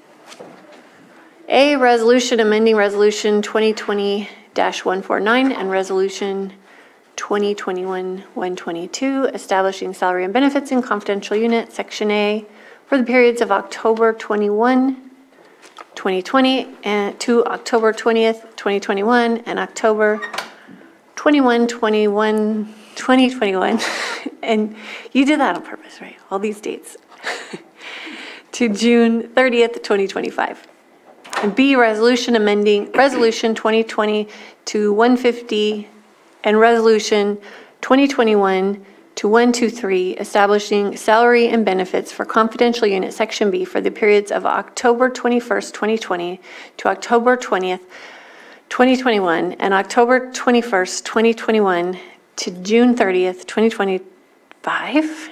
And C, resolution amending Resolution 2020-151 and Resolution 2021 to 124, establishing salary and benefits for management employees for the periods of November 1st, 2020 to October 31st, 2021, and November 1st, 2021 to June 30th, 2025. And D, resolution amending the memorandum of understanding by and between Lake County Sheriff's Management Association and the County of Lake for the periods of November 1st, 2020 to October 31st, 2021, and November 1st, 2021 to June 30th, 2025. County Counsel. If your board determines to offer these resolutions, I could suggest that if you do so, you may simply offer the resolution in sub A of the staff report, the resolution in sub B, since you've already read them once. You ruined the fun.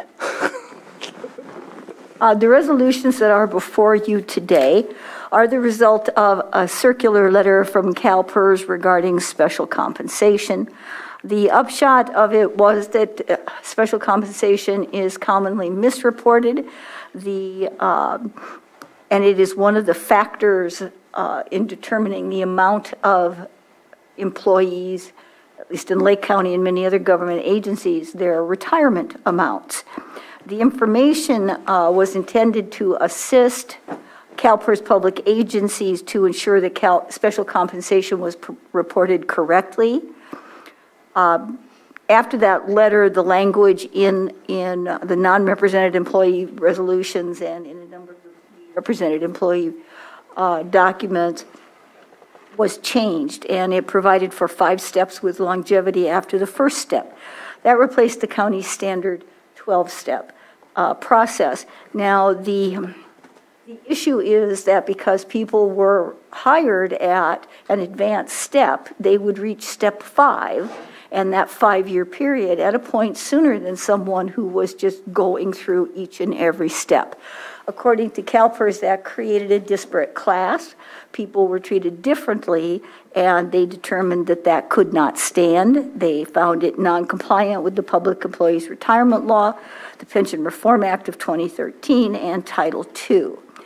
Uh, CalPERS determined that um, as a result, then longevity, which was dependent uh, upon receiving a top, achieving a, a top step as written, was not reportable to CalPERS, and thus that income would not be considered in an employee's retirement. Uh, one employee who was putting in retirement at the time this became known um, would suffer an $800 a month loss in retirement money. So it's a, it's a substantial amount. Also, CalPERS talked about not just people who are retiring or may retire later, but recent and even past retirees going back potentially a number of years. The unfortunate part is this is CalPERS' decision to make. However, um, the former auditor controller spoke with them endlessly and did achieve a compromise. The compromise is the formula that is here before you. Um, this, this methodology was selected because it's least disruptive to all employees. It essentially leaves people who were hired prior to October uh, 21, 2020 in the same position as they were. People hired after that would be changed to uh, years of service. And the issues involving longevity and the potential creation of disparate classes resulting from advanced step hirings would then be resolved and prevented.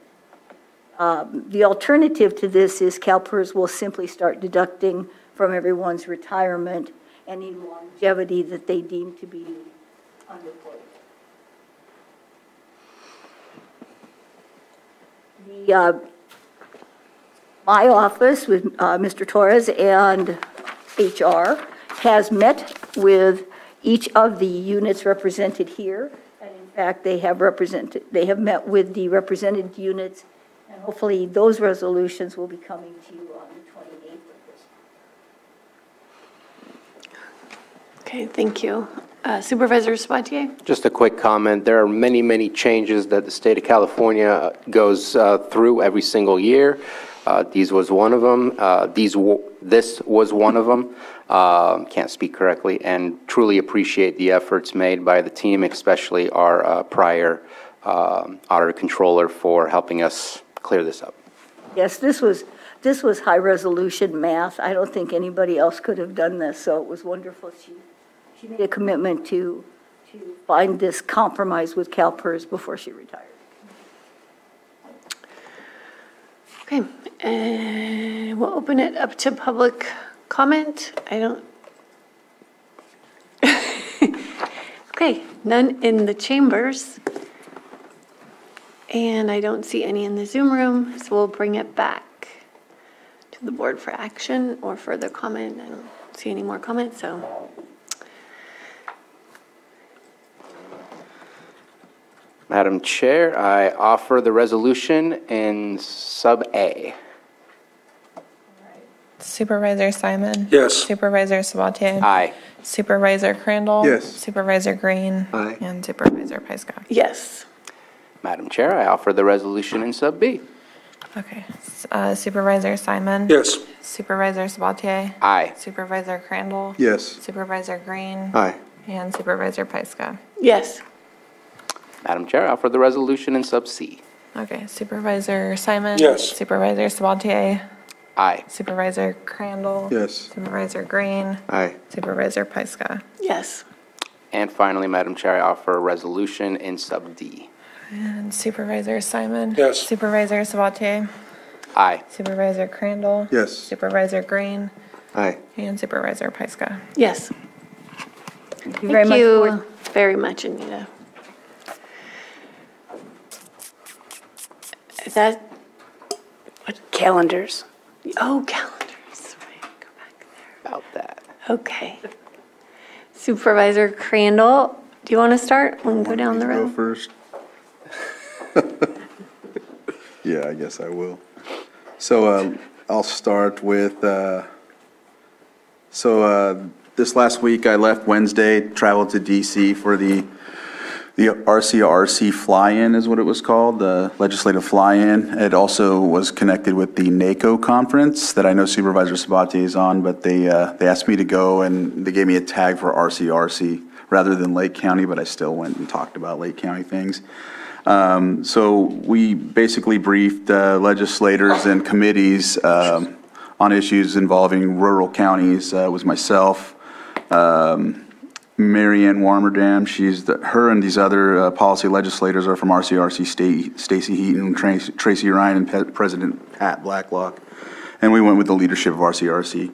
Um, So we were accompanied also by staff called ACG, and they're, they're basically the people on the ground that know where to go and, uh, and uh, assist us with navigating the, the halls. And so we met with Senator Feinstein, her staffer Sean Mullen, where we talked about the Farm Bill, Farm Bill, rural title, forestry title, energy title, and expanding rural broadband, um, along with, uh, uh, let's see, it's called bipartisan infrastructure law and the Inflation Reduction Act. We talked about cannabis banking reform, um, safe rural schools, and payment in lieu of taxes. Um, We then went to the uh, Senate Agricultural Committee, um, discussed policy revi- revisions uh, regarding legislation that is updated and considered for the reforms coming up. Uh, Same rural title, forestry title, energy title. Um, We met with the uh, Forestry Service Chief, Randy Moore. He's actually from California and has a good re- working relationship with Staci Heaton. Uh, We talked about in IRA, BIL, which is Inflation Reduction Act, uh, and basic in- infrastructure law, and disc- and basically discussed our issues in county. So uh, when Staci and uh, whoever else was, was talking about the issues um, that they were trying to apprise them of, like uh, tree mortality and uh, whack and stack, they call it, which is what they're doing when they're cutting down the trees and leaving them, things like that. We were explaining how it's affecting us. Also talking about the good neighbor uh, policy, which is in regard to, you know, federal lands next to ours and having them work on some of those uh, relationship so they can, you know, not, not keep us as vulnerable as we are with uh, their lack of, uh, of, uh, you know, doing the work. Uh, We also went to Congressman Thompson's office, which, you know, I was like, well, we're going to see him next week. And uh, his assistant rep, Eric Hoffman, is, actually, they're coming here, they'll be here tomorrow. So um, we, of course, talked to him about the Farm Bill and um, Save Rural Schools and payment in lieu of taxes. Um, We then went to the Speaker McCarthy's office as, uh, as his, uh, we, we didn't go to his speakers first, we went to his actual office of Congress. And so talked to his staff member Kyle Lombardi about the Farm Bill, Save Rural Schools, payment in lieu of taxes, and then cannabis banking. Um, We uh, then went to a tour and we went to the office. It was still, they were still moving in, um, so it was a lot of empty space in there, and we got to go on the uh, balcony, I guess, where, where they, you know, the speaker actually has an opportunity to just go on the balcony and hang out, and you see, you know, the the monument and everything, and that whole, uh, the whole, uh, what do they call it, the uh, mall, you know, that whole area. So that was really cool. It was once-in-a-lifetime deal. Um, And so, uh, but yeah, talking with that gentleman was really helpful. He seemed to be really, even uh, his, his staff member, he seemed to be kind of, uh, not kind of, he was really uh, engaging. And so it was good because there was a couple of staff members that were engaging and knew, and even if they disagreed, they knew the realm of it. And it wasn't just like, okay, what else? Okay, what else? We're going, you know. So that was a really good feeling. Friday, we went to the EPA meeting, and I realized because I'm on the committee for um, the Farm, Ranch, and Rural Communities Federal Advisory Committee for EPA, that was the, the reason why I got to go because they wanted to see me in person because I wasn't able to go in January. Um, and we, of course, talked about our issues with, um, you know, with our rural committees and the problems we're having. And I went over again, you know, the situations with like the Army Corps, their relationship. Um, you know, the su- Superfund fight is another, uh, Superfund site is another thing that I uh, like to emphasize with them as well. And uh, we uh, had a really interesting discussion because a lot of them don't know where Lake County is. So I was busy telling them it's right above Napa Valley. You know, uh, we also, you know, we have a lot of fires. Explain that, and I says they, they knew where Napa Valley was because they drink wine. And I says, well, if you want to keep drinking their wine, you need to help us too because they take our grapes. And so that that was my pitch. A lot of them knew, and they were like, wow, okay, right above Napa Valley. Everyone knows where that is. So that was one of my deals. Um, after that, uh, we finished up. And went to the, uh, we did that tour, of course, and then uh, we did go to the Eisenhower uh, White House building as well. Um, And we talked with some staffers that are, they were basically the policymakers of some of these bills that we were, we were dealing with, and policy advisors. And so uh, it was a really short discussion, but we, we really had to focus on the same things we're talking about, but then giving them um, our uh, experiences. That was one of the things too, is they really liked hearing from the actual supervisors about their, um, about the problems in their area. But the Staci, Marianne, and Tracy did, did the, uh, the fill-ins, and the, um, the other group, ACG, really helped with that as well. The NACO conference, uh, that was basically Saturday, Sunday. It's still going on today, or yesterday. Pete Buttigieg was talking to them, and then today, I think Biden's talking to NACO. So, yeah, I'd missed those, but it's okay. Um, had to get back here. But uh, NACO conference, um, went to a breakfast for new, I don't know if you got to go to that when you went to. It's- It's like a breakfast for people that have never really attended before, so I attended that. Um, I thought I I thought I wrote it down here, but I guess I didn't. But, um, yeah, I went to that, uh, went to, oh yeah, there it is, first time uh, orientation. So we sat at a table with an ambassador, and it was like probably like 100 to 200 tables of new people, and you got to think all the all the um, supervisors in the whole nation are there. You know, not all of them, but a majority of them. The, it's interesting to see that some of them are called commissioners, some of them are called judges uh, of their counties. So it's really cool. I was like, wait, you're you're judge? They're like, no, that's what we're called. But um, the ambassador, you just shared experiences on some things that they worked on that helped. The one I sat with was re- I was really glad because he's from Illinois and has had issues with overregulation in his county and also had like a restoration project he suffered through. So I was like, I need to call you. I need to talk to you. Need some advice. Um, And so, uh, yeah, the rest of the NACO conference, basically, we attended different workshops and steering committees. I was at the uh, Justice and Public Safety Policy Steering Committee. A lot was talked about with the medical jail situation. Um, There was a lot of counties that were really upset with that.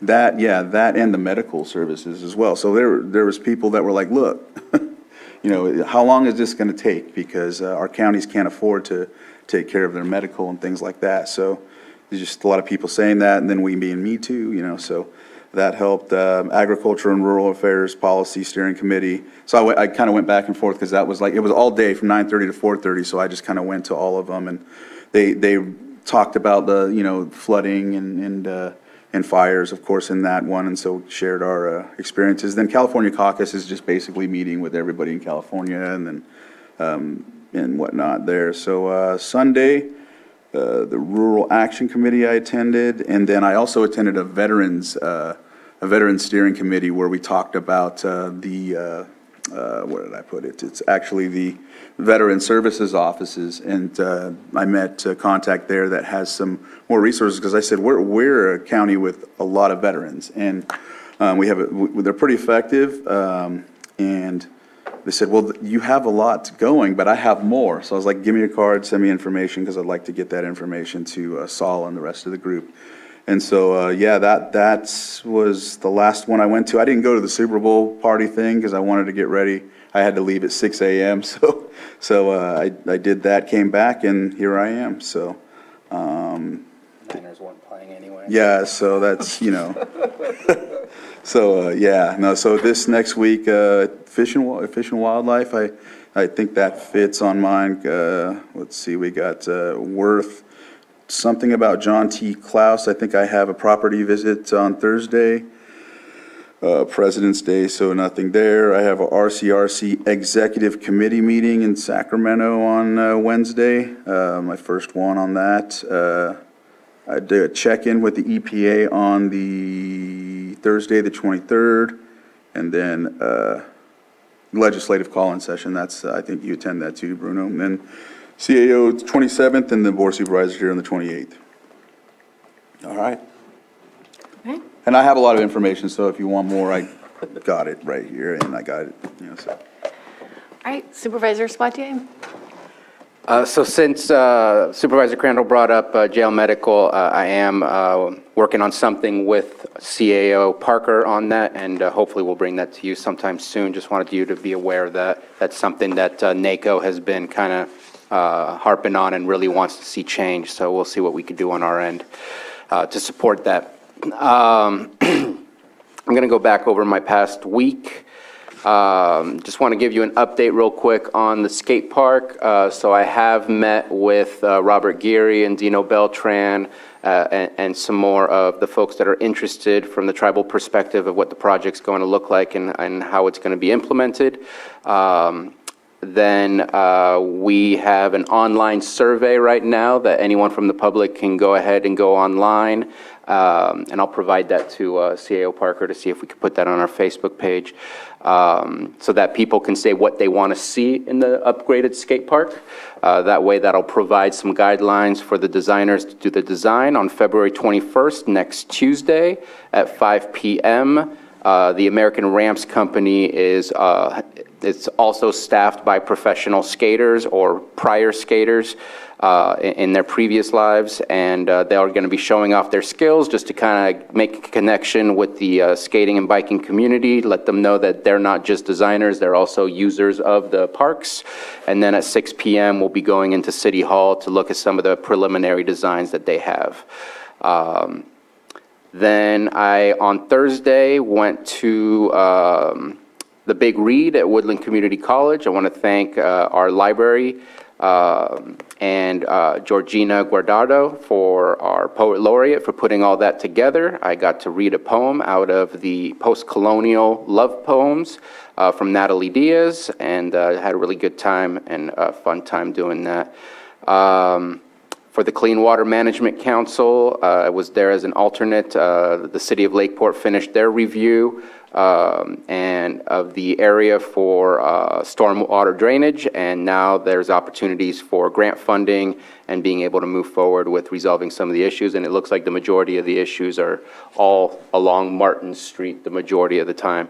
Um, But uh, taking care of that. Uh, Backing up real quick, also, we had our LTA APC meeting. Uh, As most people will notice, both lanes of the uh, Highway 29 expansion is, are open, still under construction, though, as they finish off the curbs.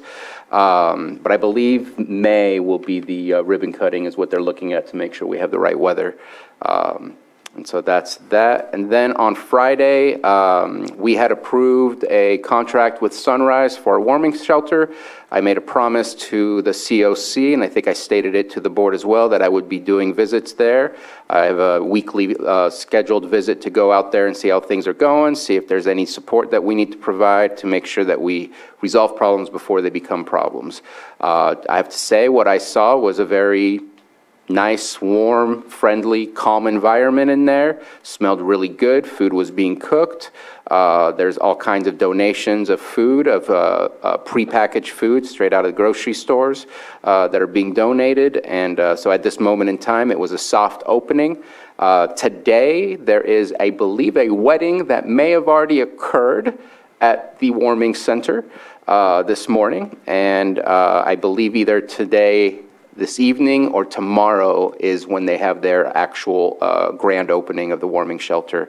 Uh, But so far, it, it looked good, felt good, had, they had their policies all put together, um, and, and seemed really organized when I went there, and I'll be going back uh, every Friday just to check in and see how things are going. Uh, So thank you to the board and COC for putting that together. Um, Tomorrow, pretty wide open, other than meeting with uh, Mike Thompson, over at City Hall in the city of Clear Lake. Uh, on Thursday, starting off with Judge's Breakfast, have a COC Executive Committee meeting, and um, have to check in with uh, Supervisor Green if he's able to make it to the IFT and EMCC meetings. Um, If not, we can try and make something work. I'm also meeting with Adventist Health later on that day, and then uh, attending the city council over in Clear Lake.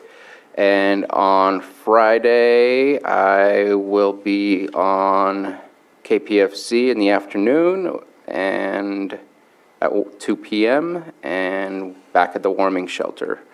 And it looks like we have another full week of nothing since we have a Monday day off, a holiday, so we don't have a meeting on Tuesday, the 21st. Uh, Looks like I'm going to the Technology Governance Committee on Wednesday, First Five Commission. I'll be at- as the alternate, just checking in and listening to see what's going on. Lake County Fire Protection District, Konocti Unified School District meeting, Hope Rising Board meeting on Thursday. Um, I've been invited to Woodland Community College to speak during Black History Month. Randall Cole is heading that one up uh, for this year. And uh, Hope Rising meeting again on Friday, the 24th, and checking in at the warming shelter, and then coming back on the 27th to prepare for our meeting, meeting with our CAO. And actually looks, yeah, no, we changed the times, which is perfect, because I also have a Hope Rising meeting as well, and then Board of Supervisor on the 28th. That's it for me.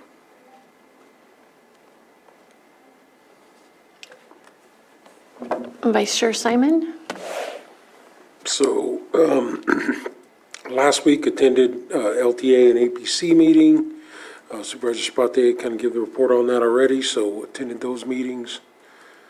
Get back to my calendar here. Also had a class and comp meeting on Wednesday afternoon, and then on Friday had, uh, oh wait, Thursday, had math, Ma- Middletown Area Town Hall. Uh, there was a presentation from CAL FIRE just out to the community, or Middletown Area Town Hall on, uh, the fire hazard zone, you know, really trying to get the information out there. Uh, a lot of questions there. Obviously, they will be looking for when we draft our letter from the county side to get out there. We'll get that done sooner than later, so they have a little chance to look at it, uh, to really talk through making sure that we're addressing, um, you know, the issue is not just saying, hey, we don't like it, hey, this needs to be looked at, look, let's look at the data, let's really see if we can get some letters out there. So obviously, that was a big one, a pretty good meeting, I think, as far as getting the information out. Um, They did ask, if they wanted me to send, I wa- if I needed to be CC'd, every letter is written, I told them no, because I'd probably get yelled at by IT. Uh, But we do need to, I said, if you just give me numbers, that would be great. Um, But just continuing that conversation with our communities as we move forward in the implementation and our concerns with it. So, uh, so we'll continue those conversations. A meeting on Friday, the, um, well, I didn't have a meeting on Friday with CAO, but I did have another meeting with um, uh, CDD Director Turner on, on, on an issue down in my district or a project uh, that we're trying to bring forward. On Monday, had the meeting with Susan Parker, our CAO. Today, here at the board meeting, happy Valentine's Day, everybody. Um, You know, if we can end that up with the day. I do know that the Lower Lake Action Committee Group is meeting tonight. Uh, Mireya Turner will be presenting there. I was committed to it, but I think I'm going to go home instead of getting in trouble. Uh, So on this one, so uh, I'll let Russ Kramer know. I won't be there tonight. When I did commit, I was like, oh, it is the 14th. Um, So anyway, uh, I I am going to be out of town for a couple of days. I'll be back on Friday. Um, I have my meeting with CAO Parker. Nothing on the weekend, obviously, we got the holiday. So we have moved our Risk Reduction Authority meeting. Uh, I'll talk about that. It is going to be on the um, 27th. Also have uh, a meeting with CEO Parker on Friday. It Looks like there's um, a planning session on the 21st. And anybody else, maybe someone else is going to, that's uh, from Anna Santana. Anyone get that invitation? I'm not sure. Oh, yeah. Yeah, on the Yeah, yeah. 21st. So I think I'm going to attend that one. Really like those when we get out there with the community and just get to sit through it. So been on through those mental health advisory board, other things, so I think that's just excellent. Uh, Also, I may be working with CAO Parker, just to let you guys know, I'm on the State Board of Fire Services. They have moved the meetings to Tuesdays for some reason. I'm going to go and, I'm not sure why, so I'm going to figure that out. Uh, But I am, I, I, it's from 1:30 to 3:30 on the 28th. Um, Depending what it is, I may have to invoke the new rules where I'm traveling. I can get over there in Sacramento, be set up, have the meeting. I was thinking about leaving at 10:30 here and then just driving over, but I will keep you informed. I may not be here in person on the 28th uh, due to that other board that I sit on. And it is a state board. I'm glad we went over that today. Uh, So there's an opportunity. I know there's only so many, but this might fit the, the perfect situation for that. So I will, I'm going to be here one way or the other. I guess that's the message. And your voice there is important. Yeah, so uh, going to do that, obviously. Uh, On the 25th, I did miss, the Middletown Arts Center, the MAC Center, is having a visioning forum from 11 to 4. I plan on attending that, obviously to set through. I really appreciate some of the, well, just the work's doing. Obviously, we are, this board voted, we are an art supportive county, obviously. I, I probably getting the term wrong there, but we completely support the arts. Uh, It's really been brought into the community. I think the Middletown Arts Center for South County does a great job of, you know, um, some very powerful exhibits that they've been able to bring to town, you know, and I will be honest, I'm being educated on the art stuff. You know, I am not, I'm very clear about that. I can't draw nothing, but obviously I've seen some beautiful stuff, some great community involvement for everyone, and, you know, just want to continue supporting them as they're moving uh, through their processes into the next year. So I think that's, that's it for now. Supervisor Green? Thank you. Um, Last week, just catching up. So last Thursday, I was able to attend uh, Mental Health Advisory Board. Uh, Enjoyed it quite a bit. Um, Looking forward to future meetings. Uh, Also attended class in comp. For some reason, it's not on my calendar, but I do remember it. I was there, and we had a lovely chat there as well. Uh, This last Friday, uh, I was able to have a sit-down with our cannabis program manager, Andrew Amlung, and I appreciate that time. Uh, A lot on their plate, so want to be supportive of them.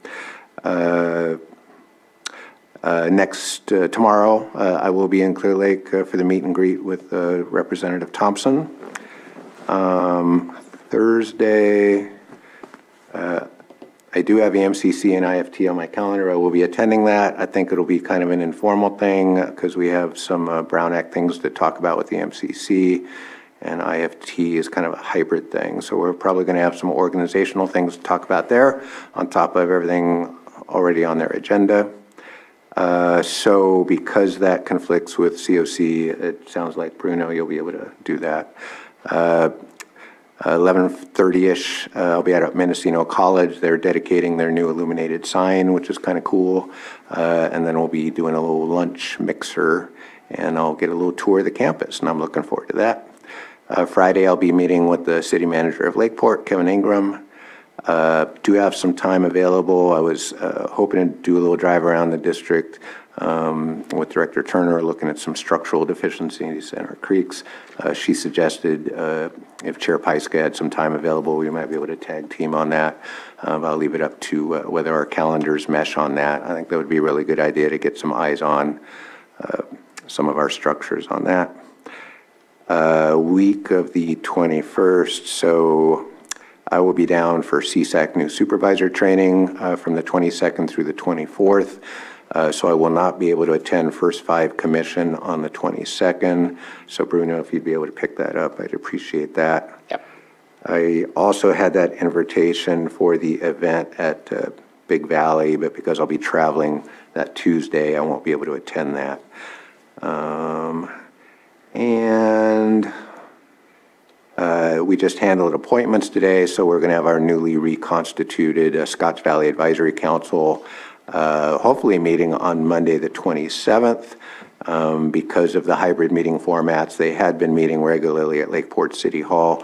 We may have to do that one more time uh, while we figure out next steps post-COVID. Uh, But traditionally, they had met in person at the uh, Scotts Valley Women's Clubhouse. Um, So we'll be uh, doing some outreach and trying to figure out uh, where we go in the months past. But I think, I think that's all I got to share right now. All right, thank you. I missed something. Can I? Yes, One last thing. go ahead. Uh, And boy, if they're watching right now, Valley's going to yell at me. Uh, So the Greenview, uh, the long-awaited Greenview project, um, they did some soft opening stuff last week. Was able to go look at it. What a beautiful facility. I think they're going to be open from the 16th on, uh, open to the public as we move forward. So if you're looking for somewhere in the next weekend or something, beautiful building that they put together there uh, for the community of Hidden Valley. So, um, you know, get down and check it out. That's what I would say. Exciting, especially for South County area. Uh, It brings into, you know, one of the newest large facilities, I think. Um, I'm I'm pretty sure I got all these numbers right. I think I was told that when it's opened up, you can do about 250 people. And then the, like slides, both ends open up with the deck and everything. Um, Somewhere around three to 400 people could be accommodated in the building, um, which is pretty cool. So, um, but really nice, new facility there. Uh, Whether on one side of, whether you like the building or not, it is a great addition to Lake County and um, just a really good place uh, that's going to be opened up. So I'm really happy for those folks uh, in Hidden Valley in the South County, but, uh, you know, always nice to have a new place open up uh, that really shows who we are as a community. And I know other districts will have that stuff too, but, um, yeah, I just want to say that, and I, I did miss it on my calendar, so. It's been a long time coming. It's great. Greenview. So um, we are in the midst of CAL FIRE grant season. The grants are due, um, depending on which grant you're going after, uh, next week, I think, and then in three weeks. So of, I've had a million meetings with our local partners on that um, the last couple of weeks. And this week is incredibly full, so if you want to wait on the um, creek tours in District 5 until I'm available, it would, it wouldn't be until next week. Um, Tomorrow, agenda review. I have a home hardening meeting. agenda to review. Oh, right, no, okay, whew, I don't have to do that. Thank goodness, because I don't have anything available this week. Now I have eight, a 8:30 AM tomorrow, so. Um, I, there's a home hardening meeting that I'll probably do from Clear Lake so that I can meet with Congressman Thompson. I had to cancel the meeting with Bruce for, um, Bruce Wilson, yeah. yeah, were, you- you're not able to make it either? No. Okay, so we'll save him a trip then. Um, and then in the afternoon, meeting with Supervisor Crandell, with Fish and Wildlife, and in the evening is the CWA meeting. I don't, I'm hoping I can make that, but we'll have to see how that day goes. And Thursday morning is the RCRC CSAC follow-up meeting with PG&E. It's supposed to be scheduled two weeks ago. Um, This is rescheduled. It's in Sacramento, but I won't be able to be in Sacramento, so I will call in for that. I have my first law library meeting at noon. My breakout session, my weekly breakout session with, for my NACO training. Um, I will be at the Middletown Unified Board meeting, Unified School District Board meeting at four, and then get home for the CAC meeting at 6:30. Friday, uh, I'm having a follow-up meeting at 9 AM with Congressman Thompson's um, DC staff, which we had a meeting last week to ask for um, more funding for tree mortality. Then at 10 is the tree mortality task force meeting. And then, um, and then I have my NACO Friday session, zone of benefit meeting at 2. I have a USF student coming up at 3. Um, and I, because this week I've got tree mortality meetings, um, I just want to share the report. I shared it with you, uh, Vice Chair Simon. If you want to look up the report, um, the, the USDA Forest Service does their annual flyover. I mentioned that earlier. And so the aerial detection shows, um, 590,000 dead trees in 2022. That's up from 130,000 in 2021. And Mike Matthew has helped um, look at that data a little bit to provide to Congressman Thompson, but it is significant. And, and we're not even one of the counties that's remotely impacted the hardest. So as we're looking for this money, this report could not have come out at a better time to give us more and more data. That's always what we've been um, putting together. And so this is the, the report that ha- lists all the counties and um, all the species, uh, conifers. And if you see this map, it, it's pretty mind-blowing to see. Um, the whole Sierra is impacted and the whole north coast uh, Trinity County and Siskiyou County, uh, I think are among the most with trees per acre. Uh, So I, this is, this is going to be, as devastating as it is, it's really helpful to us um, in what we've been trying to accomplish, or what I've been trying, to what I've been working on for over a year. So I did send that to you, and uh, I hope it comes up at the fire board, because it has not been a topic at the, uh, at the quarterly meetings with the state task force, the um, Fire and Wildfire and- and Forest Health Task Force.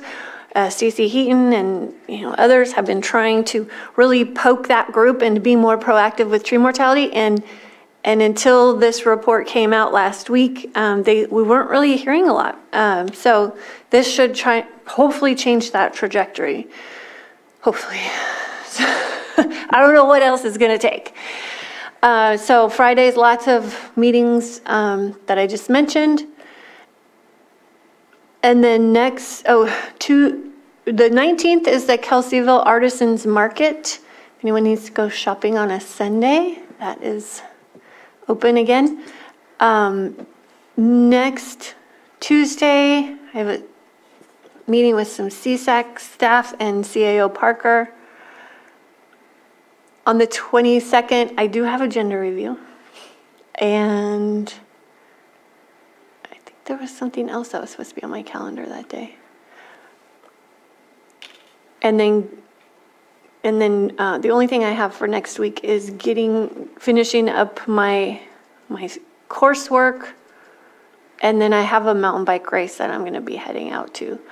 So then back here, oh, Risk Reduction Authority on the 27th after my meeting with CAO Parker, and then back on the 28th.